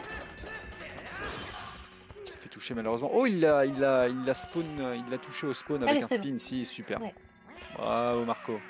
En gros, il a fait. On pourrait croire qu'il a fait un spin dans le vide ici, et en fait pas du tout. C'est juste que Xanto euh, court partout dans la salle en fait en faisant des, en faisant la toupie. Il suffit juste de contrer sa toupie avec notre propre toupie. De cette façon-ci, en gros, il s'arrête de tourner. Donc là, on va skipper la cutscene dans lequel euh, Minna, euh, dans lequel Minna tue, tue Xanto. D'ailleurs, il y a un excellent, comment dire, il y a un, excellent doublage anglais avec les voix justement de ces, de ces deux cutscenes là qui existent sur internet. On a la scène entière en fait intégralement doublée euh, avec les voix anglaises. D'ailleurs, c'est l'une des cutscenes d'a- dans, dans- dans le lore de Twilight Princess. On, on- on nous présente Xanto comme un, comment dire, comme un, comme un manipulateur, quelqu'un d'assez, euh, d'assez froid, de réfléchi, euh, Mhm. qui est, comment dire, sûr de, sûr de lui et, et comment dire, bah, comment dire, très intelligent et calculateur et tout. Et en fait, dans- on découvre dans cette, dans cette cutscene-ci, au début de ce combat, qu'en fait, c'est un, c'est un fou littéralement, quoi. C'est juste un pantin de quelqu'un Voilà. d'encore plus malsain que lui. exactement qu'il appelle son dieu d'ailleurs, qui lui a conféré ses pouvoirs, et qu'on va et qu'on va croiser un clown. Oui, c'est vrai qu'il est assez clownesque. hein. Il aurait Oui. bien sa place au cirque Zavata euh, pour le coup, avec son avec son casque et ses petits euh, et ses petits tours de ses petits tours de passe-passe. Un dernier petit euh, skip avec le LGA pour skipper le messager ici du côté de Marco. Alors on va voir si ça se passe bien. Et le, facteur. Et voilà, c'est parfait, c'est parfait. Et du coup, on va avoir une cutscene, euh, ça va être la petite pause avant le rush final pour Marco, il va pouvoir boire un peu, euh, s'hydrater, etc. Parce que euh, c'est une cutscene qui est inskippable. On va voir Minna détruire la barrière avec justement les cristaux, les cristaux du crépuscule qu'on a récupérés en affrontant en, en,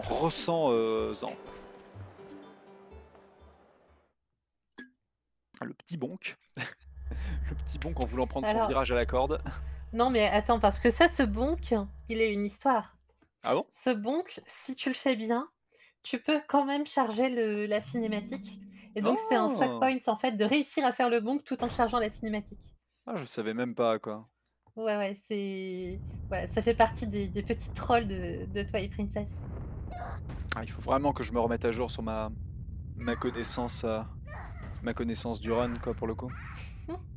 Après c'est un comme on a dit hein, c'est un c'est un run euh, très très très très compact, très, très technique. Beaucoup de choses ont été découvertes. Oui. C'est littéralement une. Bah, si, si vous aimez les si vous aimez les glitches euh, et, et si vous si t'aimes les glitches et si t'aimes Zelda, pff, ouais, Twilight Princess c'est le c'est le, c'est le bac à sable quoi. C'est Ouais. c'est assez Il y a incroyable. tellement de choses à faire. Il y a tellement de choses à faire avec Twilight Princess. Il y a beaucoup de choses qui sont pas utilisables en plus en, dire en, en speedrun parce que c'est découvert mais malheureusement ça n'a pas ça pas d'utilité. Euh, et qui sont pourtant en fait vraiment euh, vraiment drôles. Par exemple un truc tout con, tu peux cracher le jeu très facilement dans ce dans Twilight Princess avec euh, tu sais les les euh, comment dire euh, les fragments de pancarte. Tu casses une pancarte, tu sais, et tu chopes un Oui. fragment tu chopes un fragment de pancarte et avec ça tu peux avec une certaine manipulation dont je me souviens peut être plus très bien j'avais montré à, Marco justement et euh, qui et tu peux cracher le jeu très facilement en lançant le fragment de pancarte enfin, il y a un sacré paquet de trucs comme ça assez, assez sales qui existent Il y a aussi un, glitch qui, qui aurait pu être très cool. Parce que quand on parle de Twilight Princess, Wind Waker, Skyward Sword qui partagent le, le même moteur, euh, eh bien, il y a le glitch du storage qu'on pourrait faire dans. Enfin, qu'on- qui a son existence dans Twilight Princess.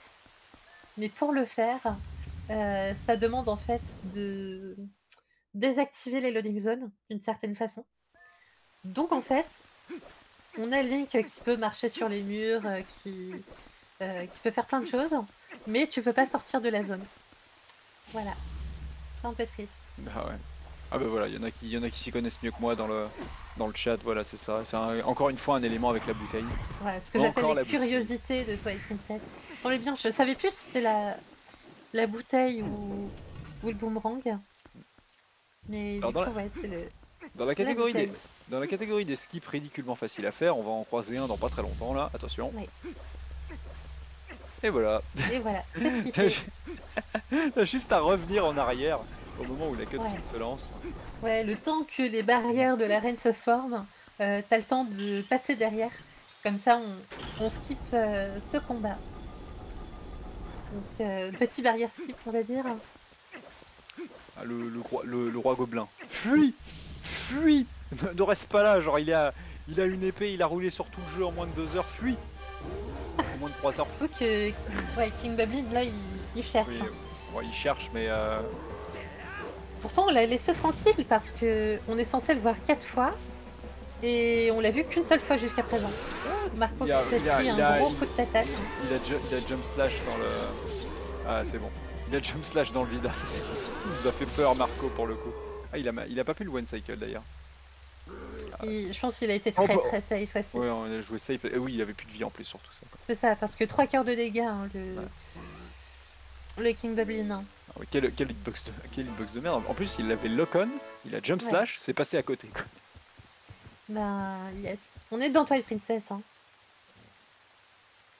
On peut pas, ah non, on peut pas le one cycle lui. Je, je, dis- je dis- je dis une bêtise. Je crois encore une fois, je crois que c'est qu'en 100% quand t'as le, quand t'as le. le- Et le attends, surtout, surtout, ouais, c'est ça, c'est qu'il avait déjà, euh, déjà fail, sauf que il avait pas fait de coup avant, donc c'est normal qu'il ait, ouais, qu'il ait dû euh, faire demi-tour, enfin faire un backflip. Ah oui, non, c'est ça. T'as une safe strat qui existe avec les bots en fait, en faisant des roulades et en le tapant dans le dos avec les bots. Mais euh, c'est bien moins, c'est bien moins stable que de simplement y aller avec les jump slash quick spin, ouais. avec, avec le spin ensuite. Ouais. Après, t'as un glitch qui est frame perfect, où euh, tu peux, euh, tu peux save warp avant de, avant de te faire euh, appeler par Midona. Et si tu, si tu y arrives, enfin, c'est le backflip, pardon. Tu fais un backflip frame perfect. Pendant ce backflip, tu fais euh, un save warp. Et euh, ça te permet de revenir devant le château. Et ça, ça sauve un peu de temps par rapport au, par rapport au trajet. Mais si Je tu vois. ne réussis pas le backflip, il faut euh, faire le trajet, sinon, euh, sinon tu perds du temps si tu save warp derrière. Marco qui a malheureusement raté le, skip à l'intérieur de la salle du, de la première salle du, château. Du coup, en fait, va reload la, la save plutôt que de faire simplement le, combat. Le combat qui est assez lent en particulier. hein, C'est beaucoup de vagues d'ennemis qui arrivent les uns après les autres. Et de son côté, Kenji qui vient d'en finir avec euh, le fantôme de Xanto. Au passage, parmi les micro-optimisations qu'on voit pas mais euh, qu'il faut connaître aussi, quand vous ouvrez justement des portes, euh, des portes battantes comme ça, comme vient de le faire Marco, il faut toujours ouvrir celle de droite. Voilà. Parce que bah, ouvrir celle de, les portes de droite. château. Sauf au château? Ouais, le château d'Hyrule, euh, c'est le même temps que tu passes à gauche ou à droite. Ou à droite Ah, Alors que normalement, ouais, normalement tu prends les portes de, de droite et euh, bah, inversement dans, dans Skyward Sword, il faut prendre les portes de gauche.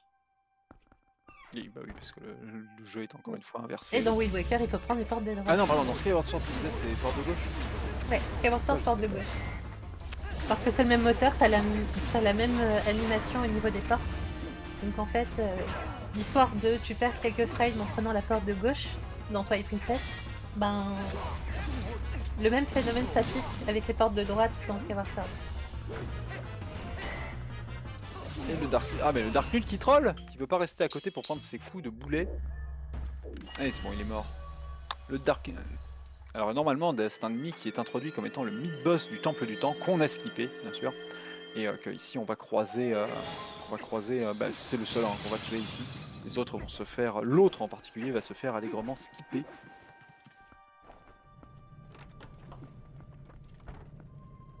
Alors, deux ennemis ici qui vont nous attendre. Oh, le- J'ai beaucoup aimé moi ce, ce dernier donjon, euh, le château d'Hyrule, qui est rempli de qui, qui est rempli de combats. hein. Il y a vraiment beaucoup beaucoup de fights en fait Ouais. à, à y faire quoi. Il y a plein de choses à y faire et puis on utilise pas mal euh, nos items. On va utiliser la lanterne, euh, on peut utiliser le boomerang, le boulet, les bombes, l'arc. Donc euh, il y a pas mal de choses à faire. Les flèches explosives en particulier sont très très pratiques ici. Elles sont très pratiques ici. Malheureusement, on les a pas. Ouais, ouais. Mais Le- le- L'arc est. dans- C'est ouf, hein. quand- à chaque fois qu'il ouvre son menu, Marco, tu sais, on est dans le, on est dans le, enfin que les runners ouvrent leur menu ici, on est dans le, dans le château, dans le dernier, dans le dernier donjon. T'ouvres le cercle qui est avec l'habitude, qui est rempli d'objets et tout, etc. Et là, t'en as que, t'en as que, t'en as que, que, que 9, ouais, etc. Enfin, 6 ou 7, j'allais dire. je sais pas, t'as des bombes, euh, la lanterne, bombes, les bottes, la le lanterne. boomerang, les bottes, euh, les clochettes. Ah, il y en a, Ah non, il y en a, j'en ai, j'en ai ça, t'en compté as que 7, sept. ouais. Il y en a- il y en a qui ont On j'en a ai que compté 7, 7, ouais. ouais. On a que 7. Oh, il est relou Le spinner et le boulet. On a bien que 7. Ah Ça veut pas. Il se fait, euh, il se fait troller, il va remettre le boulet et... Ouh, c'est bon Il y a un truc bizarre avec euh, Air Alphos, c'est que euh, tu lui donnes des coups de boulet, puis il va mettre son bouclier pour se défendre, mais même quand il se défend, il prend quand même des coups.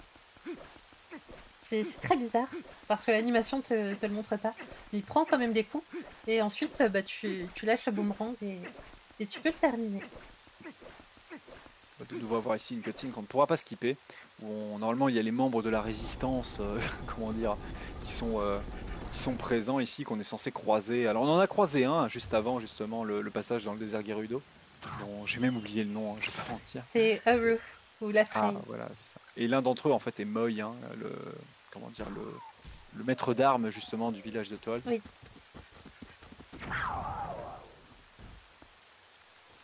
Et boum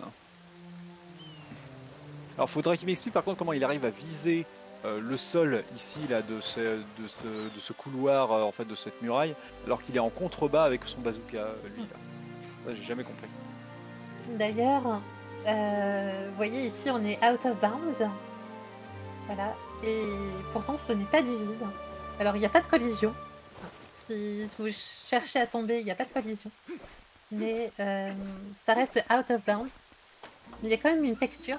Qui fait que si vous cherchez à, à faire un LJ ici, ça ne fonctionnera pas. Ah. Voilà. Quand on parlait justement de. Oui, mais le out of bounds, euh, ça, out of, out euh, ça te fait euh, euh, faire des LJ. Et ben non. Ah, Pas ici. Alors ça va Ouais, être intéressant, on va avoir, on va avoir Kenji qui va être devant Xanto dans, dans pas longtemps.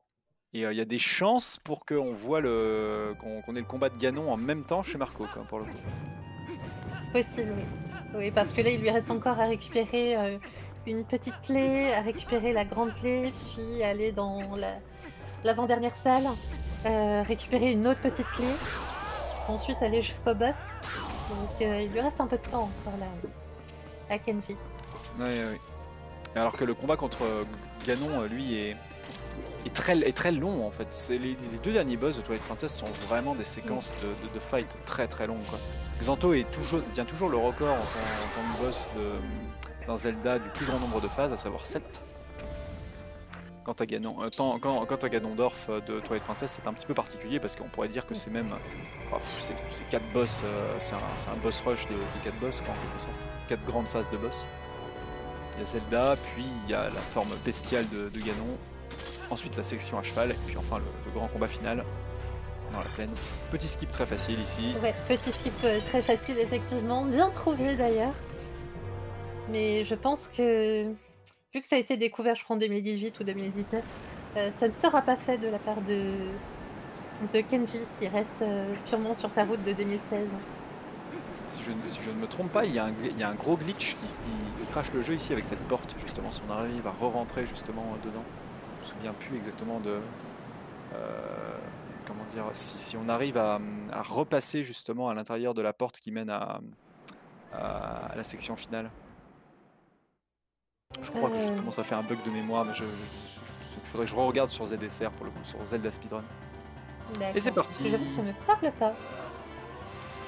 Ok. Euh, Alors voyons combien voir si Zelda est Voilà. gentille. Vous pouvez voter dans le, dans le chat Allez, ça commence par une sphère. Ok, donc premier cycle, c'est bon. Euh, Zelda a un minimum de 7 cycles dans lesquels elle va.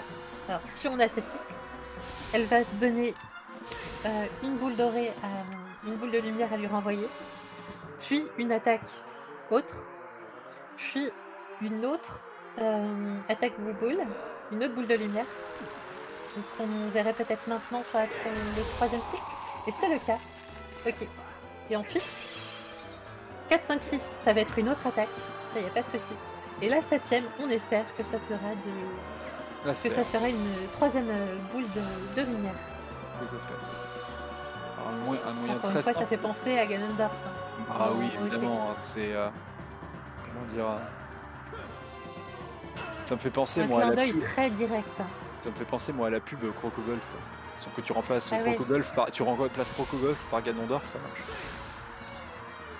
Qu'il y a-t-il de plus drôle que de jouer au golf avec Crocogolf hein C'est Ganondorf, tu passes la balle, Ganondorf, tu te la renvoies, Ganondorf. Qu'y a-t-il de plus drôle que de jouer au golf avec Ganondorf C'est Tout à fait. marche trop bien. Oui, ça marche très très bien. C'est très catchy. Et c'est fait, c'était un 7 cycle, hein, non? Alright C'était un bon Let's gros. 7 cycle, impeccable ça. Bon RNG Ouais. pour Marco. Et maintenant, Ça, on va ça passer à la. Maintenant, on va passer à la phase optimisation des dégâts contre Beast Ganon. Oui. Que- On va récupérer notre boulet pour euh, faire tomber plus rapidement Big Ganon. Voilà, il va charger son boulet, tac. Ok, ça c'est bon, il n'arrive pas euh, dans le dos de Big Ganon. Et là, il y a un setup de coups à lui donner pour euh, bah, gérer ses dégâts. De telle manière à ce que lors de troisième cycle, la troisième phase de, de Beast Ganon, on est juste à le croquer une fois dans le ventre euh, en loup pour euh, terminer le combat. Pour l'instant, deuxième phase. On attaque à nouveau Ganon au boulet. On lui fait un certain nombre de dégâts.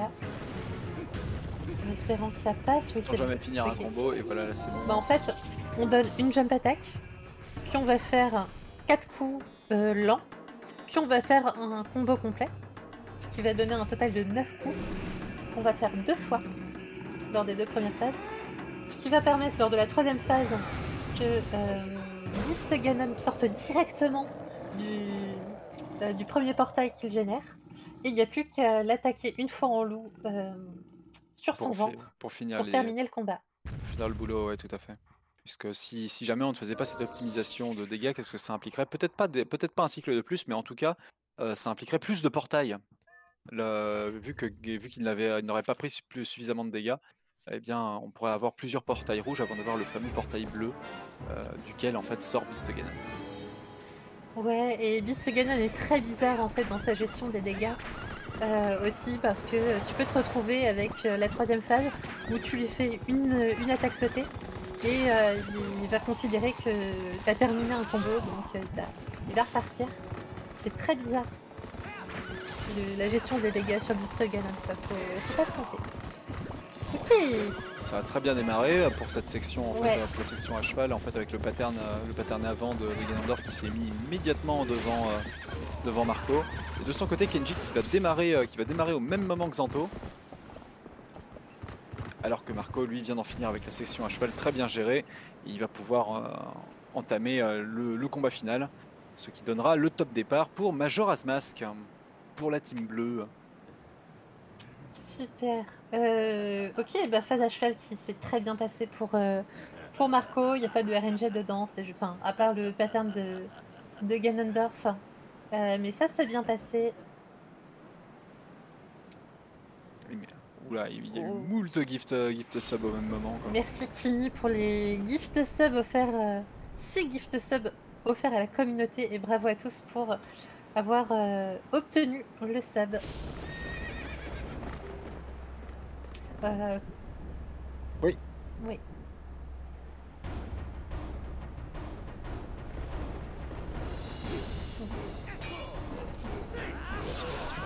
Bon, en tout cas, on, on finira euh, de regarder. euh, de Euh, très bien, alors Marco qui termine sa run. Ok, euh, Ganondorf est très très rapide. hein. On arrive dans son dos, on fait 3 jump slash quick spin Et c'est pour terminé. Marco, time ouais. pour Marco. Félicitations à Marco qui termine. euh, C'était une run très clean, ça a été un 7.30, euh, sachant qu'il avait démarré à... On avait dit qu'il avait démarré Ah, à il- 4... euh, 22, je crois. à 4,22. 4.22, à 4.22, Ouais, c'était un c'est- c'est pas un- 3.08. Bah, 3,08. Après 3.08, c'est... Ouais, c'est... Bon, sachant, voilà, Beaucoup- 3,08 alors. L'objectif de beaucoup de personnes étant, étant un sub 3.10, euh, genre... Après, le 7-3, ça. il est, il est mythique. hein. Le Ah sub oui, 3 oui, heures sur TP, c'est la marque des champions. Il y en avait, il y en avait très, il y en avait moins de 10 en gros en, dire, le, en 2019 si je me trompe pas, 2019, 18, 2018. Donc euh, c'est, ouais, faut être vraiment dans les, dans les top C'est- mondiaux quoi. Ouais, c'est Ouais. très très difficile et c'est obtenu pour. euh, Enfin, c'est pas obtenu là pour Marco, mais coup, il a Marco, déjà fait un Mhm. 2h52. Du coup, Marco a donné l'avantage à, à la team bleue, mais nul, à- mais Ouais. Kenji a, Ken- euh, pour, être, pour être tout à fait honnête, Kenji a passé le, Kenji a passé le, le plus dur hein, maintenant. L'intégralité de ce qui reste à faire en- sur le late game une fois arrivé devant, euh, une fois arrivé devant Xanto n'est rien d'autre que de l'optimisation. Enfin, euh, bah, après, tout- après être passé par tout, euh, par tous les différents tricks, par tous les différents euh, skips en gros très précis euh, et tout le mid game notamment qui nécessite euh, bah, des, des techniques comme euh, co- et de, que- surtout de la connaissance de tous les différents LJA qu'on a vus. Euh, le- les phases finales, les, les derniers donjons en fait ne sont, euh, sont euh, à vrai dire pour leur niveau pas compliqués, en tout cas pas le plus dur. Oh, oh, C'est ça c'est dommage ça pour, c'est passé à-. C'est tellement passé à rien. Ouais. Et là, ça va être. euh, Là, c'est une perte de temps pour le coup. Il peut, il peut, il pourrait en profiter pour. Ah non, il va pas le faire. Il peut en profiter également pour couper les pots ou les herbes ici pour récupérer un peu de, un peu de vie. Il- ça peut arriver en vrai que un petit spin ici pour récupérer le. Ah non, il va. il va Allez, ça c'est c'est bon. Skyward euh, est déjà en train de lancer la cinématique d'intro de Majora's Mask. Yep.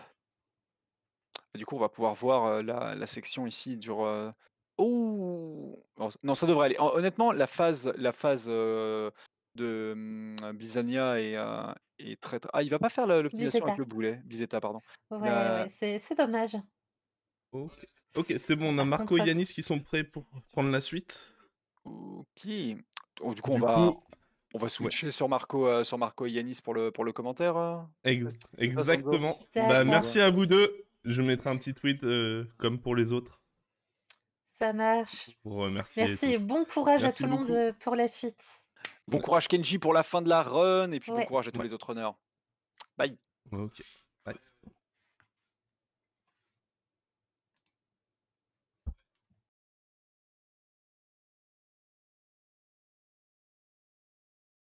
Et bonjour à vous deux.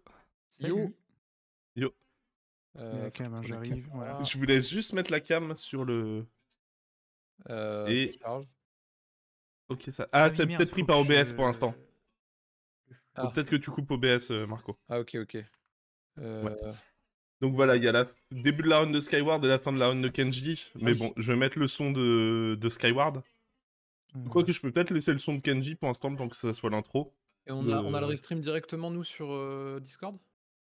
Euh, non, soit sur euh, les VLC, avec euh, les. Avec. euh, Voilà. Avec Mec 1 et Bro 1, D'accord. soit sur le stream. Comme. euh, Voilà. J'ai VLC qui fait 3 km là. Euh, alors, ouvrir un flux réseau. Ah oui, d'accord. Ok, c'est bon. Donc voilà, pour l'instant, c'est Etienne qui a écrit en pseudo sur Yanis, mais c'est le temps que Kenji finisse. Voilà, c'est bon. Ok. Euh... Alors j'ai quelques flux, dis-moi. Ok, c'est bon. Bah, moi, je suis en train d'essayer d'ouvrir avec euh, VLC, là. Ah, sinon, tu fais sur le stream, il y, a, y aura un peu de décalage, mais c'est pas très très grave. Après, t'as 7 minutes d'intro euh, pour euh, faire en sorte que ça marche. Ouais.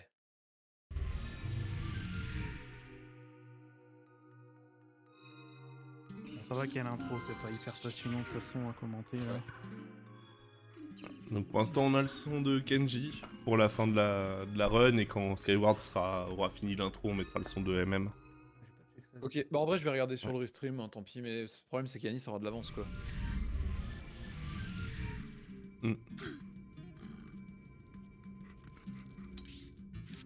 Bah limite je regarde sur le stream aussi, non? Quoi, Bah, vous aurez un petit peu de, de retard sur le chat, mais c'est pas très grave. Bro 1, Bro 2, c'est c'est quoi là? Les. Euh, ouais, tu sais, c'est sur la clé que t'as dû mettre. Euh, Ouais. Toi, euh, t'avais euh, mec 2. Et du coup, Ouais. faut juste que tu mettes mec 1 pour lire.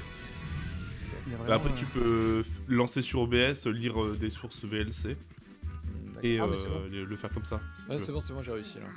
Ok. Mec 1, et après ce sera Bro 1 du coup? Exactement. Ok, pour l'instant, c'est Bro 2 pour la fin de Kenji, mais. euh, nickel. Bah, du coup, j'ai VLC euh, Yanis, c'est bon. Ok, ça, ça roule. Ok. Nickel. Par contre, c'est un peu laggy perso. Ouais, pareil. Ouais, bon, c'est. Ouais, on y- on n'y peut rien en vrai, hein, je pense. Ouais, ok. Ouais, il y a un- des problèmes de serveur euh, un peu s'il y a de la distance et tout en fait. En vrai, Ouais, ouais. moi je peux faire ça en vrai. Ok, bah, du pas coup, l'intro. Puis Kenji qui est en train de finir. Pauvre Kenji, c'est pas facile TP hein, quand t'as pas joué depuis des années. Mm. Bah, je sais pas si t'as Voilà. suivi, si t'avais le restream à côté, Si, je pense que. si, ouais. j'avais le restream ouvert tout le temps. ouais. En vrai, il y a juste eu les 10 minutes de Sky euh, de Sword and Shield. Et après, il a fait une run plutôt propre. hein. Ouais, non, franchement, ça va. Après, voilà, niveau. euh, il doit ouais. perdre du temps petit à petit partout parce que bah, il est moins optimisé puis ça fait plus longtemps qu'il a pas joué. Bah, c'est ça, en fait, il fait des strats d'il y a 4 ans. En plus, ouais, ouais, il y a des moments où il était dans des salles dans AG, j'étais en mode pourquoi il passe par là? Mais c'est parce qu'il doit pas faire le point skip, j'imagine. Bon, allez, du coup, je vous laisse, moi. Ok, Ça roule. Et voilà. marche.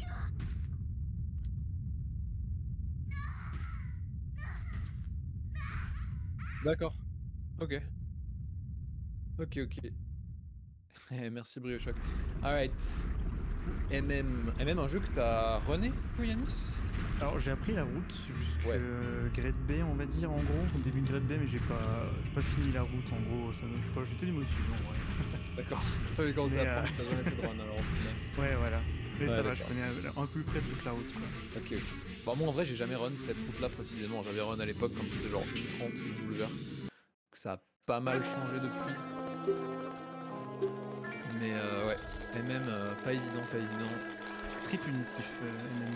Ouais, surtout euh, bah, au début, genre une fois que l'intro est passée, les, genre les 25 premières minutes. Après, ça s'enchaîne direct et il y a des tricks, tu les rates, tu perds masse de temps. Genre la, la grotte par exemple au début. Bah t'es trop dans la sauce hein, si tu rates la grotte. Ouais, grave. Bah, du coup, t'es obligé de passer par euh, Swamp. ouais bah je crois que c'est la route que je faisais euh, justement. euh, Ah oui, c'est un peu j'ai la appris la route, euh, la route beginner un peu en fait. Ouais la, ouais la route facile quoi. Ouais. Et genre tu ça. prends le, le rubis rouge là sous le. Tu sais quand tu vas au palais là, tu sais t'as le, le- le- la ruche là au-dessus. Ah oui. Du coup, tu prends un rubis rouge ici pour après, là, pour acheter le lait. Pour acheter le lait. Ah ouais, ouais, d'accord. Ouais, parce qu'en fait, tu vas dans, une, dans la grotte de Lost Foods. Après, je m'en souviens plus trop, euh, mais euh, tu vois, la grotte de Lost Foods, je crois, euh, c'est euh, 50 rubis, je crois, sur le route optique. Oui, oui, oui, tu prends le coffre dans la grotte de Lost Woods et tu fais des dingueries dans cette grotte, tu dupes euh, des bouteilles par-dessus les noix et tout. Ah ouais. bon, en tout cas, le début de MM, ouais, c'est assez tranquille, à part un glitch euh, qui s'appelle le HMS Skip, Happy Mask Salesman Skip, qui permet de gagner genre une quarantaine de secondes, 30-40 secondes si tu arrives direct. Euh, où il va falloir bah, skipper la cinématique du vendeur de masques et euh, juste faut bourriner les pauses en fait. Il faut pause buffer, passer une frame entre chaque pause. Et si on arrive à passer une frame entre chaque pause, on peut skipper la cinématique. Et bah, si on passe deux frames entre, entre deux pauses, bah, c'est mort, on se tape la cinématique et on perd euh, entre 40 secondes et une minute, ça dépend si on le rate à la fin ou au début quoi. Donc on verra Skyward.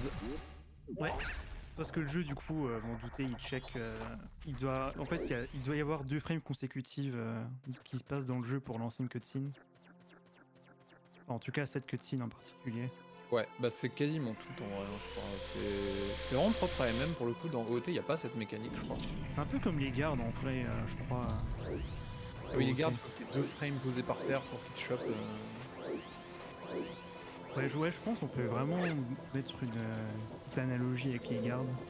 Ouais. Bon, là, c'est beaucoup plus facile en vrai. Oui, non, clairement. euh. On va voir. Ah bah merde, il l'a raté, bon. Ah merde, ouais. C'est pas évident les pauses buffer en vrai, je trouve, sur MM. Ouais, bah surtout qu'en plus, j'ai l'impression. En tout cas, c'est mon feeling. Quand t'arrives là en run, c'est pas toujours exactement le même timing. Des fois, il y a plus de lag, des fois, les pauses sont très rapides, des fois, elles sont un peu plus lentes. Et c'est Ah, un peu chiant. Ouais, c'est assez dur à practice à cause de ça. Surtout qu'en plus, sur la practice ROM, c'est différent en plus. Donc, euh, ouais, un peu relou. Bon, là, ça va, il l'a raté au début. Donc, il a pas trop perdu. Si tu rates tout à la fin, c'est encore pire. Ouais, c'est beaucoup moins punitif en vrai. Ah, Sirzax, il est content là Ah, ça va, il a perdu que 40 secondes. euh.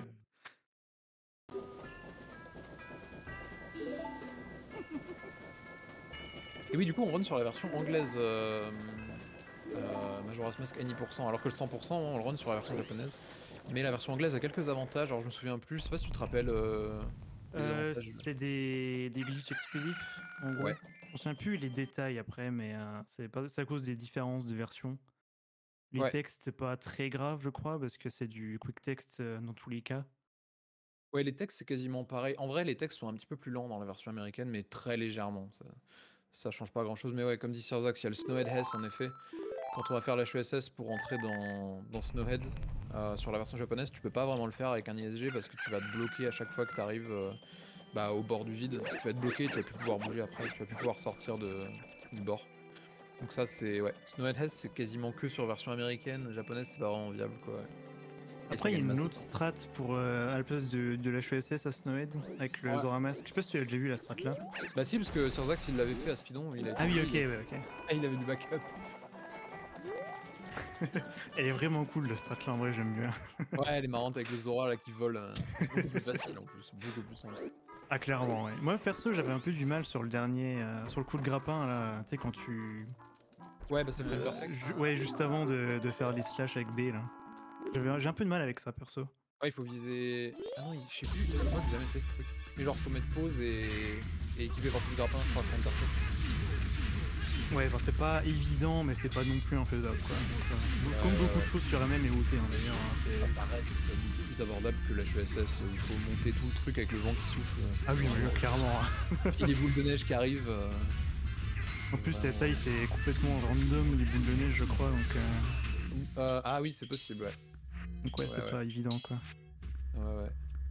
Il y a un autre truc aussi qui est euh, plus rapide sur la version américaine, je crois, c'est pour skipper la cutscene du Zoramas. Tu peux jouer le champ du temps accéléré juste euh, et passer à la nuit euh, d'après. Pour skipper la cutscene, ça tu peux pas en version japonaise.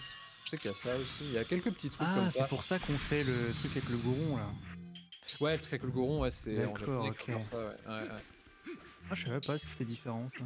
Ouais, ça c'est différent. Mais il y a plein de différences en vrai entre la version américaine et japonaise, c'est un délire euh, ce jeu. Voilà, du coup, euh, Skyward qui passe euh, la nuit pour arriver le plus vite possible à la nuit du dernier jour, hein, c'est ça qu'on veut dans MM, aller le plus vite possible à minuit pour pouvoir rentrer dans la tour. Donc au début, malheureusement, il n'y a pas beaucoup de temps à gagner ou à perdre d'ailleurs, vu que bah, on est juste obligé d'attendre minuit. En attendant, il va aller farmer des rubis, il va sortir de Termina, enfin il va sortir de Clocktown pour aller farmer des rubis. Il me semble, c'est combien 60 rubis minimum qu'il faut? Euh, faut que tu rentres dans Clocktown avec, avec 90, Ouais, si je 80. me souviens bien. Ouais, mais ok, donc moi ça marche pas, ça devait être une ancienne route ça. Parce qu'il faut que tu prennes le bomb bag et des chous, et après, je crois que tu rachètes des chous quand tu fais le. Après le. Ouais. Le, comment Oui, ça s'appelle là? Le truc avec la statue de hibou là, le Ouais, Hidden Hall. le, le Index ou le Hidden Hall là. Ouais, parce que du coup, après, au début du cycle 2, tu vas chercher le coffre de, de, de 100 rubis là, 99, tu t'achètes bomb bag et chou. Et ensuite, Euh, tu ouais. ouais. Tu déposes à la banque aussi euh, dans le premier cycle. Ouais, c'est ça, oui, tu déposes 90 du coup. Bonne RNG pour. Skyward là, des premiers bush. Ouais, en général, tu veux plein de rubis bleus. C'est genre euh, une chance sur 16 pour avoir un rubis bleu par bout d'herbe et, euh, et je crois que c'est 3 chances sur 16 d'avoir un rubis vert et une chance sur 16 d'avoir 3 rubis verts. Alors je saurais pas te dire sur MM, mais sur OT, euh... oh, je, je, je saurais pas dire sur OT c'est combien en vrai les probas. Mais Ouais, voir je les- j'avais déjà checké parce que j'en pouvais plus moi. Je voulais savoir. Du coup, ouais, idéalement, il faut euh, 90 rubis avant d'atteindre les, les deux patchs d'herbe euh, près de, de, de- de Clocktown. Là. Ouais. Comme ça, tu peux direct aller dans le truc. Bon, après, tu dois attendre quand même, de toute façon, euh, devant le, la porte là du, du clocher. là. Mais, Ouais, euh, mais ouais. Du coup, le but c'est d'optimiser au maximum euh, le fait de jamais poser le temps quoi. Faut toujours aller dans endroits où le temps passe, faut minimiser les zones de chargement parce qu'à chaque fois qu'il y a une zone de chargement, le temps passe pas. Et là, notamment, il va rentrer par le nord depuis euh, la plaine Termina, ce Oh, qui nice. permet de couper la cinématique. euh, ah, nice. Le reverse caméra. le reverse caméra sur euh, MM, c'est pas évident en plus. Franchement, euh, ouais, c'est c'est vraiment. J'ai jamais réussi, hein, perso, je crois. Ah, c'est super précis. Alors que sur. Enfin, en vrai, c'est pareil, je crois que c'est frame perfect pour les deux jeux, mais le timing est plus galère à avoir euh, sur. C'est frame perfect sur OT, sérieux, ouais. Ah, je suis Je pas. Ah, quasi sûr que oui. hein. Pourtant, ça a l'air tellement facile, je trouve, sur OT. Bah ouais, le timing est plus naturel. euh. Et du coup, ouais, il a eu de la chance, euh, Skyward, j'avais pas trop fait gaffe, mais il a pu skip de, des, des herbes, donc c'est cool. Ouais, c'est cool. Du coup, bah, il sera large, je pense, pour arriver avant minuit. euh. Ouais, là, il est 10h, ça va, normalement. Temps de mettre les rubis à la banque et tout, le gainer, Ouais, ouais. Ça devrait aller. Ça va.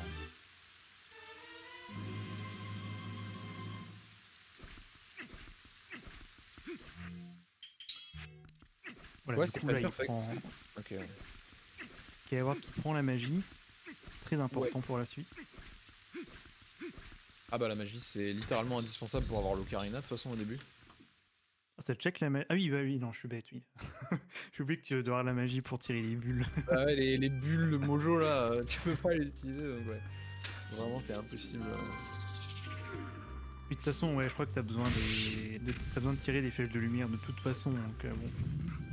Ah, Euh, ceci dit, après, je crois que tu peux over et euh, lancer une. euh, Le, tu sais, la, la bouteille avec l'eau euh, l'eau chaude, là, je crois. Pour retourner le donjon euh, Stunter, Ouais. ouais. C'est débile. L'eau ça marche. ouais. Mais c'est quand même assez précis comme truc. Mais sinon à part ça la magie je sais pas. Ouais après il y en a besoin pour euh, ouais, pas grand chose, on prend même pas les flèches de feu dans la run maintenant. Ouais ça doit servir juste pour les flèches de lumière en fait. Après, j'avoue que la magie, c'est bien parce que euh, vu que tu peux tirer des flèches de lumière à Twin Ball, ça permet de faire le boss plus rapidement, quoi. Mais bon, ça, on deviendra plus tard. hein, Oui, on c'est vrai. quoi. Plus des dégâts ouais. Attention, regardez pas à gauche, hein, surtout. Oh putain, il y a une vache censurée. Alors qu'on est dans la version américaine. Alors ça c'est marrant parce que dans la version américaine ils ont censuré les vaches, ils ont enlevé les, les anneaux qu'ils ont emmenés. Par contre ils ont pas modifié euh, là. Tu sais que sur OT 3D, euh, c'est les vachement censuré aussi. Ah ouais ils ont remis les anneaux Je trouve ça trop, ouais, trop bizarre. hein. Ah c'était pas si hard que ça hein, il attend genre euh, même pas 10 secondes là. Et du coup, Skyward, là, il a fait un glitch euh, qui permet de skip toute la quête avec la Deku Scrub, là, avec le- la, la plante jaune, là. En gros, il, il target le mur pendant une frame. Je sais plus exactement comment on fait les inputs, mais euh, il target le mur, il backflip et il retarget. Et euh, vu que euh, sur ce jeu, les, tu peux modifier le comment tu, tu pars à droite et à gauche avec le stick pendant que tu sautes, quoi. Ouais t'as du air control ouais. Voilà, ça, ça lui permet de grab le- d'attraper le, le bord au-dessus très rapidement. C'est faisable alors- sur OT, mais c'est beaucoup plus dur en vrai. Sans les overboots. Ok, on peut pas agripper d'airbord pendant un backflip donc ça peut pas marcher tu vois. Euh, tu peux faire un gainer que si le que sur des, des petits ledges, c'est comme le ledge euh, du pont-levis là, je crois. Ouais tu peux mais. Mais oui. sinon, ouais, tu peux pas attraper de rebord. Ouais. Ça, Ouais, c'est- que pas, sur MM. que tu vas dessus direct quoi. Et des étoiles du coup euh, qui dépendent du file name, hein, on rappelle. C'est vrai. Et qui servait d'une visual queue avec les étoiles dans une run 100% à l'époque, euh, il avait un name précis. Sérieux? Ouais, ouais, incroyable. Trop bien ça. Pour un, un truc super précis, tu devais viser avec une flèche. C'est trop bien des frappes comme ça là. C'est marrant, ouais.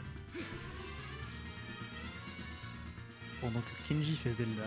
J'espère Et qu'il ouais, aura un un peu de chance. combien de cycles il a? J'avoue, j'ai combien? pas Ah, gaffe non ou plus là. Moi j'ai eu de la chatte, hein, j'ai eu 7 cycles, j'ai eu une Zelda rapide et tout. Mais lui, il a pas, il a pas eu de chance lui à Celestia, il s'est fait un peu euh, emmerder par les oiseaux là. Tu sais quand tu fais le coup, le coup de grappin sur les grosses pales là. Ouais, bah moi aussi, hein, je me suis niquer par les oiseaux, j'ai perdu masse de temps. C'était trop bizarre.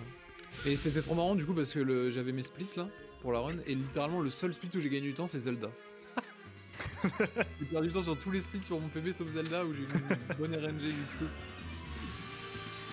Et Skyward du coup qui récupère l'ocarina du temps. Donc il va pouvoir jouer le chant du temps et le chant du temps inversé euh, à.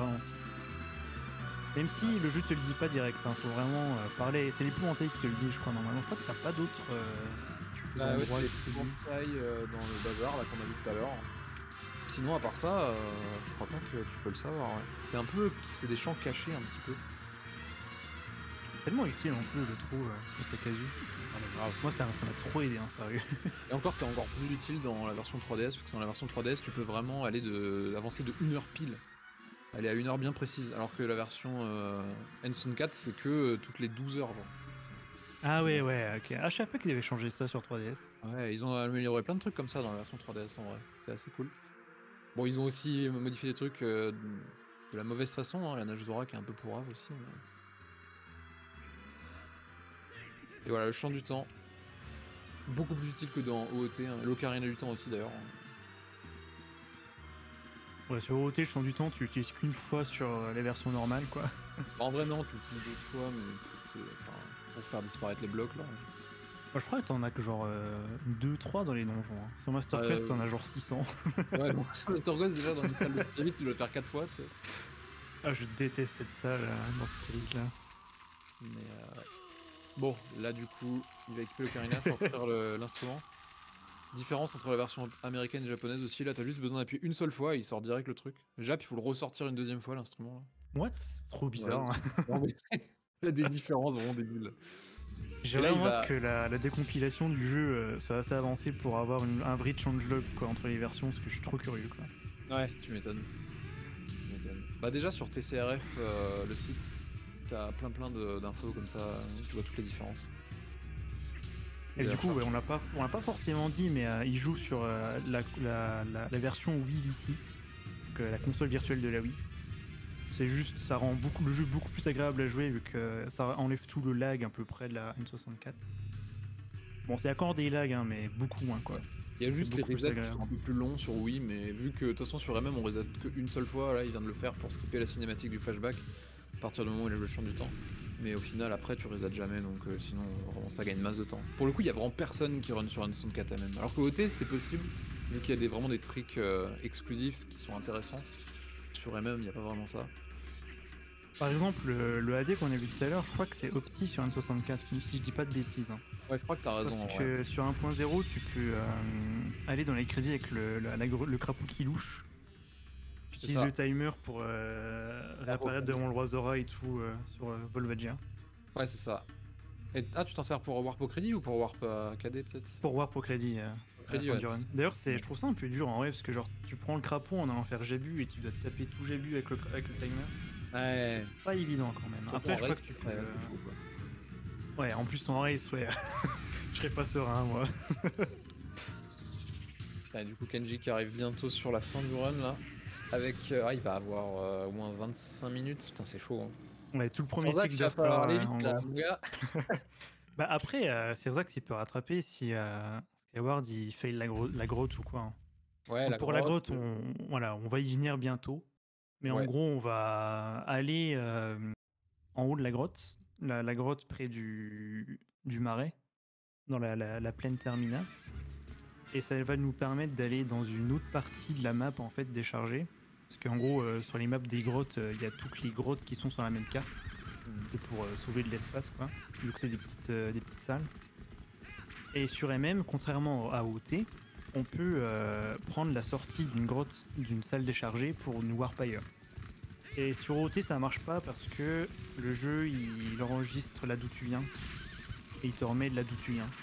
Ouais, un- un truc comme ça, là où t'es entré à chaque fois. ouais. C'est plutôt intéressant en vrai, euh, les explications techniques, je trouve. Moi, je vais pas trop m'étendre après là-dessus. Ouais, non, mais c'est bien. Et il y, a- il y a un autre trick d'ailleurs qu'il va faire avant euh, le, le truc de la grotte dont t'as parlé, c'est l'index warp. Oui, oui, pardon, c'est vrai que je vais un peu vite là. Mais t'inquiète, t'as raison. De toute façon, après, ça va s'enchaîner de ouf. Euh, mais ouais, là, juste après, il va aller chercher des rubis, il va aller acheter des bombes et des missiles parce que c'est ultra important. Il va faire euh, un glitch qui s'appelle le hover qui va lui permettre de, de monter, de léviter et d'aller de plus en plus haut pour passer euh, par-dessus une zone de chargement et accéder à un hibou qu'on n'est pas censé pouvoir activer normalement. C'est-à-dire qu'à Clocktown, il y a un hibou au sud, là en sortant sur la droite, il y a un hibou. Et si on est côté ouest, là où on achète les bombes, ce hibou-là, on le voit aussi de l'autre côté des escaliers. Et avec bah, les hovers, comme j'ai dit, on peut euh, aller activer ce hibou, sachant que c'est pas le même que celui qui est au sud là. Et si on active ce hibou là, et qu'ensuite on joue le chant de l'envol, et ben ça va nous permettre de, de- de se téléporter à n'importe quel hibou du jeu, selon quelques restrictions qu'on verra plus tard. Mais euh, voilà, c'est un glitch extrêmement important. Et euh, ça a Et, euh, vraiment ouais. révolutionné le, le jeu quand ça a été découvert genre en 2014. euh. Ah, C'est pas si. Je pensais que ce serait plus accent en vrai, vu comment c'est euh, un peu ob- obvious entre guillemets quoi. Bah ouais, je crois en vrai ça avait été découvert avant, mais euh... enfin, ils avaient pas compris ce qu'on pouvait vraiment faire avec. Ah oui, d'accord, ok. Ouais, c'est comme les cutscene skips sur OT, quoi. J'imagine. Ouais, ouais, ouais, ouais. En vrai ça aurait pu être découvert plusieurs années avant en théorie, mais les gens ils avaient pas vraiment approfondi quoi. Voilà, il va chercher le rubis de, de sang ici. Un truc aussi sur le index warp, c'est qu'il faut vraiment pas activer un- une vraie statue de hibou. Sinon ça cancel le truc. Et GG Kenji qui vient de terminer. Bravo Kenji.